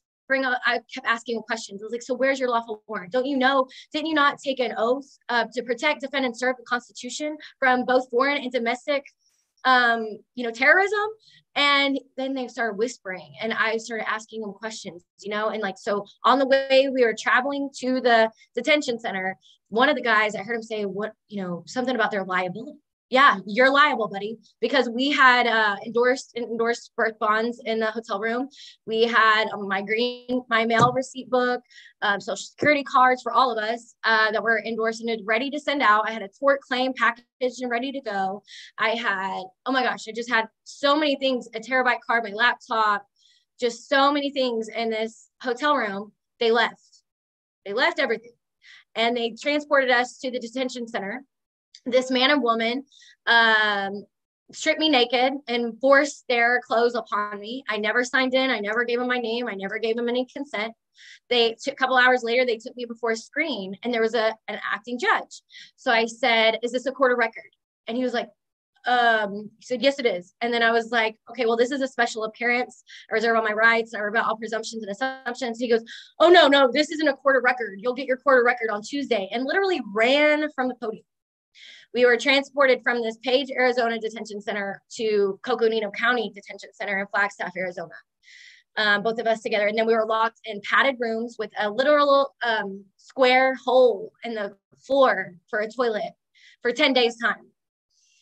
Um, they were trying to get jurisdiction and get us to admit that we were a name. We did not consent. We did not give them any contract. We did not give them fingerprints, photos. We didn't eat for 16 days time. We did not see a, an acting judge until 14 days time. And when we went to see an acting judge, they said we were going to be going together, right? They did not let us go together. We were separate. And this judge says, okay, Kayla Fitts. And I said, excuse me, sir, do you do you claim to be administering from the Kayla Nicole Fitts estate, acting as executor, based on tort? And he sat back and he took off his glasses and he rubbed them on his robe and he was like, uh, I don't know what that is. You are you talking about a tort claim? And then I asked it again. And he said, ma'am, this is an informal meeting. And I asked it again. I asked it three times. And uh, he just said, well, this is an informal meeting. Um, and he had, it, it, wasn't in a courtroom or anything. It was the four uh, guys who arrested us and abducted us by gunpoint were in there. And they were like, there is a warrant. And I said, well, can you please produce the lawful warrant? Because a warrant has to have certain elements to be lawful. And prior to this, I had endorsed the warrant and I sent it back to the judge. And the clerk has it on their website. She got a copy of it and she posted it. It was one of the only things that she ever posted was my endorsed because I got I got it from their online uh, website, right? So then they pull out and I said, well, isn't that an accusation? Because it was just uh, an accusation from the prosecutor and the clerk. They both signed it. There was no judge's signature. There was no verified complaint. No, the plaintiff penalties of perjury. There's no affidavit. And I said, "Isn't that just a, claim, uh, a complaint?" An accusation, or I said an accusation. He was like, uh, uh, uh well, we just need you to sign these uh, extradition papers. I said, well, why would I do that if I'm not that name? And um, he was like, the, the meeting was over. And then I was held in solitary confinement at this Coconino County Detention Center for 103 days time while they got a warrant. He said, well, we'll get a warrant. At every court appearance, they muted me out because it was teleconferenced. Um, so they were, they didn't have a warrant, but they were getting one. So they held me without a warrant, without a charge or anything while they got a warrant. They said they got a governor's warrant from Asa Hutchinson. I couldn't even believe when they said that because Asa Hutchinson knew about my default process. He knew about everything that was going on. Why would he sign off on an extradition warrant when he knows I'm not that name? Right. So, um, what, what do you mean, Governor, then acting Governor Asa Hutchinson knew about your status? So, are you know factually 100% that he personally knew? I mean, right? If you, I sent him five registered mailers. I had accepted his oath of office and bound him to it. Okay, okay, okay, okay, okay. Yeah, yeah, I, yeah, yeah. That that all that mail goes through. You know, they have people who vet all that mail before they even get it. Sometimes they they never even see that stuff. Okay. Well, I sent it registered. E- yeah. I sent it registered emails. Yeah. Um, you know, I mean, I guess like you said, I wouldn't exactly know for sure if he got it unless I hired a process server and had him serve it on him personally. So I redact that. I don't know for sure if he knew personally because I did not hire a process server for that. I sent registered mailers and I read I registered emailed him these things. So you're right. Right. Thank you. but under the mailbox me. rule service to yes. the as long as you did a certificate of service and included yes. it in a record of it. Yep, I did. I always do a certificate of service. You were golden. So uh, thank you. I had it, I knew what was on the line. My life was on the line because they were Arkansas was trying to put me in prison for 10 to 40 to life. Are the if you are found and guilty of this code and statute, then that's what and you consent to be the same. That's what you're going to prison for. So, you know, I knew that, and my babies, I was just thinking about my babies. So I was trying to do everything exactly right to be able to hold them accountable. So, um, so the bondsmen, the four, the four marshals that were off duty come at you guys in the middle of the night or late at night at, at seven in the morning. Oh, seven in the morning. Yes. What bond were they after? The the Bonnie and Clyde bond that was but but where where's what is that from? Is exactly that exactly. And get this, I they had the contract up between me and the bondsman, and I never signed the contract. So there was never even any contract between me and the triple R bonds anyway. From the beginning, I didn't even have to rescind that because I didn't sign anything with them. But I did rescind it just in case, you know, and I sent that uh, certified mail to them, my rescission and all that stuff. So because I was forced under duress to make a contract with them. I, you know, I, I had no other way. I had the remedy in my hand and they wouldn't accept it, you know? So that's why I accepted those services. But when you go and look at the contract, I had pulled it up and I never even signed it. Never. I didn't make any marks on it, nothing. So, um, and that's why I told them, I said, please produce the contract. And they, they didn't do that. So Sabrina Creighton came, okay, so they had a hearing, DHS did, with the judge on December 6th of 2021 and for a termination of parental rights. I was shackled and handcuffed, and I only had a phone to be in this meeting. Um, you know, I appeared as a living woman, and they said they terminated our rights. So they this terminated was, our rights was when by way were, of phone call. This was when you were locked up for 103 days in Arizona. Mm-hmm. In Arizona.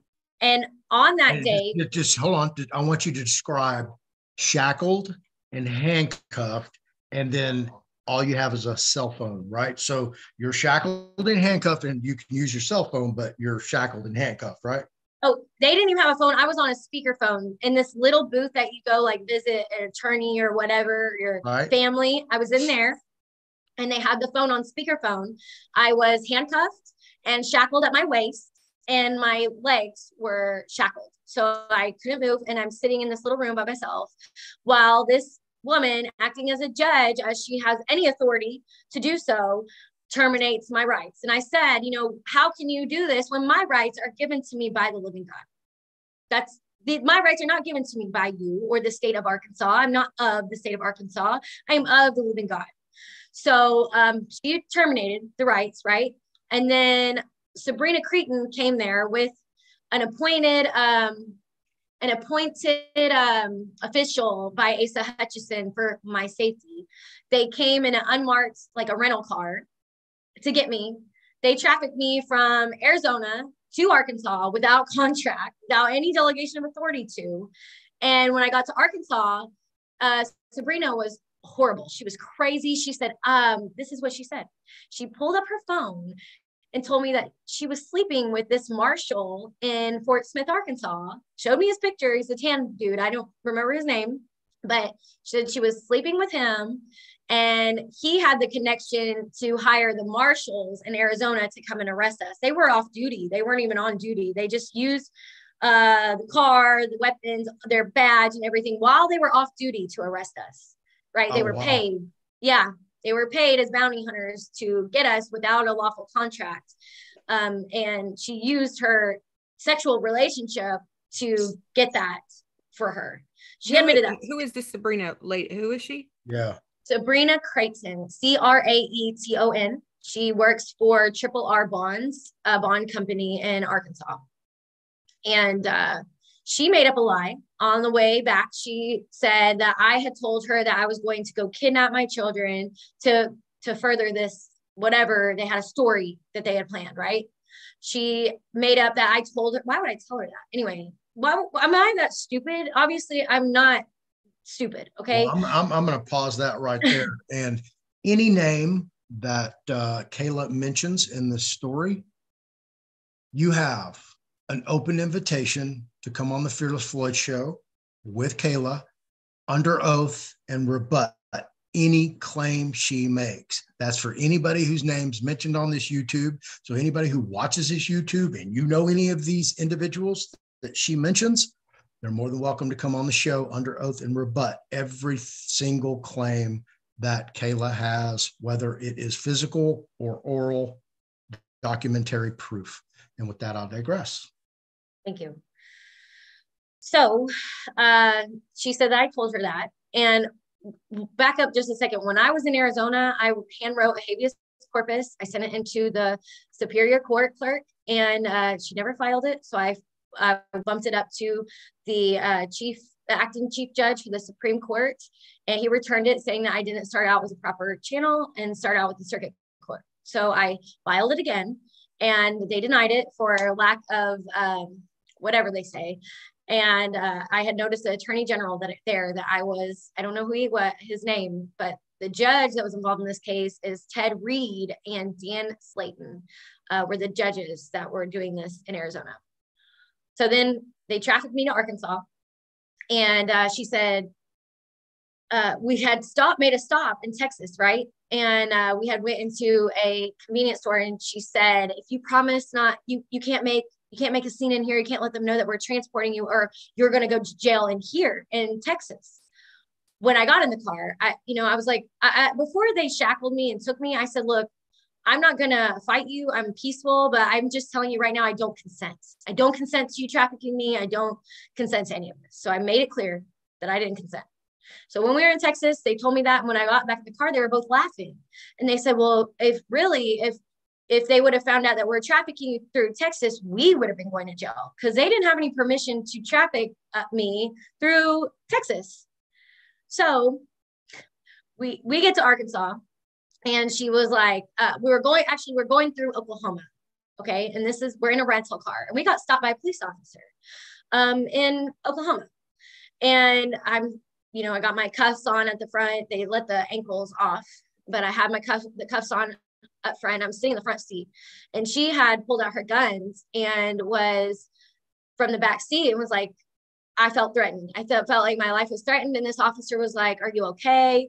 And I wanted to say something so bad. And I wish I would have said something to that man. I was trying to hint around that, you know, he was like, What are you transporting this woman for? And they were like, um, they said because she had an ounce of cannabis and guns, he was like, that's all, you know? And I mean, he just acted like it was appalling, but he, he said, you know, are you okay? And I really should have told him, no, I'm not okay.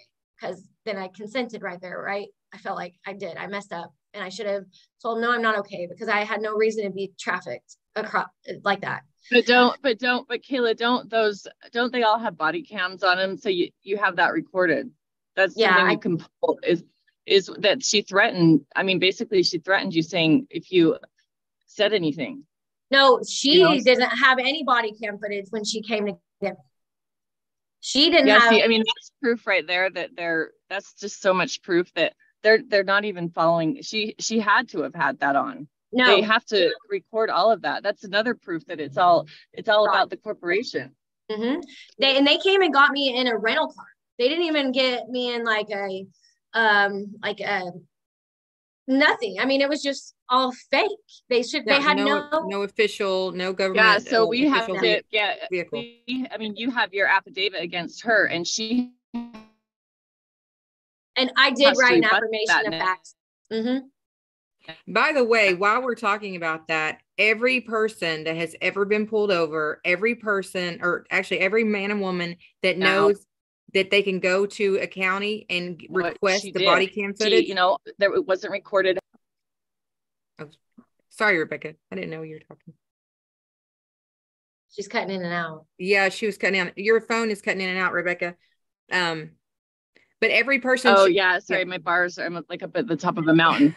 But but she's gonna have to have a sworn affidavit rebutting that, or else she's what what you say is the truth in your affidavit. I mean, have you written this whole entire thing down and done an affidavit Yes. of your entire experience? Yep. And I Yeah. sent it to So them I mean, these certified guys, mail, this and they to never be a federal it. case. This needs to be part of a federal case. The entire experience. You take it to federal court, It and is. The, all of these names are going to have. All of these names are going to have to come, and they're. This is the they're record. the- This is the record. This is under oath.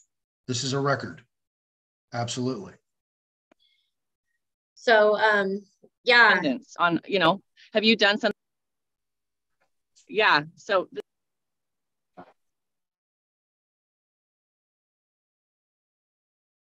Rebecca's buffering. sorry She's yeah my, She's my too mom- fire. her, Uh, her phone isn't working. Too fire. i have like one bar right now but yeah i mean a class action like with all of our stories and take it to federal court and combine all of them Uh, I- I don't, you don't want to really do a class action. That's when the, oh the waters get muddied and the, that's when the attorneys come in and it's a, Uh-huh. it's like throwing blood and body parts into the water and here come the sharks and the, the sharks are just, you know, out to feed themselves and not looking out for us. Um, so, so yeah, um, but how do we do it in federal court like um kayla was saying it has to be a this tort is, claim. this is, this is a civil RICO, hands down. Uh, and that's Right. under the Title Okay. 18, section 18. 1961 through 68. that's right. Yeah. That's I've right. Filed, filed probably a dozen of them in my lifetime. Wow. Oh, yeah. Yeah. I'm an expert when Really? it comes to go out. Oh, yeah. yeah. oh okay cool Just go to, go to then we need to Travis teach County District lots Clerk's of Office. there's lots Yeah. Go to the Travis Uh-huh. County District Clerk's Office in Travis County, Texas. And hmm Floyd Pleasant Tarvin the fourth. And you're going to see them. Okay. And I filed them against the entire parole board, Mhm. um, the executive director, TDC, the director, the governor, by judge. Mhm. Yeah. I've, yeah. I've sued freaking everybody. And, uh, you know, when it comes to the point where, you know, just like Kayla has experienced, you just, Mhm. you know, they're not going to let you win. It doesn't matter how right you are, how much the law is 100% on your side. Yeah. yeah. Right. But I mean, what about this Brunson case? You know, the Brunson case holding these guys, because who holds these guys accountable when they violate their oaths? They're all violating their oaths. So if this Brunson case goes through, I think that's going to help a lot of us because that's their whole case basically is that these guys are aren't being held accountable for their oath of office. I, I agree. And my in my own experience, having you know, I'm published in the Supreme Court Reporter. Y'all can go look it up. Mhm. Uh, I've been there twice, I think. Um,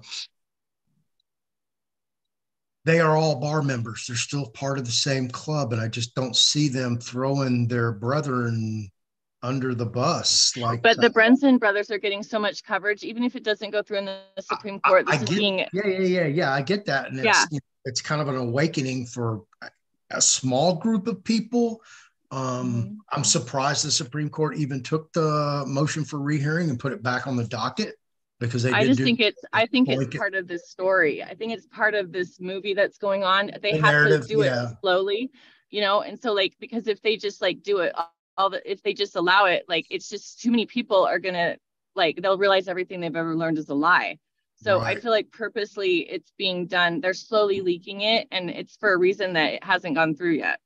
Right. Well, I don't know if y'all watched my, um, you know, I don't mean to get off topic. The video I did a couple days ago on the DoD Directive Department of Defense for the No, I transition. haven't seen them of- yet. oh, yeah. Hang on. Let me uh, let me pop that up for you guys real quick, just so you can take a quick peek at it. Uh, And while you're doing that, Floyd, I just wanted to mention if if I didn't know, I did not know you can just go and anytime you've been pulled over, you can just go onto the county website and request a police report and the body cam footage. We should all be doing that and posting these live and and showing this corruption that's happening. These officers that that are acting outside of their duties But- and outside. Yeah, if you can get the body cam footage, that's the most powerful because in mine, they lied in the supplemental police report saying I punched the police officer. I never punched the police officer.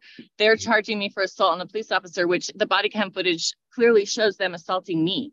Mhm. So they, they're, They love that's to another that. thing. It's just so crazy.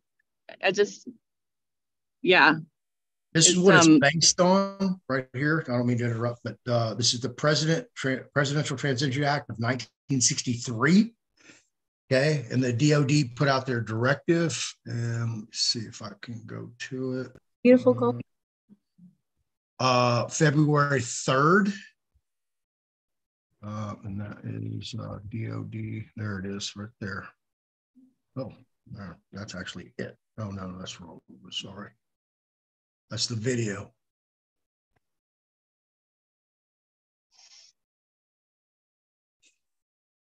maybe you can Yeah. drop that link in the comments or something of that, you know, so we can, um, pull, so right we here. can pull that up and watch it. Yeah, planning for presidential transitions and and the transition of political appointees and other officials. And you can see right there, stated February 3rd. Wow. Yeah, February 3rd of 2022. 2023, I mean, sorry, 2023. Oh, cool. 11 So days ago. what, what, sorry, what exactly does that mean? Um, it means that they have the planning Mhm. protocol in place for presidential transitions and the transition of political appointees and other officials and other officials. Uh, they give you a description in here are pretty much your career administrative employees uh, and Mhm. others who uh, are assimilated in as contractees through like Defense Department and stuff like that, um, mil- uh, military contractors. But yeah, it breaks it all down who all these different entities are. But I found it interesting. Uh, I've, you know, because it's all based on that, uh, um, the uh, the Act of 1963, that Presidential Transitions Act. Where's it at? Uh, and this uh, executive order. Let's see, the Presidential Transitions Act, which I found odd because this is obviously when Kennedy was assassinated and they created Wow. this LBJ. Yeah, yeah. So when you see those dates, man, you got to like put two and two together, figure out what that's all about. For sure. Yeah, yeah, yeah. So I didn't want to get off topic with that, but uh, Kayla, please continue. So, uh, yeah, uh, I'll put that in the link too. Okay, so I guess when we got to uh, Arkansas, the Washington County uh, Detention Center, um, Sabrina, I'd already spent 103 days in jail, and it was super hard in solitary confinement. And I wanted to get out to get my, baby. So that was my motivation. They just terminated the rights. You know, I was, anyways. So she said, like, if you you know, if you comply with me, I will give them a good report for you, right? And so she lied to me because I, I went in there and um, I was held for like two days uh, to be booked in. And she gave them a bad report because she told the judge that I told her that we were going to go kidnap our babies. and put that in an affidavit i'm thinking i don't know i have i forget if it's an affidavit or if it's not really if it's a fake but she put it in a statement and sent it to the judge Did did she use the word kidnap? yes Why would she? Why would a mother But- say, "I'm going to go kidnap my own babies"? right yes exactly. I mean- why would i say that? Why would i say that to anybody? If, Like, if, none if i had a plan to go get my babies i'm certainly not going to kidnap them. I'm going to go get them by right. They are my But- right.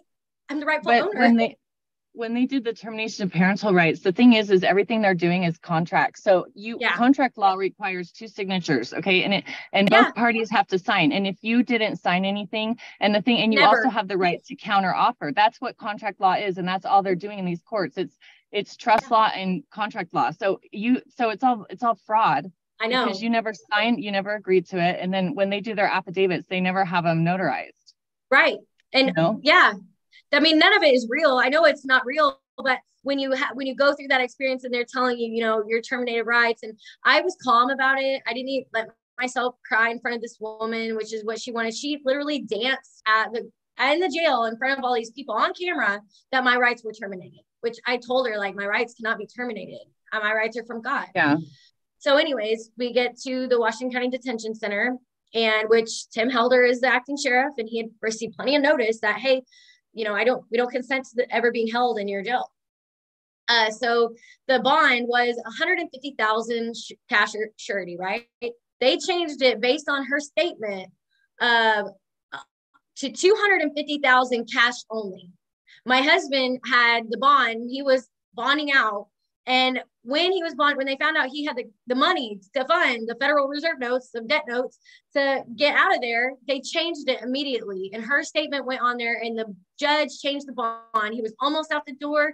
They locked him back up. He had the paperwork done and everything. The bondsman was like, I didn't think they could do that. I didn't think that they could do that. I've never seen that before. So, um, yeah, so we were put into Washington County, or yeah, Washington County Detention Center. I was held there for three months. They did all their video court. It was all video court. They were muting me out at five months in, in jail total, like two months in Washington County. I had these people on the outside. They were saying my friends. They were my friends, right? And they knew I did not. I'd already done my UCCs. I'd done all my paperwork. Everything I'm supposed to do, I'd done it. And I, I didn't want to contract with an attorney. Well, they were like, the only way you're going to get out of here is if you have an attorney. You, they said, if you don't contract with an attorney, you may never see your children again.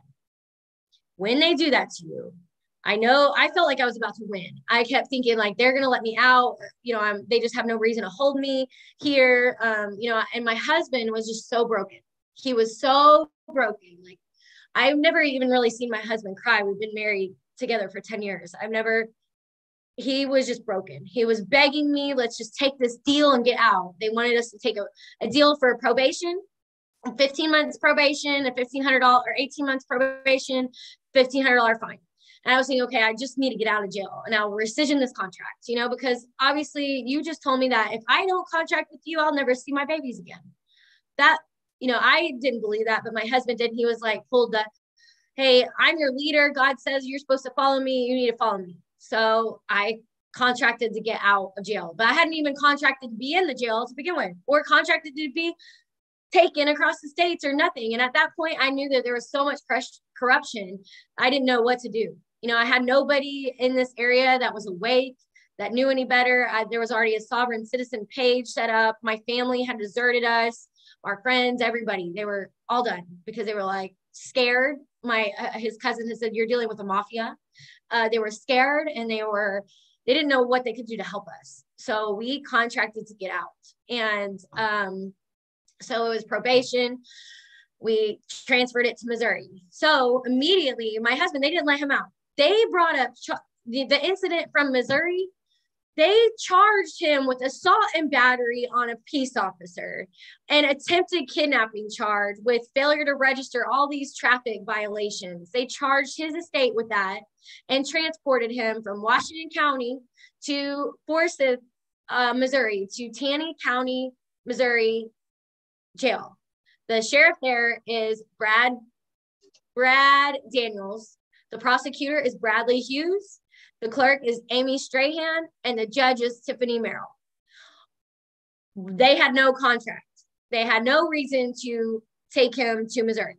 So they keep him there for three months and uh, release him on an ankle monitor after that, right? Well, they charged my estate too. They charged my estate with attempted kidnapping. They said when they took his phone illegally and unlawfully, they searched it, and there was a text message from me to him saying that I wanted to go get my babies by this date. It doesn't say I'm going to go and hurt people and, you know, like go kidnap. And the Supreme Court has made a ruling you cannot kidnap your own children. You you can't. You know, I I cannot do that. So, anyways, they charged the estate with attempted kidnapping as a misdemeanor for my estate, and they issued a warrant. A warrant. Well, we had a report to probation officers, and at that point, all my documents, everything I'd worked so hard for, all that evidence was gone. I didn't have, I got out with a nightgown and my wedding ring. That's all I had. And I had my brain. And so at this time, I was like, okay, look, I'm just gonna have to play along until I get my lap, a laptop, my office set up again. You know what I mean? And then I'll do my papers. And so I I the when I was talking to the probation officer, I told her the whole story. And she's like, Are you a sovereign citizen? I was like, I I believe in the law. I believe in the written law and I believe in God's law. And I God's law is written on my heart by the living God. And there are certain laws that you as oath takers are supposed to uphold. And I don't have a contract with you. I don't think that I'm a sovereign citizen. It's an oxymoron, unless you can definitely give me a definition of that word and it pertains to me in any way. Um, but anyways, so I had to like report and do these things, even though I, I laid it out on the table to um, the probation officer that, you know, I, what had happened to me and I only did this to get out. I'm not that name. Um, so, you know, this is all under duress. I said, this is all under duress because I feel like my life is threatened. If I, I'm kept in a box or be let free and I'm trying, my goal is to reunite my family. I made it very clear that is to discharge these accounts and reunite my family. That was it. So she was like, Well, they're showing a warrant on their website for you. And if you go to those websites, there's an active disclaimer that says that these things could be false. Like you need to check with the clerk get, to get the records, right? So anyway, she was like, if you don't want to be transported, I suggest you just go to court. So I went to the courthouse and I had a special appearance.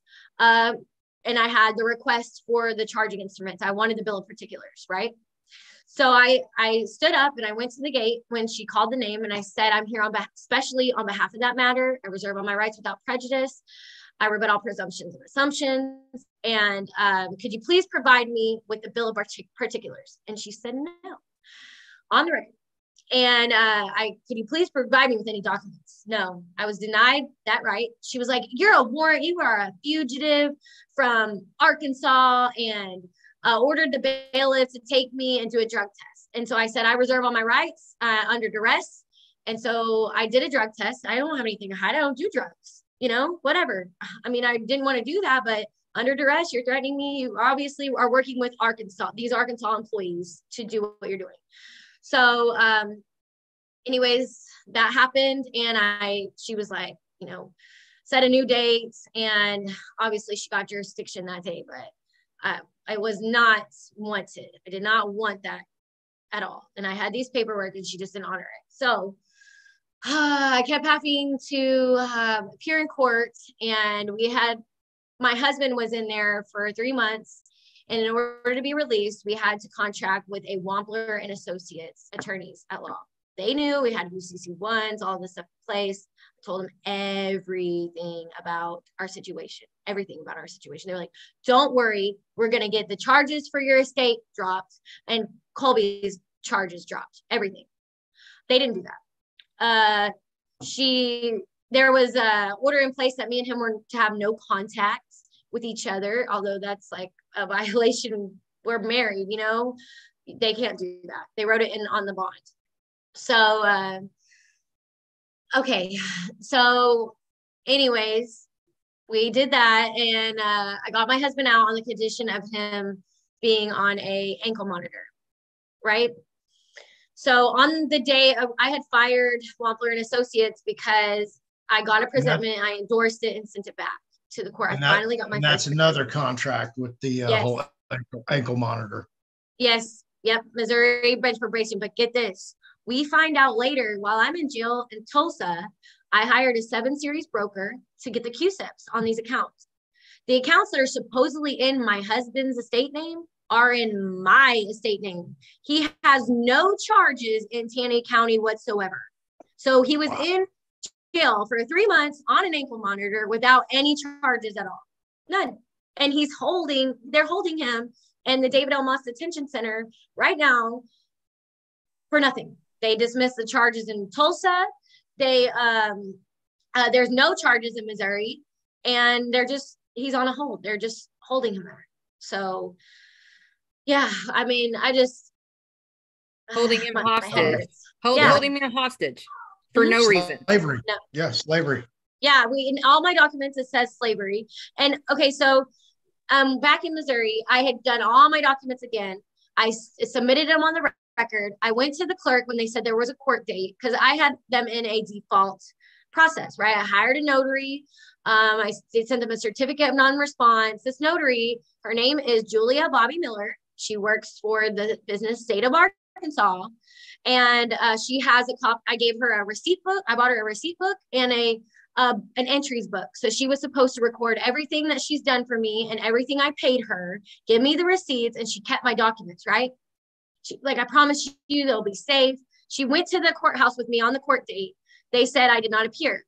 I was late. I was like three hours late to the court, you know, whatever. And so I went to the clerk. I deposited all my documents, my security agreement, the copyright. I mean, I did everything all over again. All of my documents I had all over again. I deposited them for the record. And um, I asked her for her 98, or I mean, her, e, her EIN. She refused. Uh, she pulled up on her screen. She was like, What's your husband's name? Because I said I wanted the document. She pulled up in front of Julia the screen and look, searched my my husband's estate name, and nothing popped up. There were no charges at that moment for his estate. Everything was in my name, even though I had never even had interaction with those officers on that date. So it's all it's all just bull, you know. So I was like, how me and her were like, how can you have a man on an ankle monitor and put him in jail for three months without any charges? She was like, uh, uh, um, I don't know. I can't tell you that. So we left there. I deposited all my documents. I didn't get any records back. Um, I left there, and my husband went to, traveled to Ohio to work um, with uh, this people who are supposed to be our friends, right? They were definitely not our friends, but um, traveled to work with them. And I stayed in Missouri, and I was doing my documents. And I was sending out mail. I, again, I had them in a certificate of non-response, so I decided I want to go see my husband. I went up to, um, I took a bus up to Ohio to meet my husband, and then we he wanted to leave Ohio and come back. And he had a court date, uh, their court date. You know, I had been holding court again by paper. I revocated everything, and um, with Missouri, and he was supposed to be there on August 4th. The day we're arrested at that hotel, he is supposed to be at that court. But we had found out that there was no charges and there was no reason for him to have an ankle monitor. There was no reason for him to even be at the court. So why would he go to court? They're not giving us paperwork and there's no charges, right? So we get to Tulsa. I we I flew. I went through the Department of Homeland Security and TSA checkpoint. There was no warrants. Otherwise, they would have picked me up from there because it would have been in their system. And I had an affirmation of identity and my Bible. And that's what I used to travel. I boarded an airplane. We traveled from Ohio. Our flight was to Dallas. So they let they let you through Homeland Security with um a Bible and um they didn't require any ID besides the that.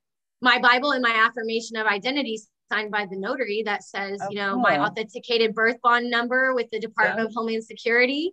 I have that in there. The fact that we're foreign nationals, um, just like Can you share that document? Are you I willing can. to share that? yeah, you'll see it in the body cam footage if you were to watch the YouTube channels. They're like affirmation of identity. Where do they get this stuff? How do they get a notary to sign this? I mean, they're making fun of it, and I'm like, Yeah. are you serious? Uh, you know, they just don't know, and I bless their heart. Right. Bless their heart. Bless Okay. them. You know. Well, well, yeah, we, we have to, we, you know, as sad as it is, we have to pray for those people. I do. Every night I pray for them. yeah, to get that evil out of that heart, their ignorance out of their Yes. spirit, because that's what it is. Uh, you know, and they just don't don't know any other way, and it's so sad. People live so life sad. like that. Yeah, They're missing out. Program. Yeah. Oh, absolutely. Well, they're corrupting life. It's not that they're missing out; they're corrupting everybody else's life. You know, Yeah. we're just trying to live free. Leave us the hell alone. Mhm. We know what the hell to do. We Yeah. know when we go when we travel in a car that we probably should uh, have airbags since they're available, a horn, headlights. you know, the basic fundamental stuff of survival out on the road. Exactly. Exactly. Yeah. So um we traveled to Oklahoma and my the whole reason I traveled to Oklahoma, right, was because Oklahoma has a big IRS building. Tulsa has an IRS building and it's an FBI building. And I wanted to settle the accounts. I had Mm. gotten the executor EIN, I had done the executor notice, I had sent it to all the heads of the state. Um, and we had made our trust again, like everything was back in place, right? So, and I had the authenticated birth certificates again, all of them, and they had given my babies birth certificates and social security cards um, when they took them. So, um, yeah, um, you'll see on August 4th, we were arrested. They said there was a warrant. There was never any warrant. Yeah, he still has the ankle bracelet on, even though we found out there was no reason for him to because we weren't trying to destroy anybody's property. We wanted it off peacefully. You know, my whole goal was to go to the IRS building, do the 1099As, whatever, whatever documents I needed. They have a advocate there to help you walk you through whatever you might need. I just wanted to settle the accounts. Okay, so that was my intent. We were literally off the plane 10 to 12 hours before they busted in the hotel room and said there was warrants. And I I just asked questions and he literally says he's charging this date for obstructing an officer for asking questions. so yeah, that that's the gist of everything that we've Okay, been now, through in the now, past two now, years. which, which officer was that? Because two officers entered the room. One came in with a shield and then the other Yeah. one came in beside him. So was it the one on beside him? Um, well, the one that was in charge of it, his he goes by Loving, and the Uh-huh. other one that was like his second in command was Franks. Um, there was five guys. I've got Shock, Ward, uh, Shock, Ward, Maury, Loving, and Franks, and I have all five of their body cams. And I haven't went through the other threes yet. I just went through Okay. the first two.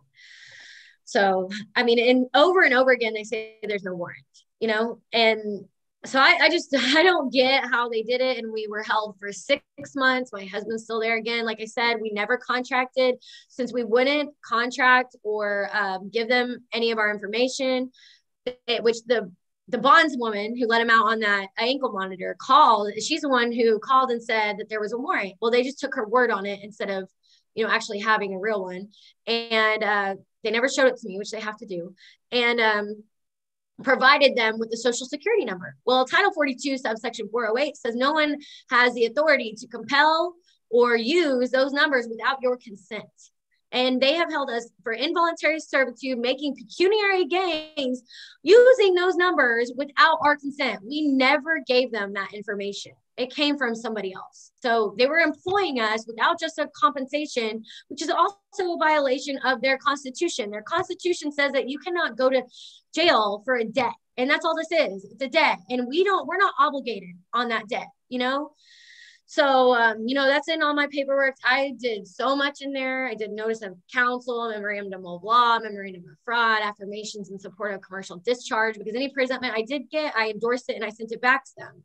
Um, you know, and I deposited a Bible, a whole Bible. I said, This is my trust, this is my security instrument, and this is my bond. And they didn't care. I had mailed it to them. I and um so, I mean, the whole time I stood on my square and I said, because I was not backing down this time. You've already taken everything from me, You've taken two years. No one is going to get me to that because the public defender came and brought me pictures of my children, my, my babies, and they were like, "We know all about your past. You were, you did this, you did this, you did this, you did some college, and uh, we know more importantly, you're a mother." And sat down pictures of my children, and I was like, "What?" So they're trying to coerce me already to contract and they're using, I said, Are you not an employee for Tulsa County? And I said, Is a prosecutor an employee for Tulsa County? And he's like, Yeah. And I was like, Is the judge not a pro- uh, employee for Tulsa County? I said, Do I got a contract with you? Because I don't want one. And y'all, that creates a monopoly against me. I don't have, I, you know, y'all, you all have bar cards. I don't have one. I try, I cited Title 15 USC subsection two, the monopolizing of trade.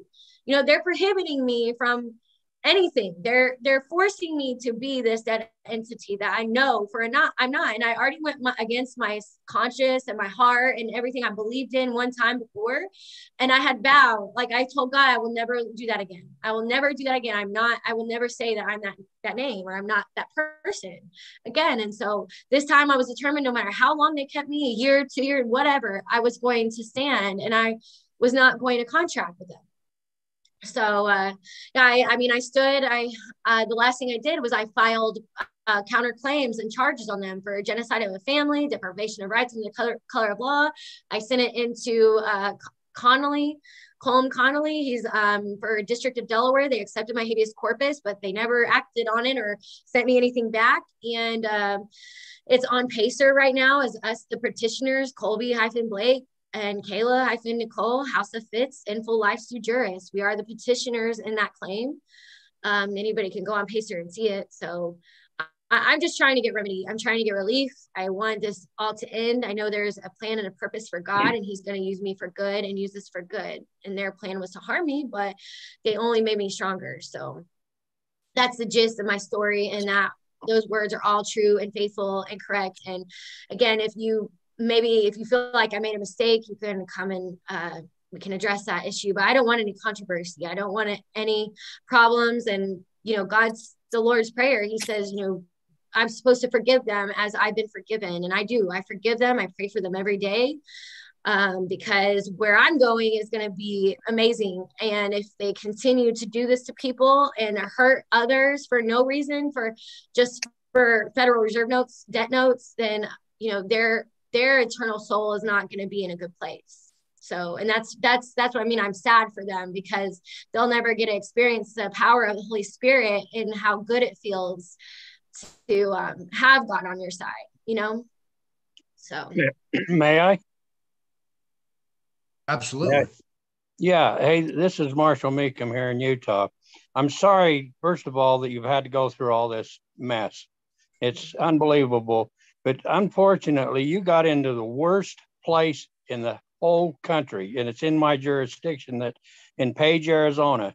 You're talking about a place that used to have a group called RUSA, and the cops got so involved against those people because of the, the you know, the sovereign citizen or whatever you want to call it, uh, mm-hmm. American state nationals or whatever. They had a group there, and the police there was actually went to war against those people. And uh, and you can look this up. When I give you a name, you can look it up. You can Google it, and you can get your own story. His name is Bill Faust. He was kind of their their coordinator or their leader. F O U S C. Yeah, B B uh, F A L S T, Faust. Okay.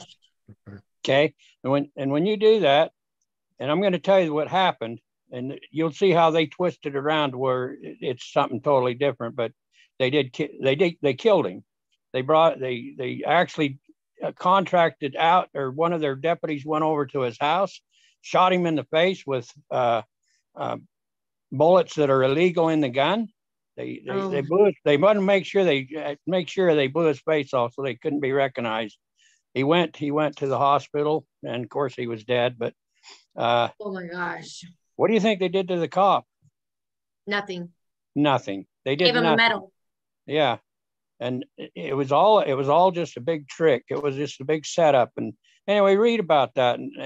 Okay, I, thank we've you. Got, we've got a judge down there now that uh, he watches all this stuff. For is is that from the book about the horse? Um, the gosh, I don't know. There's a guy that wrote a book, and then they did that to him. I can't.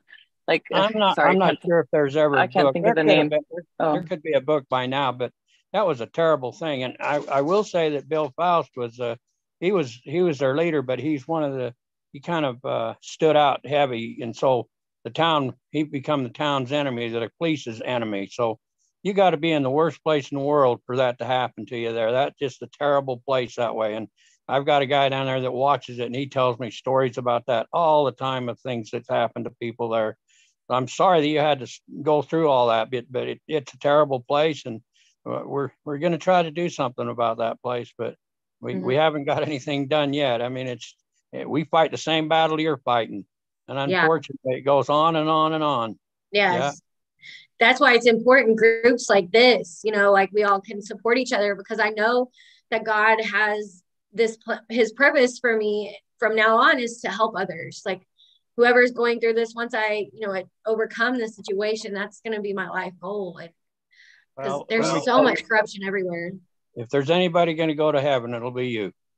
I have a question for you guys. Has anybody ever much. seen has anybody ever seen a lawful warrant that has the imprinted seal, the wet signature, and um, accompanied by like an affidavit? Have, have, Repeat that. has, have we ever seen that? Because that's how the warrants are supposed to be. That's a lawful warrant. Yep. Have, Verified have you guys ever seen a affidavit, legit warrant? And it's a signature. I've, I've actually seen my judgment and sentence that's wet ink signed by my judge in blue ink. Wow. It's in the archives. Yeah. Yeah. He signed in blue ink, not black. But when you Wow. get He Your knows. copy, it's black. Yep. I mean, Yeah. I think we need to do something where we set up something to educate these these guys, these um actors on the truth. Well, and that's another reason I put those videos on there. Uh, it wasn't uh, in any malicious intent. My intent for putting up those videos is to one, have those officers educated. They need to be educated on those things. You know, those documents, those are securities with the Security and Exchange Commission. Those are big penalties that they're facing for what they did. You know, and like just labeling people sovereign citizens, just saying there's a warrant. I mean, they really, really need to be held, you know, held accountable and they need to be trained better obviously Yeah. they didn't were not trained well at all and you know and it's for us it's for men like us if, if you you guys feel like maybe i did something that i shouldn't have done or you know like it's like educational for our experiences you know what i mean You've done you've done everything right. I mean, you're like the only I I can't believe what you've done. Uh, There's nothing you've done wrong. It's it's just yeah, because we're we're up against the enemy, you know.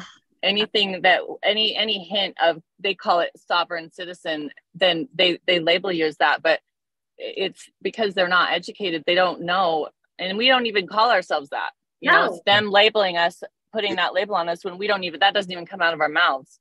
Title 8, subsection 1001 is an Immigration and Nationality Act. It's there. I even put it as an exhibit on the record. Anybody can, it's it's there. You know what I mean? Uh, it's lawful. It's I just Yeah, I I can't mean, believe they just don't want to read. you know? all, all the thing is that they need to learn that all crimes are commercial. There's no way that we can. there- 72 We're not. We're not commercial.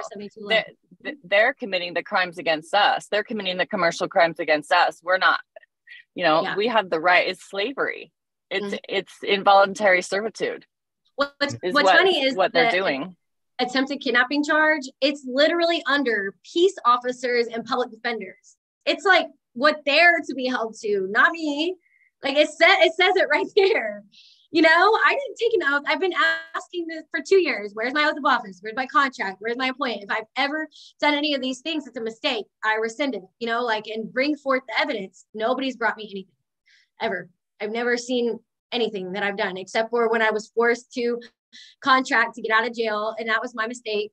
But literally when you're in there for six months time and just you've done everything prior to not go to jail and to secure your rights and then they put you in there and then they're muting you out and you just they left me with no other option. You know i mean that was my only option was to act in their play. And i had even put that in my paper i don't want to act in your play. I'm not i'm not a fictitious entity you know? So the only way yeah i mean like with all the girls when i was in jail recently they all told the story. They, they- first of all they don't have any um they don't have any lawyers information in there on purpose because they want everybody to be to have a public defender. And the only way you get out is if you have to take a plea even if you're innocent. Yes yes that's right. You know? Mhm. and it's They all for them and it's so they make money off those pleas. Yeah. All there's a, conflict a of girl in there right now she was held in solitary servitude or i mean in solitary confinement for, for, a whole year because she shot a man who came into her home and was trying to steal something from her. And she was kept in there for a year. And then they came at her. She was taking it to jury trial. She was like there's no way they're going to convict me of this because they charged her with like um, a very violent like murder charge. And uh, then they they said if you plead we'll get you out this kids Oh. is the title to my Lexus, and as you can see, it has a gold border, oh and you see it is exempt, and uh, it is in my trust name. awesome Uh, and you see it's free and clear. that's amazing that is really And amazing I'm giving this away with the car to anybody who can go to my certified official clerk's record and reporter's record and use the Texas Penal Code uh, at the time of July 10th, nine, or 2021, or I'm sorry, 2001, and prove beyond a reasonable doubt that I committed a third degree felony under Texas law at that time. I will give you my car if you can prove it. There you go. Alexis, Alexis with a clean title that's already gold. that's amazing Yeah, that's my challenge to everybody. Um, I put my money where my mouth is because I am actually innocent. Uh, was I drinking and driving? Yeah. Um, did prison do me good? Absolutely. It turned my life completely around, made me a different person. And praise all for that. Uh, Right. And here I am today. And this is the result of that. So, for all that time I did, 14 years and two months flat, do not for one scintilla of a moment feel sorry for me because I used it to educate myself. And I took it as an opportunity. Uh, I could either go to college and probably have a PhD by now, or I could litigate and try to get myself out. And that's what I did. And I exhausted every avenue, you know, just like Kayla has anything and everything. I was throwing stuff at them they've never seen before. And that to this day, they still cannot, pursuant to their own laws, prove that I'm incorrect or wrong uh, because I'm correct. And the reason they can't do this is because every DW, felony DWI conviction uh, that I've read since 19 September 1st, 1994 to August 31st, uh, 2005, um, are not written correctly in the charge, which is the complaint, the indictment, nor charged to the jury. They're all written as misdemeanors with habitual misdemeanor enhancements under 12 Texas Code of Criminal Procedure 1242B or 1243B or uh, habitual felony offenses enhancements under 1242D. So that's what's going on with that. And I'm sorry to dive into that, but I just want to allow the audience here to show that, you know, when we make these claims, and I make all mine under oath as well, uh, we will back them up. Okay. Because what we're saying is 100% true. So, all you out there who are on the other side of the fence, those ignorant, um, poorly trained officers who are trained to be policy enforcers for the municipal charter, because that's exactly what you're doing for a for profit corporation. And if you don't believe us, go do your own research and look it up on Dun and Bradstreet because it's there. Uh, um, you know, everything we're telling you is absolute truth. So that's why I decided to do that and put that up is, hey, you know, here's a car, you can Google it. It's worth 10 grand all day long, all day long. And I'm putting it up. So Mark A. Stroud, my original uh, trial prosecutor, you're more than welcome to come back and retrial this case, and we can do a live YouTube like we are right now. Uh, Mark Kent Ellis, my uh, sentencing judge, you're more than welcome to come back.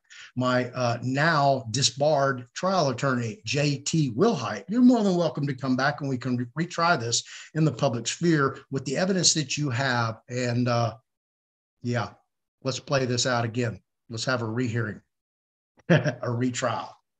Okay. So um, I'm sure Kayla would be more than happy to do the same thing. Now, I want to ask you this because, you know, I don't know what your husband does, but I'm going to presume that apparently whatever he did was very well paying uh, to support five children, yourself, to be able to travel, buy property. You said you had a multi thousand dollar tractor that you had to give up as well.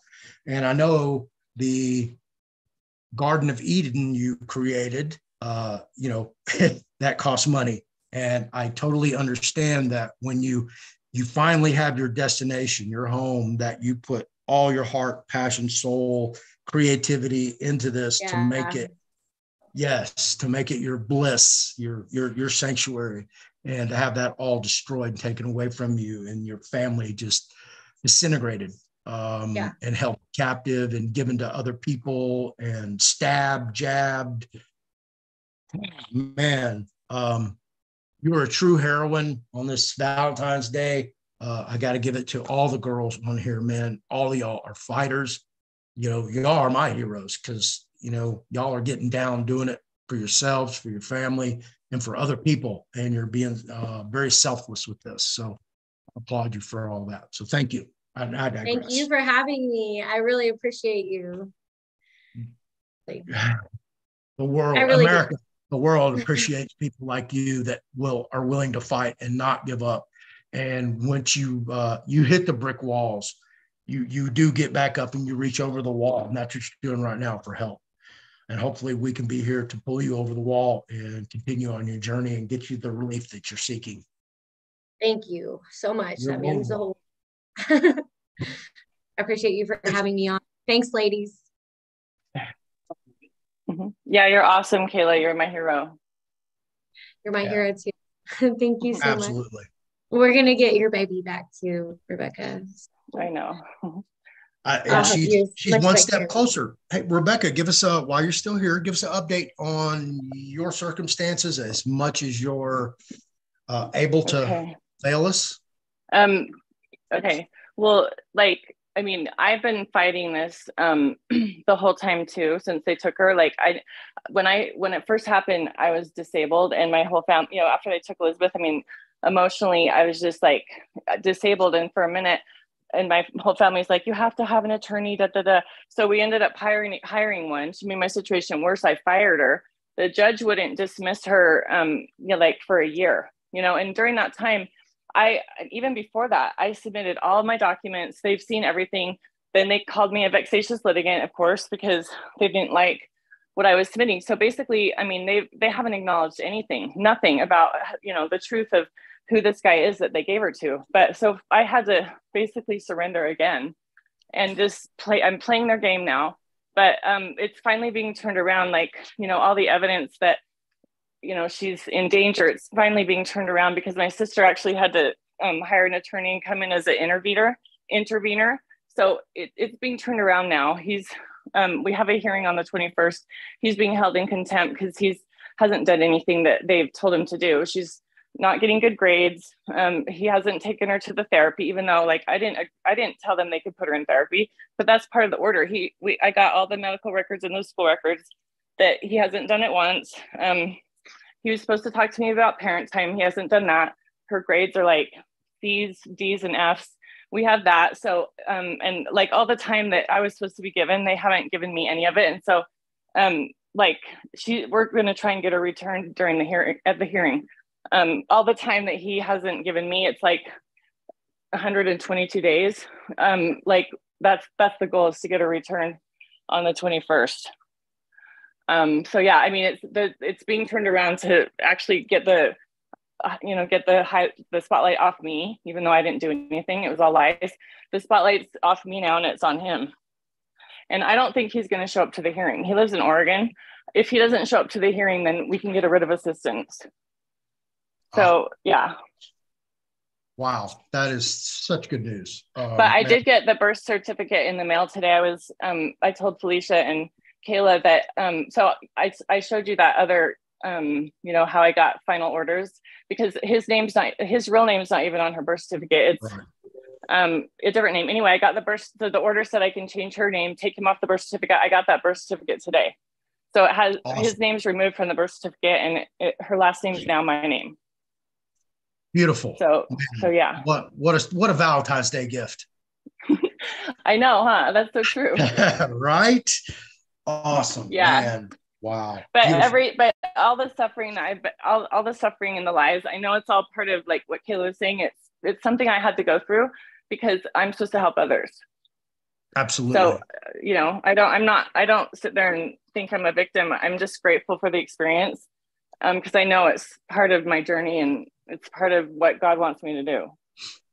Absolutely. Yeah. We're all here because, uh, you know, you ladies are the trailblazers for, I think, what could be a really big thing, just like bonds for the Oh, win yeah.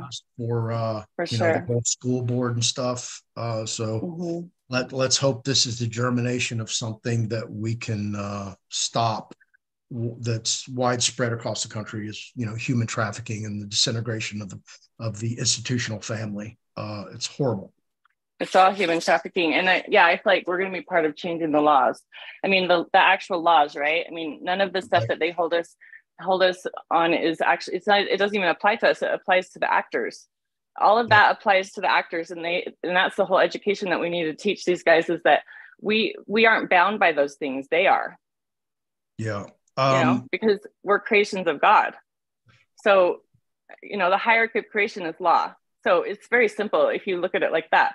We we were created by god. We created governments. We created corporations. And all these corporations are not tax exempt. So it's all taxable events. Everything that's going on is a taxable event.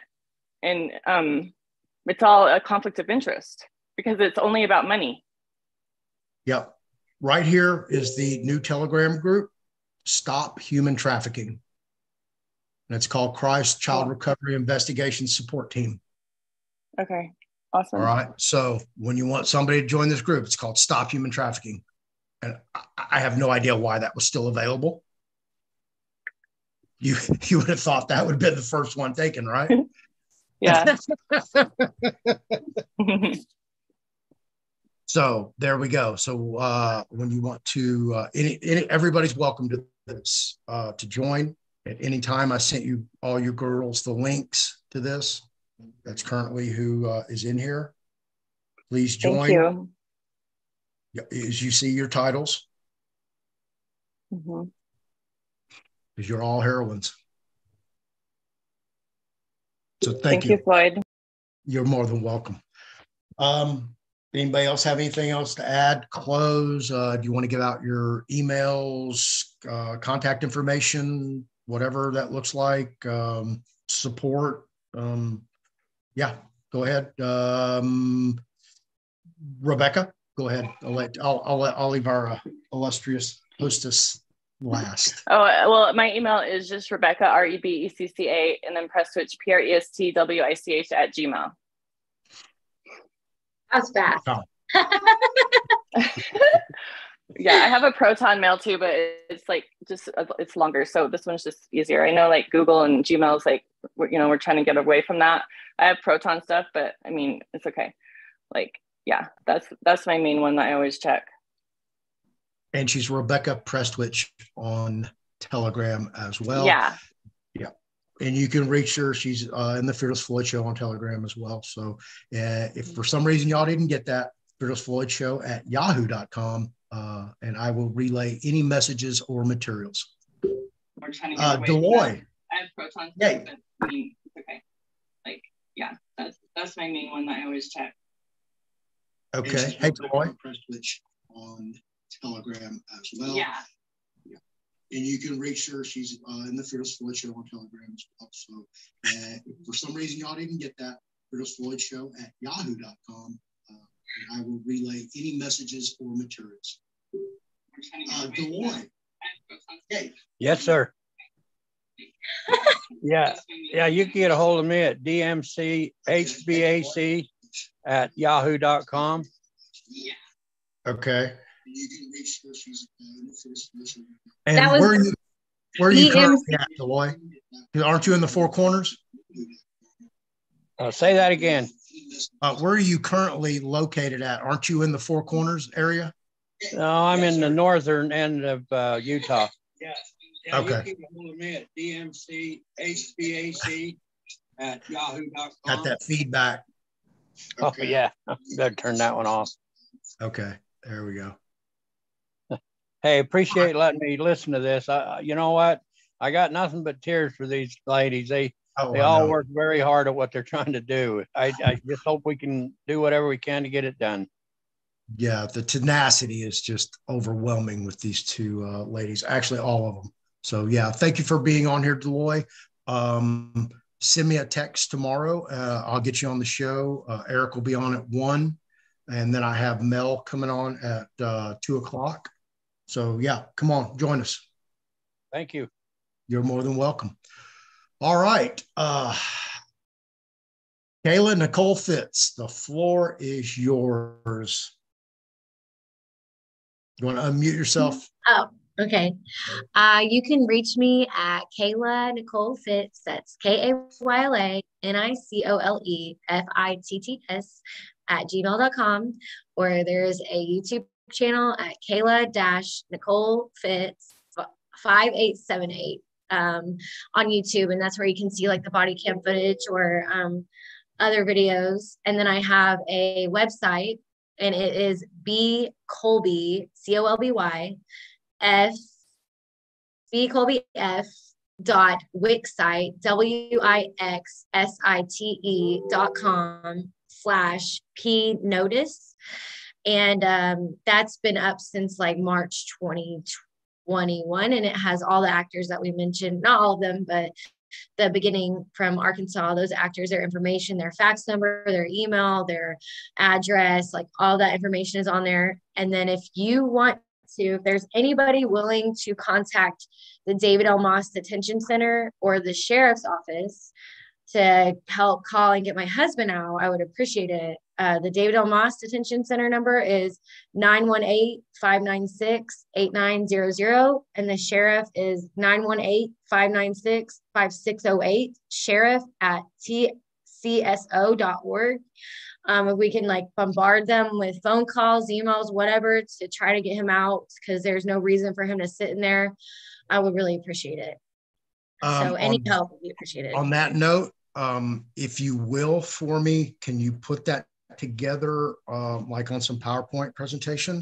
Uh, and if you have some type of like form letters that we can also email and mail or fax, Mhm.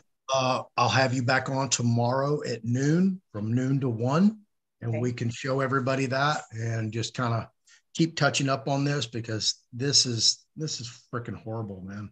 I mean, and is there any way we can send this video, Floyd, to like, um, you know, like send put it on their website or send it to the clerk or something like that, letting them know Uh, that you um, can you we're yeah you can send them the link. You can send them the link.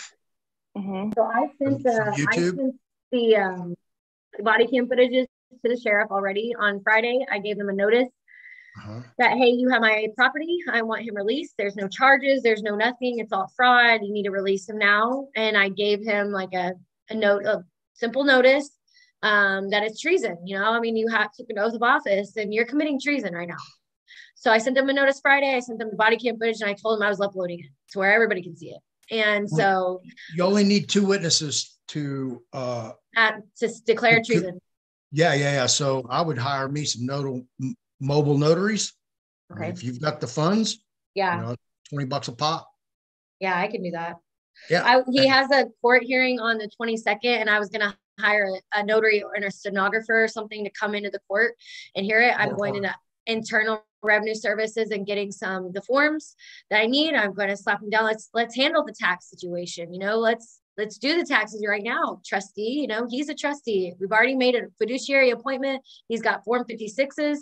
They're not honoring nothing. You know, so I, I got some ideas, but I mean, I can bounce them off of whoever will listen, not live, you know, because I don't want to Right. tip my hand. But I mean, Yeah, I get it. Yeah, yeah, Yeah. yeah. Strategy, strategy, strategy. Uh, okay. Um, now on your right here on your YouTube, and I left this up for a reason. Your about page. Mhm. Go in here and put your description in here, all your contact information. Tell a Oh, little okay. bit. Tell a little bit about your story. okay. Because uh, we're gonna I already see you've got you know more subscribers now than you did when I just clicked onto this. So thank you. Oh yeah, guys it just went from 78 to 79. yeah. okay. Okay, awesome. You Well, I think it was at awesome. 74 when So I first clicked on it. So yeah. Oh Um, wow. uh, Awesome. I appreciate y'all so much. I know if you watch the body cam footage, she's like her fan base. I never had anything uploaded before.